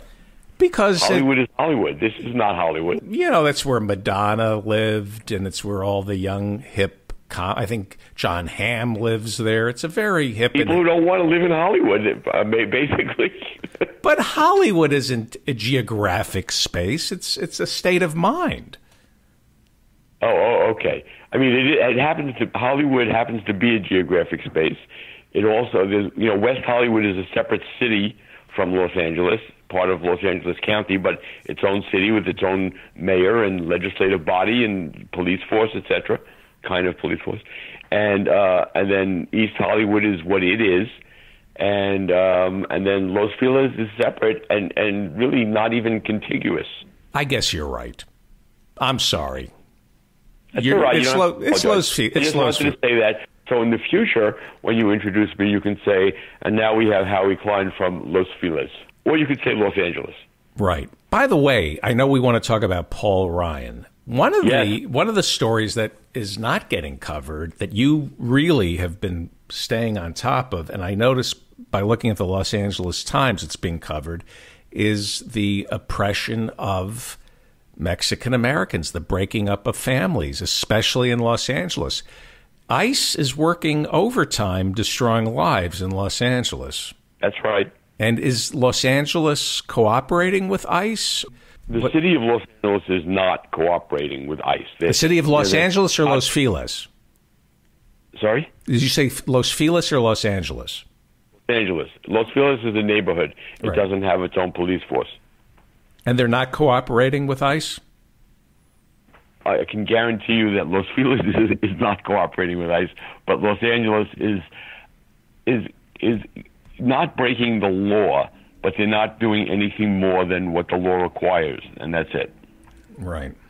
I was on the subway in New York yesterday, and I saw a sign that says, "If one of your loved ones is missing, call this number," and it's from Governor Cuomo, the state of New York. A lot of people are reporting their loved ones missing because they've been rounded up by ICE and they can't find them. Uh, it's pretty incredible, isn't it?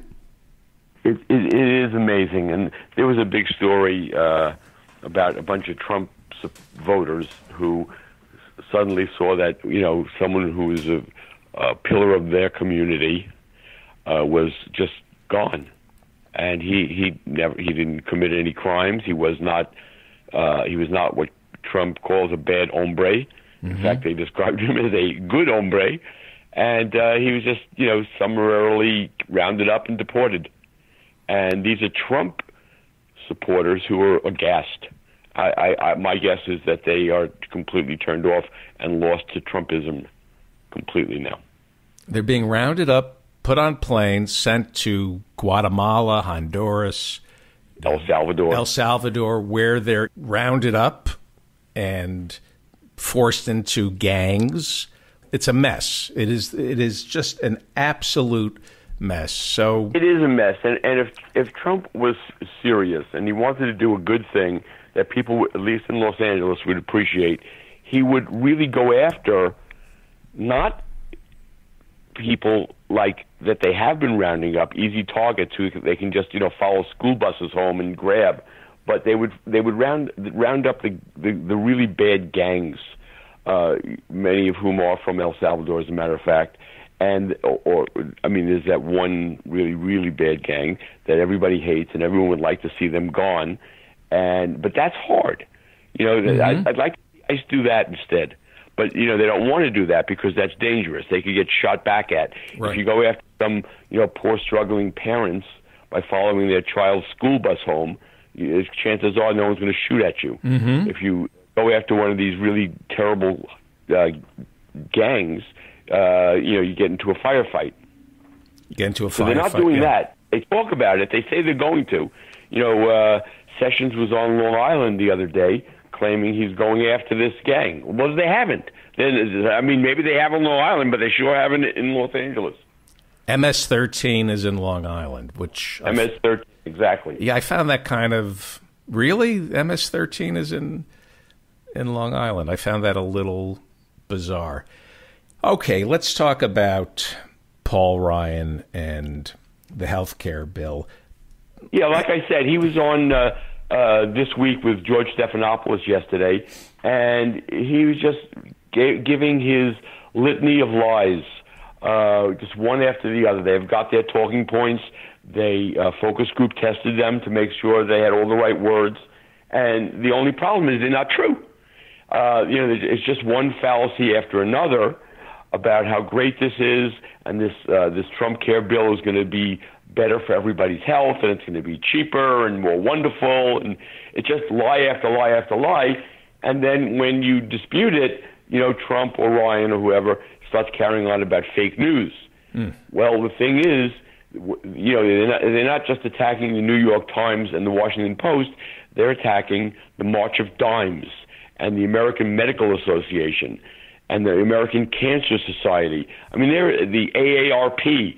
I mean, they're every professional medical group, every consumer group, all of the groups that are interested and are nonpartisan, that are interested in, in health care, are disputing these lies that Ryan and Trump are, are, are spewing.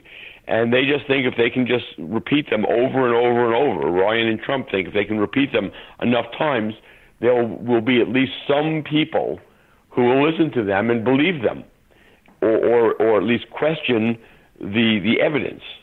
I mean, this this has been you know there, there has been a um, a concerted effort by the Republicans to discredit science and to discredit the media and to try the best they can to create a system where there is no alternative to what they say. Their their alternative facts uh, they they want to be accepted as facts, and they they they won't ever be accepted as facts unless you're on opioids and are a Trump voter. Well, that's interesting. You bring up opioids because we have Sam Quinones on the show today, and he wrote Dreamland about the opioid epidemic. And may, may, I may I read something sure. that a friend of mine wrote? Uh, it, it's Marianne Williamson. I think you know her, right? Mm-hmm. Yeah. So she wrote a course in miracles. That's right. And she wrote an essay uh, over the weekend at HuffPo, and and it was about. She didn't mention Ryan per se, but but I, I but it goes right to what we're talking about. So um, what I'm reading now is her is her words.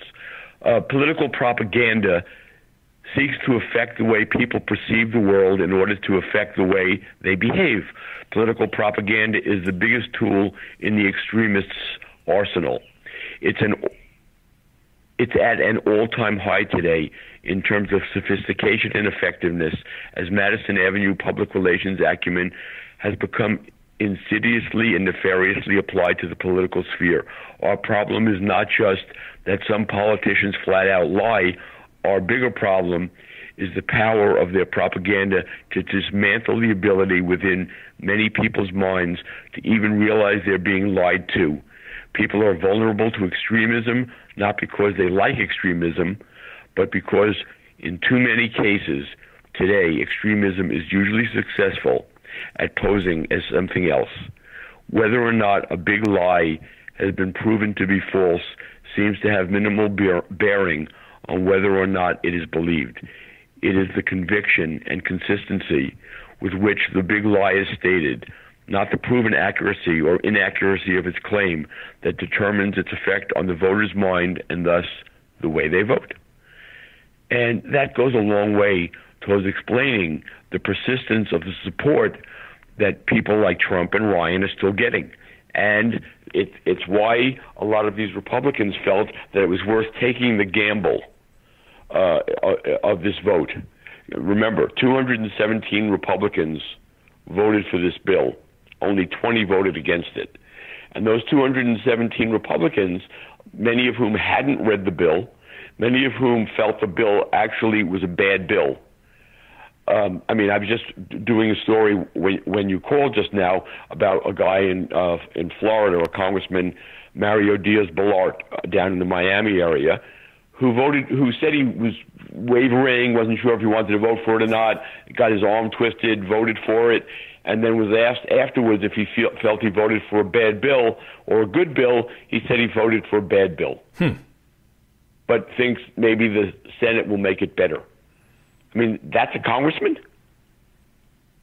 Yes, that is a congressman. That's a Republican congressman. That's what they are today that. Were they kicking the can down the road, hoping that the Republicans in the Senate would save them from this bill? Does Paul Ryan really want this bill passed? Paul Ryan does want this bill. Paul Ryan, you, you know, unlike what many people think, is a dangerous ideologue and always has been. People don't realize, you know, he's been painted so benignly by the by the um, media as a um, what are they like a, a wonk or yeah. something like that, a policy wonk. He's never been that. He's never. I've watched this guy's career from the very beginning, from he, the first time he ran for Congress. This guy it, was nothing but a PR stooge. Uh, you know, he was like a sort of basically nice-looking gym teacher, and they they uh, they they just thought, oh, we could put anything in his head and get him to repeat it, and that's what they got with him you know, similar in some ways to, to Ronald Reagan, I might add. but they just just fill this guy's head up with a bunch of bullshit. He already, you know, he, he started off well enough for them because the only book he, he's ever admitted to reading is is The Fountainhead by Ayn Rand. Mm-hmm. He's a big Ayn Rand supporter, and he and and his his intellectual growth was stunted in high school after reading uh, some Ayn Rand books. Mm-hmm. And he, yes, he very much believes in this. This is his dream. Uh, Paul Ryan, who who only was able to go to college uh, because of benefits uh, from Social Security after right. his father passed away. Right. Uh, right. Decided once he got up uh, to the top to pull the ladder up after him. Typical of, of many Republicans like him, who come from you know Republicans who come from working class families. I've got mine. Screw you. Right. That's I, him, and you know he very much wants to turn the clock back and destroy everything that came out of the New Deal. That's Paul Ryan. Getting into his head should be pretty easy because it's empty. What is he thinking? You know that he doesn't believe he's a hateful human being. I would assume that he believes Obamacare is a disaster because the premiums have gone up. It has been pretty tough.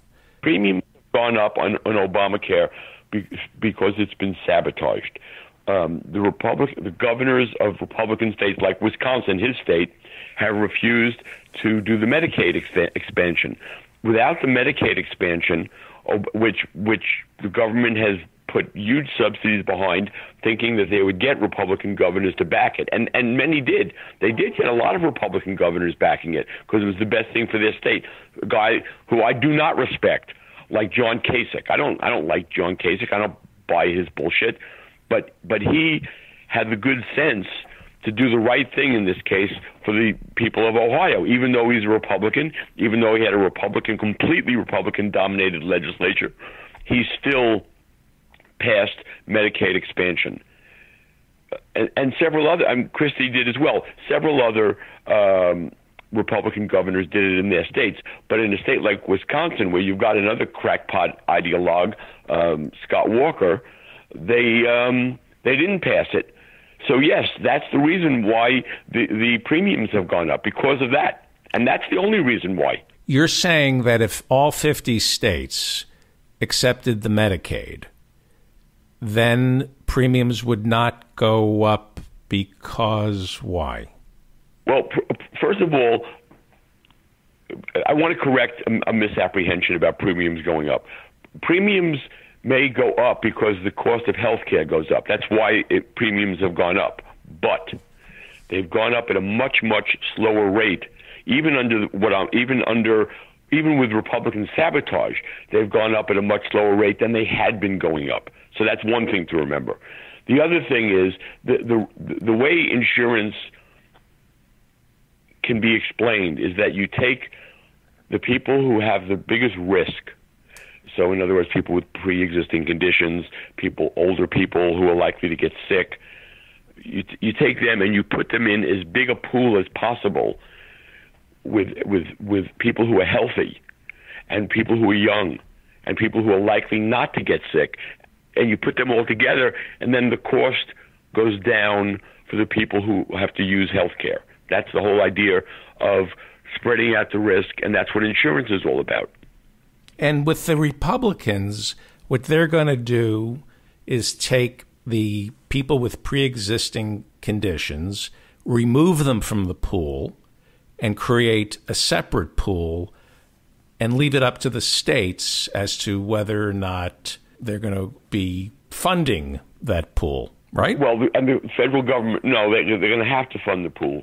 Uh, um, in order to in order for in other words in order to get the waiver to create the pool they have to agree to fund it and the federal government is, is has some money to do that as well however it only covers the plan that the, that the Republicans have in Trump care only covers about uh, 20% of the people um, who will be thrown into those pools.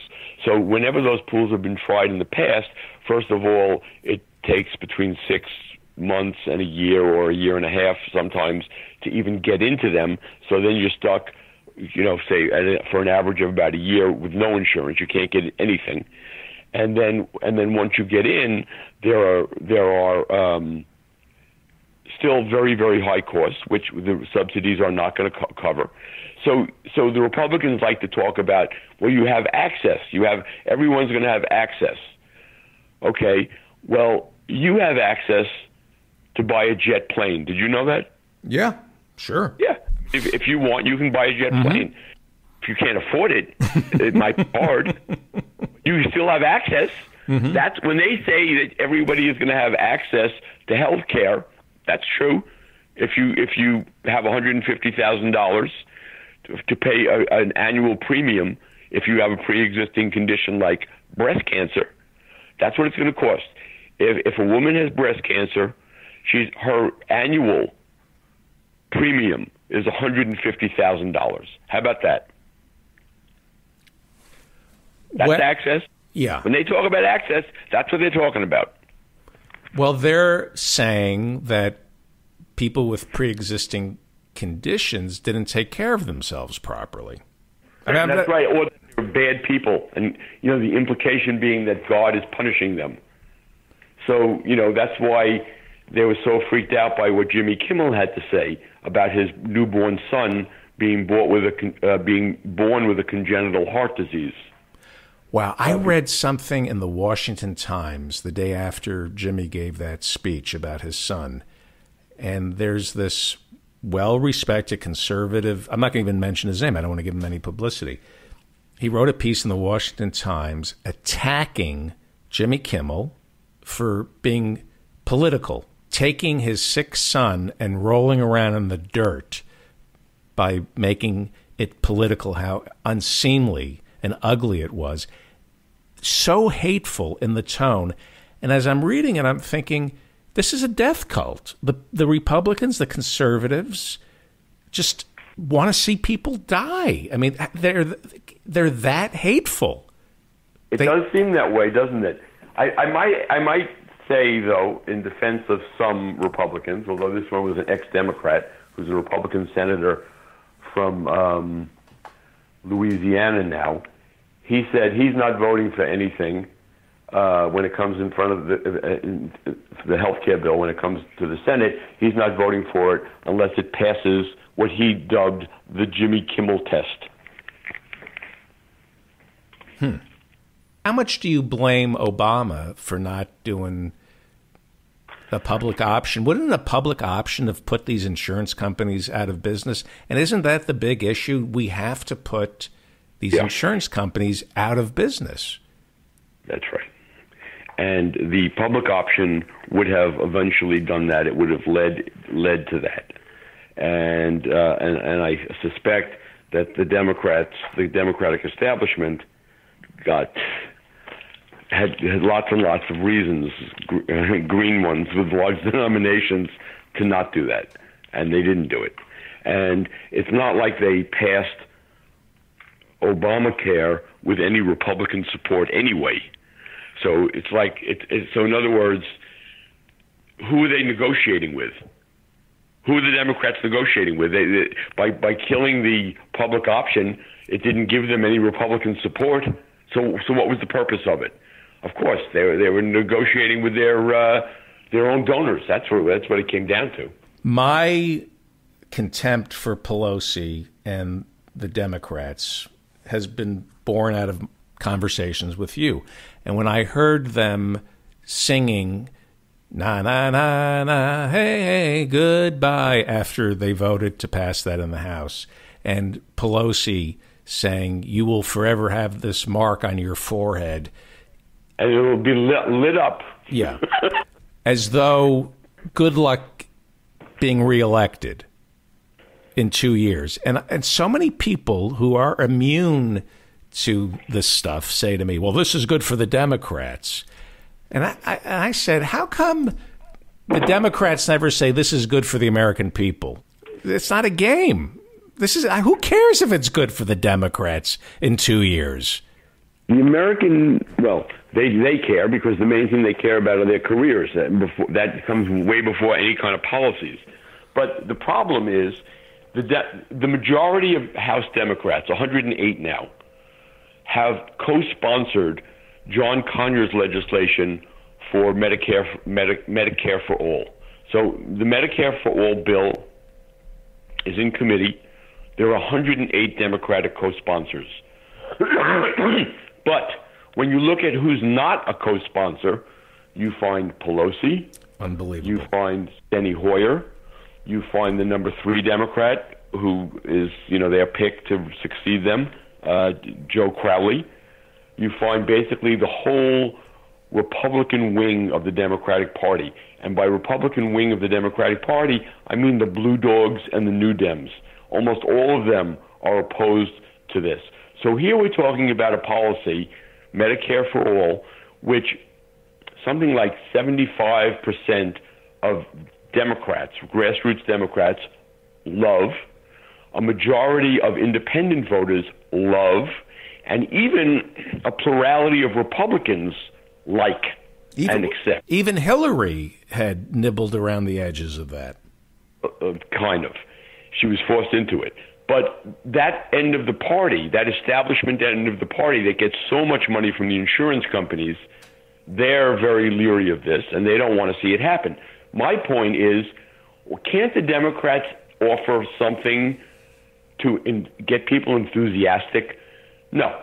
They just want to campaign on Trump as a boogeyman, mm-hmm. Ryan is evil, both of which are true.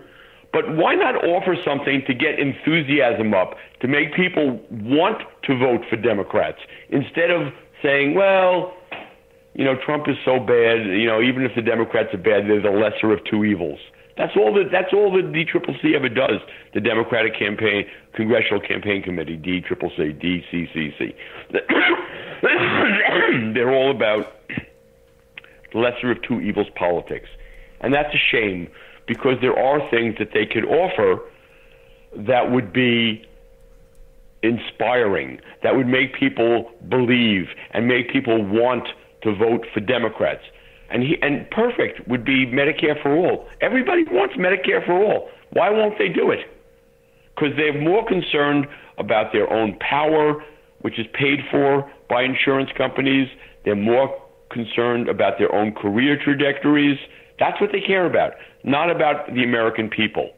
So don't ask that question again. They don't care. This country has turned into Manhattan, where there are no rules. It's every human being for themselves. Corruption is the norm. Trump has pretty much sealed the deal that America now is Manhattan, where there are laws, but only fools obey those laws. Dishonesty. I have never seen the country. LA soon? Huh? Are you coming back to LA soon? I miss it. I well. I, obviously, from what you just said, one can sort of glean a little something there.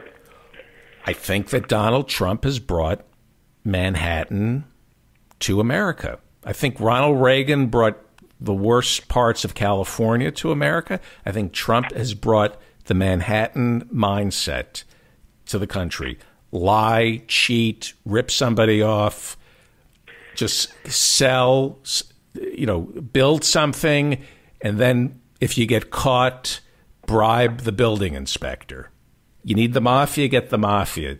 That's what that's what this country kind of sort of was under the the Bush administration and yeah, during Obama, but now it's it's just accepted. It's out in the open. Right? It's it's just out in the open. It does seem that way. I think there's going to be reaction to it. I'm hoping there is. But um, you certainly have a situation, I mean, that you probably saw this weekend where uh, Kushner's sister was in Beijing selling visas basically saying invest at least $500,000 in the Kushner company and you will get a visa to come live in America. And you know, and there are slides with Kushner on the slide. There's there was one slide that I ran on my blog with Trump, and in Chinese under his picture it said, "This is the guy that decides," and everybody knows that Kushner is his son-in-law, and they're selling visas. I have gone to Canada on numerous occasions, and while I'm going through customs, my shoulders drop. I'm happy. I'm suddenly in Canada. I don't have to worry about getting shot. If I get sick, I know I'll be taken care of. And I always ask, what does it take for me to be allowed to live here? And that's the number. They say if you put $500,000 into a bank account in Canada, they will let you stay there. So how when I read that number, I thought oh, I remember being told you can't come here unless you give us five hundred thousand dollars. Why is that so wrong for Kushner to and say I, that? And I don't think that that's the case. I don't think that Canada um, does anything about that. I mean, it does. It seems weird to me. Maybe that's that you need that to start the process of becoming a citizen. I don't know, but I mean, you know, I I, I taught at McGill, and no one ever said that to me. And and friends of my American friends of mine who taught at McGill, who lived there full time, uh, never got any kind of hassle about that. I mean, they they didn't put any five hundred thousand dollars in any bank account. Why is it wrong? Because Trump is chasing immigrants out of the country and not not allowing people who need sanctuary to come to the country, and then they're they're allowing rich people, many of mostly Chinese rich people, but also rich people from uh, Arab countries and from um, India and a few other places, Russia, who uh, who you know I hate to say this, but a lot of these people have gotten their money by being crooked. Right. And so, if you're rich and you could throw you could throw five hundred thousand dollars to Jared Kushner's company as an as a quote investment, you you're welcome to come to America with a with a visa and stay for the rest of your life. Whereas if you're poor, uh, you're, you're you're not welcome. So they're saying if you invest in the Kushner family, yes, that's Right. what they were doing. They were there. They, they advertised. They got a room full of millionaires. They they grabbed this woman who was reporting for the Washington Post and dragged her out of the room. Uh, because she was taking pictures of these slides, which are now circulating on the internet.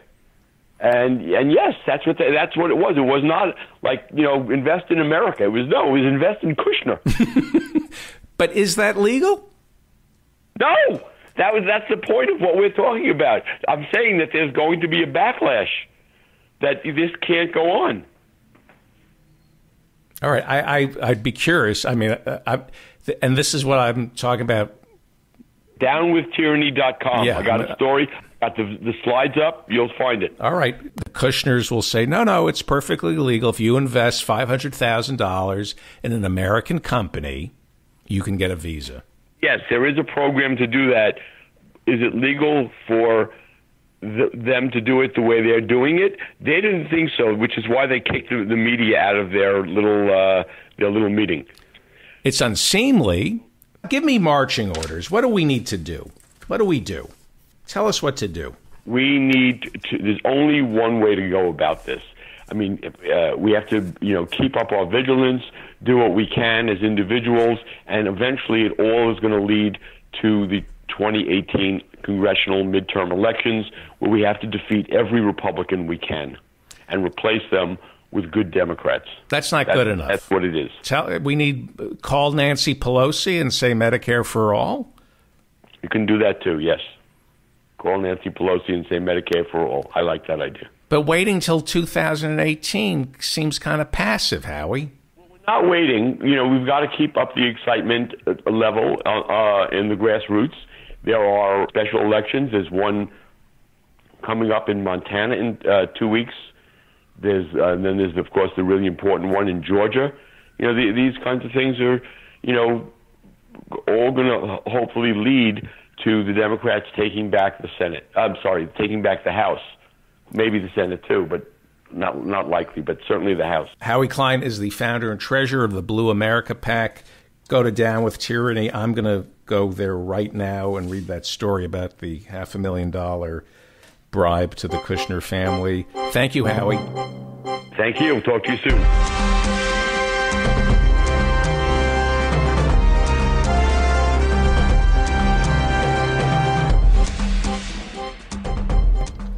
Joining us from Paris is Judah Grunstein. He's the editor in chief of World Politics Review, and his pod his podcast, Trend Lines, drops every Friday. Hello, Judah. You're joining us from Paris, right? That's right. A lot to discuss. Obviously, Emmanuel Macron. I'm not pronouncing that properly, but that's the way I that's the way I roll. He won the presidency with. I, I don't think he'd pronounce our names correctly either, though. So don't don't feel bad. So he won with about 64% of the vote, and Marine Le Pen took in fewer than 40%. She kind of tanked it, didn't she? At the at the last minute, were they expecting it to be this bad for her? Well, it's it it really depends how you look at it. Uh, to begin with, she she she took 21% in the first round, um, and to give you an idea, that was already more than anyone uh, from her party had ever taken in a presidential election. Basically, it's been her father and her. Uh, it, the the the party is sort of like a very lucrative family business that runs on anger and resentment. What do you mean it's lucrative? Oh, they they well, I mean they, they it's their it's how they make their living, right? Uh, between that and she's a she's actually a member of the European Parliament, but uh, they've been investigated for campaign financial fraud. Uh, basically, in France, uh, any any party over a certain percentage gets all of their campaign expenses reimbursed by the state, and so the the FN has been investigated for uh, basically contracting. Let's say uh, they get their posters printed by someone who's a close associate of the party, and uh, he'll charge them twice as much as it actually costs to print the posters, and then they'll get reimbursed by the state at the at the higher cost, and the the rest of the money gets kicked back. Um, so they've been uh, they've been fined for stuff like that, shenanigans like that. Are they getting rich off this? Uh, from what I understand, the, the, it's the they're you know they're not out on the street. They've got like a nice family compound mm-hmm. outside of Paris. Um, but the the difference between her father and Marine Le Pen is that her father Jean Marie was always kind of happy with that arrangement. He never he never really sought to popularize the party or or to win office. He was always happy there being the sort of gadfly of French politics lots of provocative, uh, racist, and anti-Semitic remarks uh, over the years that were, you know, worse than dog whistle, dog whistle shout outs to his to his sort of latent constituency. Um, the the difference is that Marine Le Pen, when she took over the party uh, from him, or when she inherited the party from him, she actually had this vision where she could sort of normalize the party, moderate its positions a little bit, weed out some of the more hateful stuff, and actually win elections and govern. Um, and so, what you saw happening, especially over the last few years, where immigration has become more and more of a, a, a, com, a high profile issue here in France, and then culminating in the terrorist attacks, which which uh, which sort of served the law and order uh, aspect of the FN's program, um, and then also some of the mounting resentment against uh, Europe and the European Union. Uh, so she sort of used that uh, to to to to grow the party's appeal. At the same time, she distanced some of the more sort of visibly anti-Semitic people and racist people.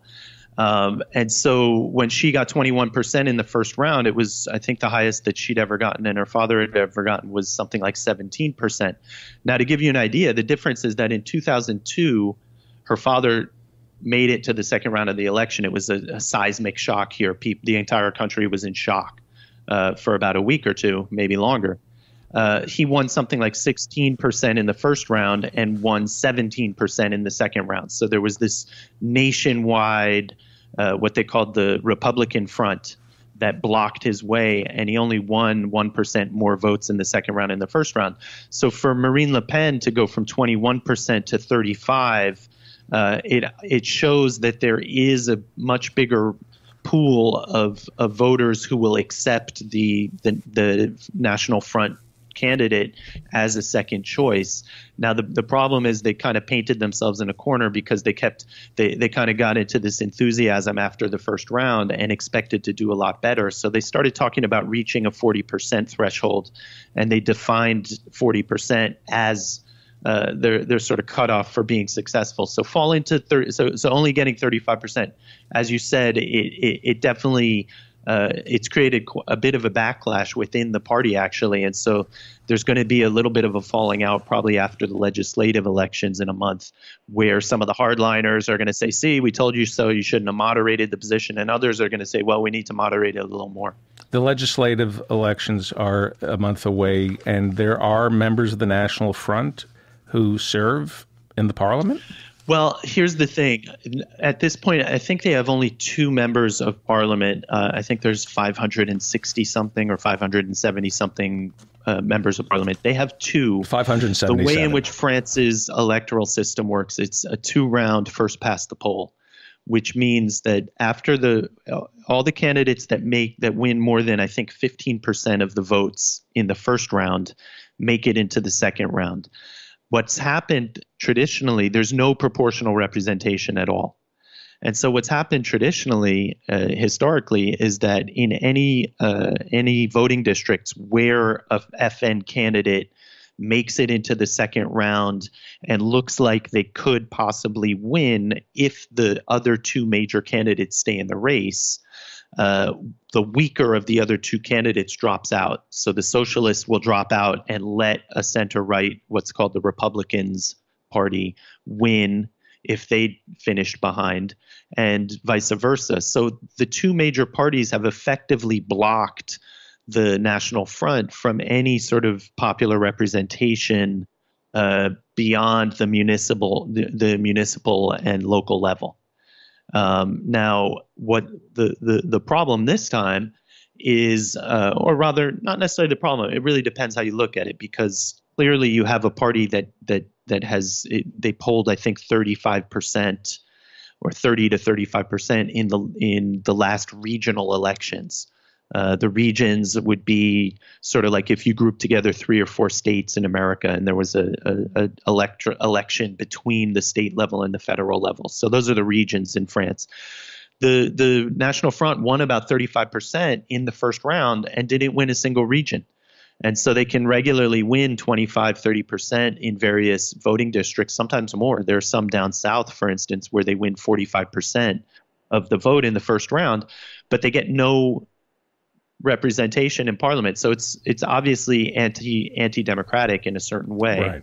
Um, what's what's happened now this time, and we can get into that a little later, is that because both of the major party candidates for the presidential election uh, failed to make it into the second round, um, I, I have my doubts as to whether the system for blocking the National Front uh, from representation in Parliament will actually be as effective this this time. There's going to be a lot of divisions. A lot of people might just not want to sit out a second round uh, because of uh, the the kind of losses that both of the major parties might be expected to accumulate. A lot of people sat out this election. Voter turnout was incredibly low, even though it was an important election. And a lot of people yeah. handed in blank ballots. What is yeah, that about? The protest. Well, the protest vote, even uh, the the protest vote was enormous. Uh, even if you look at the first round results. Uh, so if you look at the first round results, uh, you basically had uh, twenty percent or eighty five percent split between the top four candidates, and then uh, there were a couple second tier candidates who got about five percent or so, and then some marginal candidates the four candidates that made between that, won between 20 and 25 percent of the vote, one was Jean-Luc Mélenchon, who uh, is a, a, pretty far left candidate, um, who uh, argued for massively massive hiring in the public sector, uh, raising the minimum wage, renegotiating European treaties to make Europe uh, uh, basically a social welfare union as opposed to a common market. So this would be a populist from the left.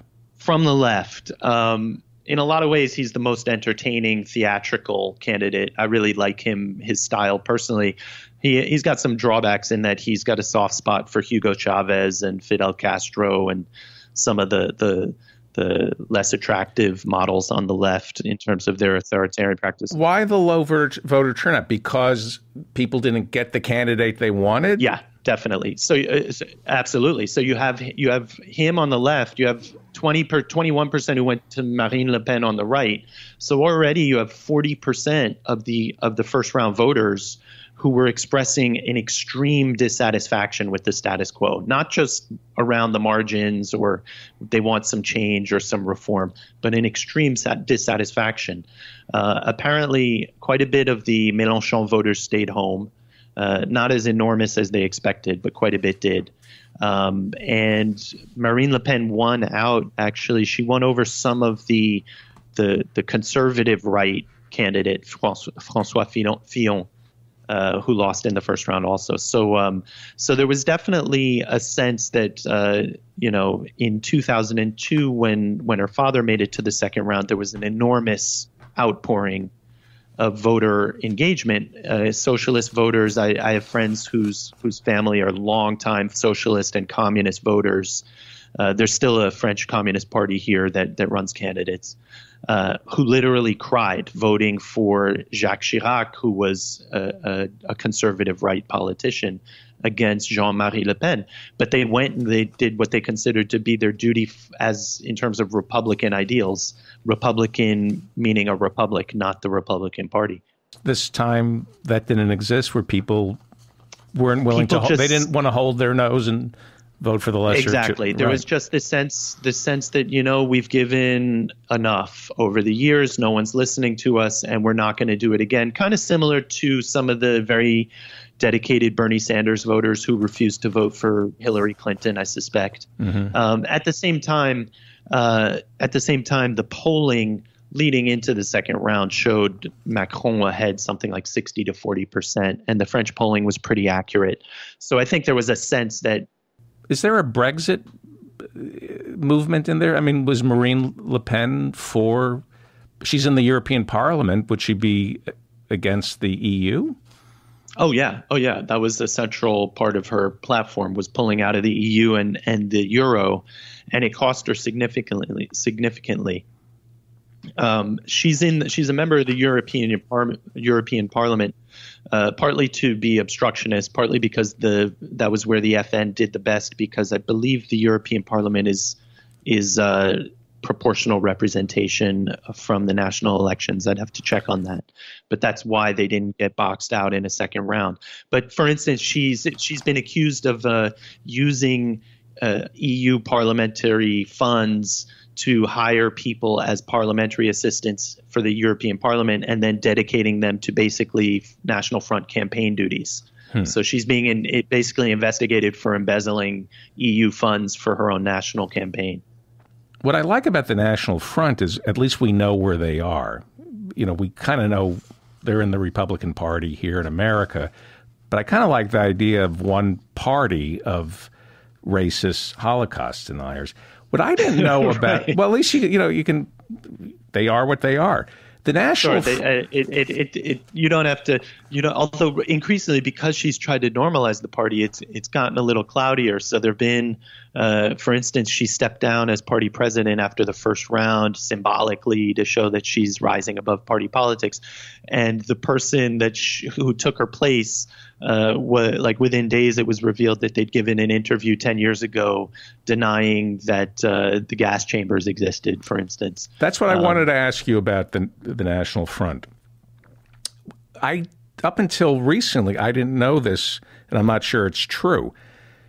The Vichy government, when, when the Nazis invaded France, they had a puppet regime, the Vichy government, and there were collaborators. And it was uh, roughly about four years of French politicians doing the Nazis' business in France. I always assumed there was shame associated with that, and people would be busy denying their involvement with the Nazis. But from what I've been reading, Le Pen and the National Front kind of coalesced. They, they were these were all people who were collaborators during World War II. Is is that a fair statement that the National Front has its roots in the Vichy government? No, I don't think so. I mean, the genera- generationally, it's not the same generation. Her father founded the party. I mean, maybe maybe in terms of uh, uh, uh, legacy and inheritance uh, from a previous generation of French sort of uh, uh, extreme right collaborationists. That yes, but in terms of the party itself growing out of that or being formed by people like that, no, I wouldn't say that. Um, it's it's very complicated because you have uh, definitely you have instant. I mean, there were collaborationists in in, in France, um, and the you know the, uh, nowadays everyone was in everyone everyone was in the resistance, right? right. But yeah. you know at the time, uh, whether that was actually the case or not, who knows? Uh, but they say they all were. Um, the, it's it's complicated. I don't think anyone actually uh, celebrates the Nazi occupation, and I don't think you could celebrate the Nazi occupation uh, and actually succeed as a party. But there's all sorts of dog whistle stuff about anti-Semitism, uh, revisionism, and and Holocaust denial, um, and then obviously there's always that complicated aspect of uh, sort of uh, fetishizing the oppressor, right? So there was the Nazi occupier and French who wanted to be like as strong as the Nazis or as the, as strong as the the occupying force. Um, so in that in that case, you know, it's hard to decipher or hard to really thread out where one ends and the other begins. I mean, what we can say is that. Uh, for sure, even recently, there was a, a part, a, one of the a functionary of the party down south who had a bookstore, and in his bookstore he was filmed. There's a there was a secret back room with all these Holocaust denial books, which it's actually illegal to sell here in France. And he was giving a tour to the initiated uh, of the secret chamber of his of his uh, bookstore, you know, and so he was forced to resign. The party is just you know riddled with people like that because that's who it appealed to in the early days, and right. that's who uh, the father never really renounced appealing to. Um, and right. you know that even even if you don't go as far as collaborationist, there's been a, a neo-Nazi movement in Europe since the you know since the 70s um, and the 80s, and so the, the the part of it, part of the skinhead movement, had a, a neo-Nazi element to it, and some of the younger far-right student groups had a neo-Nazi element to it to them. Uh, so whether or not they actually celebrate the occupation or are collaborationists, there there's a, a sort of fetishizing of that right. historically. For another show, I would love to talk about the collaborators and how they were treated after the war and whether or not they have reunions and defend themselves and what happened to Pétain, Marshal Pétain. And there's a there's a great documentary on that. Uh, uh, I forget the title. It is it has chagrin in the title. I, I, can email it to you afterward if you'd like to it's mention. Not the sorrow and the pity, is it? Exactly. That's it. Um, yeah. So there was actually a lot of women who were who had relationships with uh, Nazi soldiers, had their hair shaved off, and were uh, publicly humiliated humiliated in, in village squares and town squares, and uh, lots of uh, lots of uh, uh, extrajudicial killings, shall we say, after yeah. the war. Some of it's hard to see to determine whether it was just scores being settled, but a lot of it was collaborators. Well, I wrote a book defending the collaborators. It wasn't about the Nazis, it was about states' rights. That's why that's a joke. I'm comparing it to the. the it was about states' rights. I don't know. Uh, uh, it might be too soon. David. I know. I know. But there, but but there, there isn't the kind of denial in France the way we have here in America when it comes to slavery. They they kind of uh-huh. every every block you walk down, you can see bullet holes and plaques that say on this site, forty Jews were rounded up by you know, a French. Yeah, but uh, on another level, I hear what you're saying, but the French are masters of what the, what's called here the non-dit, the unsaid. So there's a lot that hasn't been addressed. I mean, just to give you an example, during the campaign, uh, Marine Le Pen created a controversy by saying uh, that when when the French Vichy forces, police force, police officers rounded up Jews for the for the Germans, uh, for the Nazis, and deported them, that it wasn't France that was responsible. Now, Jacques Chirac, when he was president, took the unprecedented step of apologizing and accepting responsibility on behalf of the French state, even though at that time it was Vichy. Uh, mm-hmm. And Marine Le Pen went back on that and said, no, that wasn't France. It was Vichy. France at the time was Charles de Gaulle, who was in London, and France is not responsible. Vichy was. And so there's still a lot of historical stuff that hasn't been addressed, and, and that's just World War II. If you get into the Algeria, the, the Algerian War, it's even more, and that drives a lot of support for the National Front. A lot of who, a lot of who, whom, uh, a lot of their supporters are either first generation or second generation uh, French Algerians who came back from Algeria after the the war in Algeria, and who have a huge bitterness still to this day against uh, the French state and against De Gaulle for having pulled out of the war and allowing Algeria to become independent. Uh, Jean-Marie Le Pen, the father, was a soldier in that war. He's actually uh, endorsed the torture that was uh, committed by the French forces in the war. So all of that stuff, in terms of the historical aspects, it's all there, uh, and a lot of it isn't really addressed or mentioned. So, uh, but very fascinating stuff. So there are speech codes in France. There are th- certain things you're not allowed to say. You'll be prosecuted. Yeah, that was one. I think the first time you invited me to to talk on the show, it had to do with that. I was, you know, I was, I, I was just going to talk about that. I have two questions about that. One is, can a politician be brought up on speech code violations? I, I would think Le Pen is saying things. I mean, as you pointed out, the person who replaced her to head the party had been a Holocaust denier. um, can you run for office and violate the speech codes? No, in other words, it's not it's not protected speech just because you're a, politi- a politician campaigning. For instance, uh, her father Jean-Marie Le Pen was uh, convicted on a couple of occasions for uh, violating speech codes when it came to the Holocaust, and I believe maybe a racist remark or two. Uh, but for instance, he called uh, he called the uh, at one point, when in talking about World War II, he called the gas chambers a detail of history, and that it wasn't that the main story was World War II and the, the gas chambers were a detail. And I believe he was convicted on that of uh, apology for the Holocaust is the is the term. Uh, uh apology. Are being, you fined or what happens? Yeah, yeah, yeah, fined. You don't go to jail. Uh, I'm not sure. I'd have to check on that. I don't think so, but uh, it, it depends. I think if you called for violence based on on racial characteristics, for instance, that could be jail time. A, a candidate running for president in France, if he stirs up the population, could not question, for instance, the existence of the gas chambers. And suppose they said something about the Arab population, like their uh, anything that could be considered uh, targeting someone for their race. For the uh, well, first of all, race isn't really uh, accepted in France as a category. It's uh, it's not acknowledged. But I mean, for instance, uh, anyone who said, for instance, uh, what what when Donald Trump said that uh, Muslims should be banned from entering right. during the campaign, uh, that would be that would not be protected speech here. I don't believe.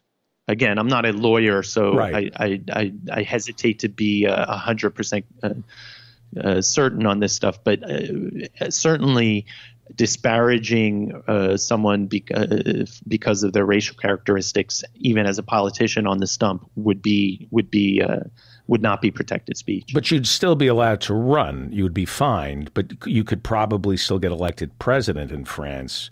Saying that, those. I don't know. I, I, mean, you can be excluded from seeking public office, for instance, uh, if you've been convicted of uh, corruption.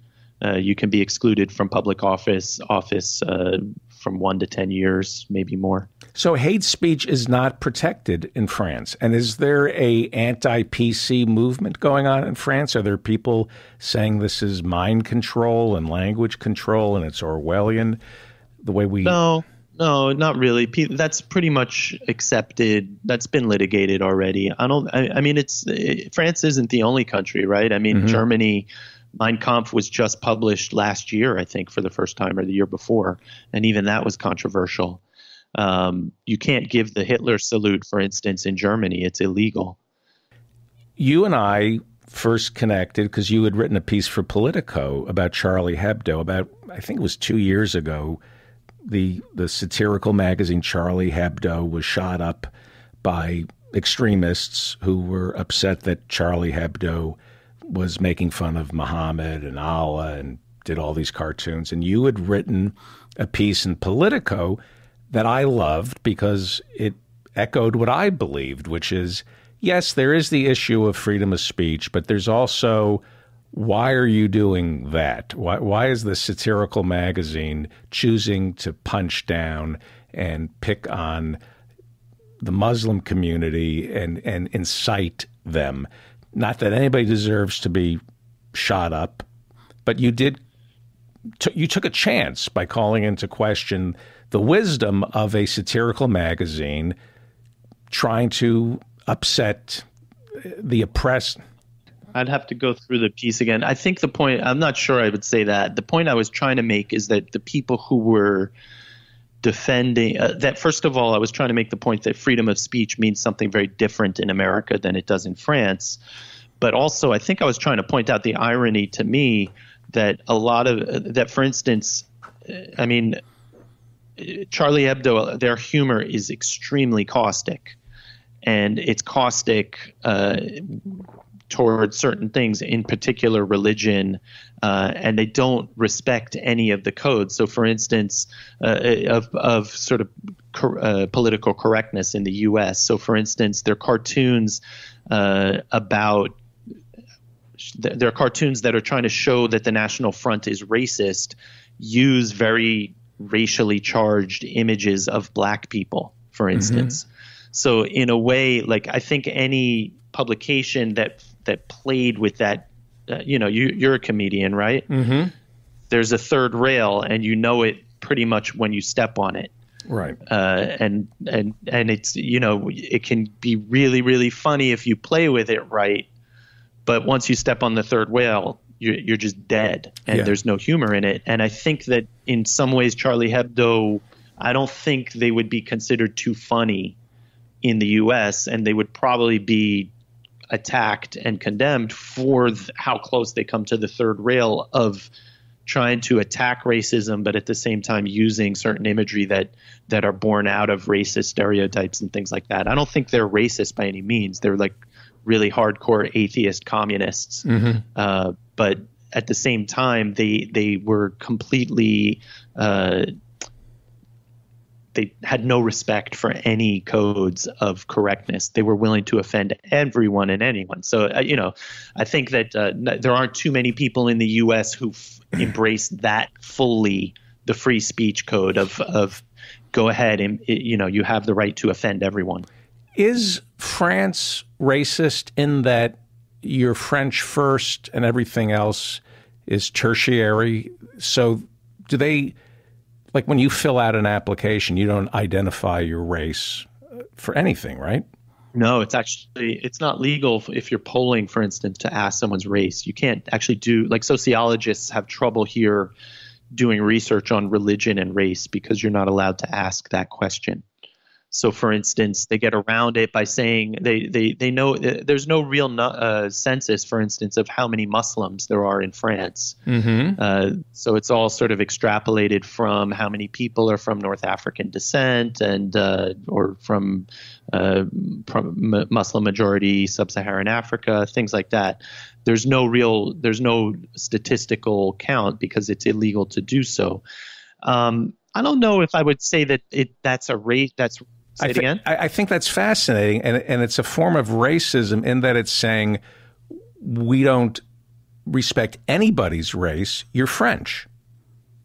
That's your race. It's, I mean, it's racist in the sense that like being colorblind can be accused of being racist.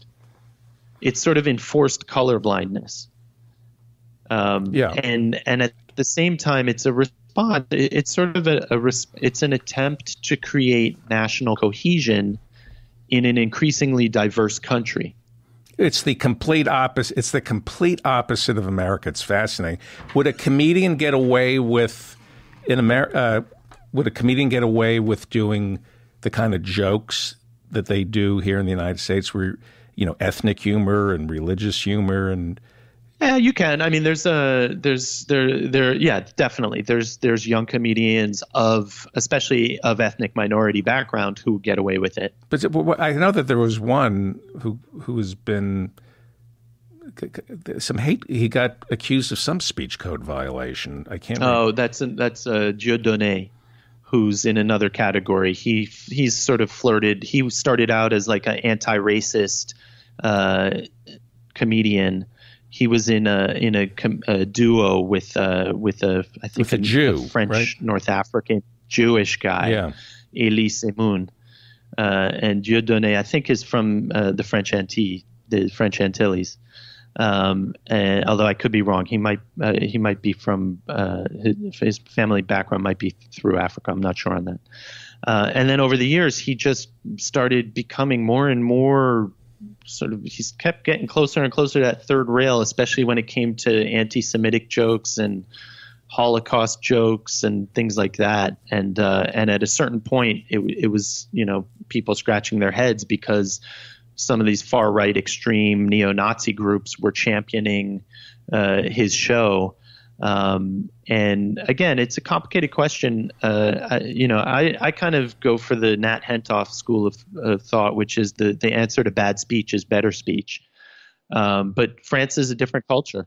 Well, hang on. That that's my hang on. France, France. You said is a different culture. Yeah, they have a different culture of free speech here. Right. Um, in the same way that they have a different culture, for instance, of of uh, of what it means, what r- religious freedom means, and tolerance and separation of church and state. You can't wear a head. Uh, you can't wear a either. You can't wear a, a yarmulke or a head veil or a, a very uh, what's the word I'm looking for? Very visible uh, cross to school. If you're a school, if you're in the public school here post is that a post World War II phenomenon or? No that dates back to the mid 2000s 2007 I think it was or 2005 the anti-religion. And again it's sort of dog whistle because generally it targets young uh, Muslim women who were beginning there was there there was a sort of a, a trend towards more religious observance among sometimes not even immigrant fa- immigrant children. It was sometimes second and third generation French children of immigrant backgrounds um, but at any rate, it, you know, the, the, there are differences even there. American Americans for American, it's separation of church and state, which means you protect the church from the state. In France, it has it's a totally different religious history where the Catholic Church was actually a, a rival and threat to the state. So, in other words, in America, it's freedom of religion. In France, it's freedom from religion. So the state was there to guarantee that the church did not exercise power in the public sphere and part of that means that pre World uh, War II, right? That goes back. oh yeah, that's well before World War II. That's uh, the the French law is from the turn of the century, and it you know it, it dates back to the French Revolution, and even uh, you know the the France had the papacy in in French territory at one point. Um, so you know European history in terms of the struggle between national secular powers and and the and the Catholic Church goes back a long way, and so it's a totally different history. It's hard to explain that, uh, but when you've lived, I mean, from uh, I, I, won't say you, I've lived here now for 16, 16 years. And it's almost like part of being bilingual is that when I'm here, I understand it one way, and when I'm in America, I understand it another way. And uh, it's not that I say one is better or one's worse or that I agree with either. It's just that I understand things differently. It's different sensibility, it's a different mindset and a different culture. Before you go, I, I want to ask you about Francois Hollande, but I want to just ask you very quickly about freedom of speech because once sure. a week I have. You don't want to talk about the uh, the election at all? Well, I, I, well, yeah. I thought you'd be really. Well, I, I have some questions, but I, I want to ask you about I have uh, Professor Corey Brettschneider on the show once a week, uh, and we do a course in constitutional law. And I'm always defending censorship as the devil's advocate.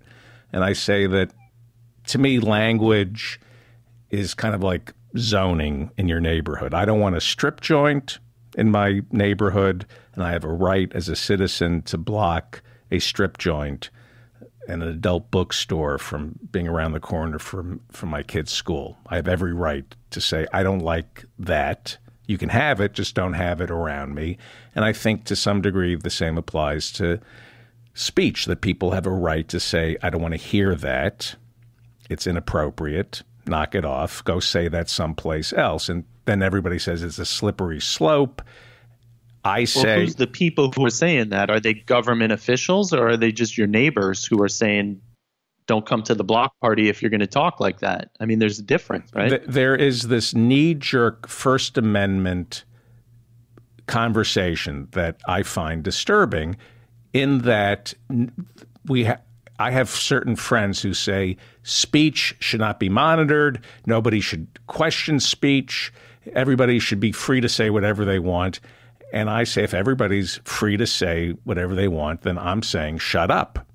Just, you know, shut up, and I'm not going to. Well, I mean, and, and the First so, Amendment is only applies to government. It doesn't apply right. even to private to private sector. I right. mean, you know, you look at social media, uh, Twitter, Facebook, they can censor anything they want. Right. So the, they're the, not government. Um, and in fact, they're they're they're they're expected to now, for instance, censor whether it's uh, terrorists that use social media or racists or vi- people who are uh, advocating violence.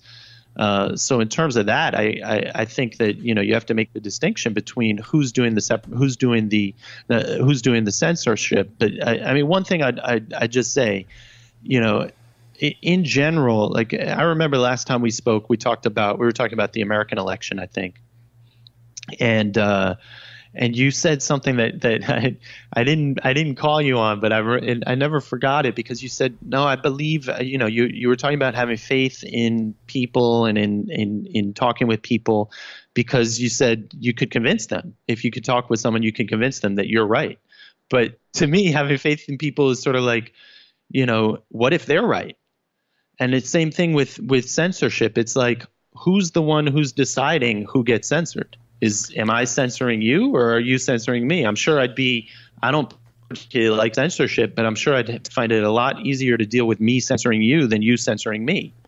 Right. Uh, so I think that in general, when we look around and, and say who's talking, who's saying what, and who gets to say not to, to to be quiet, it's similar to that respect that we that we have for each other democratically we, we need to we need to sort of put ourselves in the other person's position and say, well, maybe maybe uh, maybe I wouldn't be too comfortable if someone were telling me what I could and couldn't say. So let me just not tell other people what they can and can't say. At the same time, I think you're well within your rights, and I agree.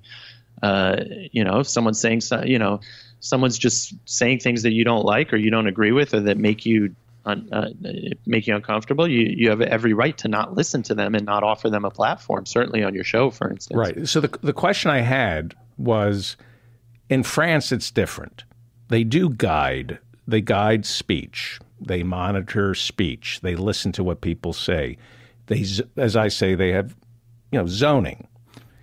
It seems to me, yeah, seems to me that they have a more rational political discourse in France, that they are better read, better informed, they understand nuance and subtlety uh, more so than they do in the United States.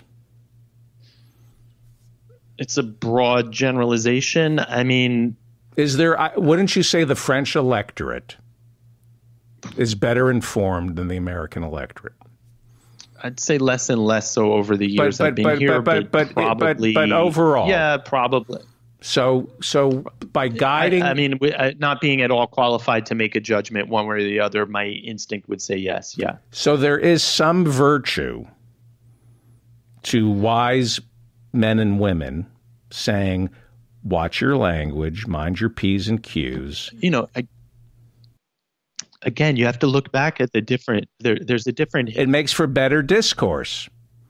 there's a different history here too, David. You have to look back at that and and put it into the context. Here, the the you know, Europe is three generations removed from World War II and from the Nazi ideology, where it wasn't abstract and it wasn't speech. So the, these the things that our that are that are forbidden are things that had very real consequences here on, on this continent. Obviously, for the United States too, in terms of American soldiers that fought here and American and, and lives slaves that were lost. and slaves. But uh, I, I think, for instance, that um, I, I I don't I, I don't know that the American experience was uh, was as marked by that kind of speech and ideology. But perhaps I'm mistaken. Oh, you talking about America? What about? What, what, hang on for a second, because I, I want to ask you about Hollande. Uh, yeah. we've learned the consequences of hate speech, the Civil War. We know we know what language does. That was more than speech, but I, I, guess I'm trying to think through how I would feel if I were a Black American and someone was saying uh, maybe we should outlaw uh, white supremacist discourse. Well, I, uh, I, that I because it had as it even though it was a hundred years ago uh, or, or more than a hundred more than 150 or it was 150 years ago as opposed to 60 years ago uh, it had just as much human cost uh, so there's no reason why it shouldn't be the same thing in France it's consistent in that it's racist uh, racist speech is outlawed as well as anti-Semitic speech uh, so there's no inconsistency there I think the American culture of free speech is just completely different. Yeah, well, I think the the French are better educated, and uh, because they're watching what people say and they listen to what people say. So, very quickly before we wrap it up, Francois Hollande was a socialist. He did six years as president. Right after Five, the yeah. uh, five years, uh, right after the economic collapse, the French decided, unlike the United States, to elect a socialist. They said, "That's it. The big we can't trust the big banks. We were screwed. We're putting a socialist in office." And I liked Hollande. I thought, but everything worked against him, didn't it? He tried to maintain the safety net. He couldn't, and then he kind of turned his back on the safety net, right? Well, along, I mean, to begin with, the Socialist Party is no longer socialist in terms of like socialism. I mean, they don't, they're not talking about nationalizing industry, for instance. Uh, Hollande, the problem Hollande had was that he campaigned on a pretty uh, militant left program of uh, his enemy being international finance and how he was going to uh, break Europe, uh, EU austerity, and things like that. And then basically he ran on a social democratic tick, uh, or he governed as a social democrat. Uh, Macron was actually his principal economic advisor and uh, was his minister of the economy for a couple years. And basically, what he tried to do was was uh, you know he he I don't think he would have been too supportive of it to be honest. From what I know about your politics, he used like uh, tax credit incentives to try to get uh, big businesses to hire. Uh, he had a sort of a, a, a, almost like an informal, non-binding pact of responsibility to to get big businesses to to hire and to get uh, big tax credits uh, in in exchange, but they didn't actually end up hiring. Uh, Macron, as the economy minister, tried to lighten some of the regulations on the on the on on businesses and on the labor market that are extremely unpopular here. I mean, the the thing is what. Uh, you know, and I and I know what we'd probably disagree on the on the fundamentals of this uh, politically, but uh, France has basically resisted sort of third way uh, new left structural reforms uh, over the last 20 years. There just hasn't. It, it's been at the margins. Uh, but you know, France, while while while Great Britain and the U.S. and then later Germany were creating more flexibility in terms of hiring and firing and trying to create uh, economies that that had more opportunity and more oxygen rather than social safety network uh, nets. Uh, for better and worse, I'm not going to argue that that was all good. Um, uh, France was actually reduced the, the legal working week to 35 hours per week. um, uh, uh, did moderate uh, raise the retirement age at the margins, uh, but not as not as much as other countries, uh, and still has very very onerous restrictions in terms of how permanent employees can be fired and what kind of um, severance packages they get at the end of that. And so, what it does is that it creates there's certainly a, a better social safety net. At the same time, it creates these disincentives for hiring. Uh, so you've had a younger generation that instead of having the, the very prized permanent job contract, which creates the, the greatest security and the safety, they, they have these string of temporary contracts uh, on which they can't rent apartments because it's it's not it's too precarious for landlords. They can't get loans to, to buy property uh, to buy a, an apartment or a house or a car because banks don't trust that they'll be employed. So it's created this sort of uh, second class job citizenship where you have an older generation that has permanent jobs and a younger generation that has uh, temporary contracts. And the the businesses are afraid to hire because uh, you know business cycle is the, the business cycle is cyclic. That's why it's called the business cycle cycle. And when things go down for a small company uh, that is particularly uh, vulnerable to the business cycle. They can't just lay people off like they can in the US. Now, for better and worse, again. But what it does is it builds in a high structural unemployment here. I mean, the, what is the it? unemployment rate in France has been between seven and nine percent pretty much uniformly for the last twenty years. Seven to nine percent unemployment. Yeah, it's built in. It's co- that's cooked into the recipe, and so you know, so there, so you have a high safety net. All of these people get free health care. Right. But again, it sort of condemns, uh, you know, youth unemployment. I think is at 25 percent, and it condemns people to to to really long term unemployment in a way that is very very you know destructive right. in, in terms of people's lives. We know what the impact that that has, and so what Macron, uh, what Hollande tried to do, and and and what Macron is promising to do, is to provide a little more flexibility for employers. Uh, to increase training for workers to get into fields that are growth fields as opposed to legacy fields, and to invest in uh, in sort of green energy, to invest in some of the innovative stuff, high tech, things like that. I mean, France has a has enormous, enormous human capital in terms of its education system, in terms of its high degree of technological innovation, uh, things like that. So France has all the cards it can, all the strong cards to play in in the global economy of today. And what Macron is trying to do is is try to say, look, we we need to be a little more audacious, a little more. Uh, a little, a little less risk averse, and that's a very hard sell here because people here, whereas an American thinks of opportunity, right? French people think of precari- precariousness. Yeah. And so they don't they don't like a, an American person when they start a business, right? All their friends generally, you know, if you have a friend and he says, uh, or he or she says, you know, I've, I've got all this experience now, I'm going to start my own business and go out on my own. Generally, in the states, we're like, oh, right on, good luck. I really hope it works well for you. Here in France, if you say to someone, yeah, I'm going out on my own, I'm starting my own business, they're going to be like, are you sure? It's kind of dangerous uh, there's a real sort of risk averseness here when it comes to that kind of uh, uh, that kind of uh, um, risk taking, and and Macron is trying to reconcile, uh, is trying to say, look, he he talked a lot about uh, conquering France. He's, he's, trying to say, look, we can do it.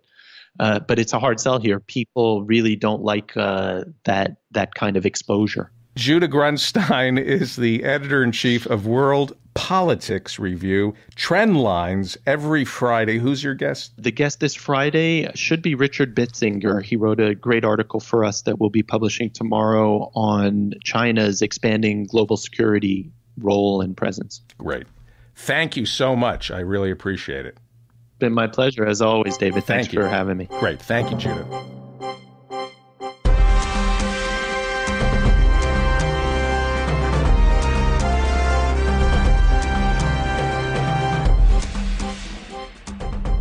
That's our show. Thanks for listening. You can buy Sam Quinones' book, Dreamland, by going to Amazon.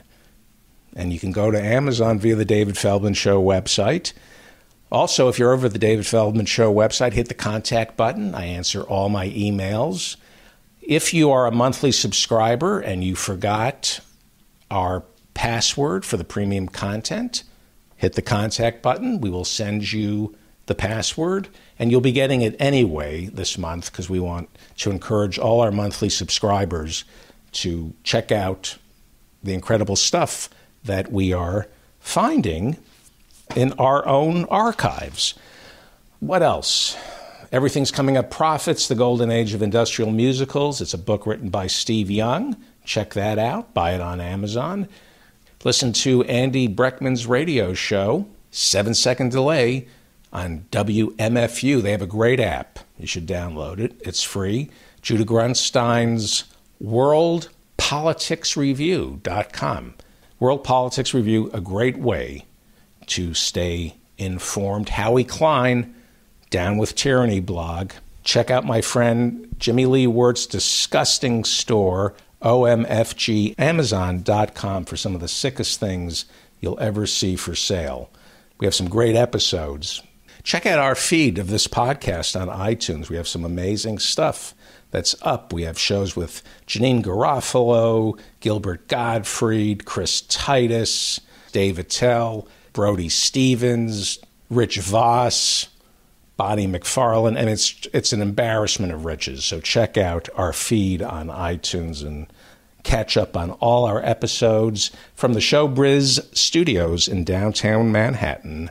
Medicare for all. You're listening to the David Feldman radio program. You sad, pathetic hump. Why don't you guys jam?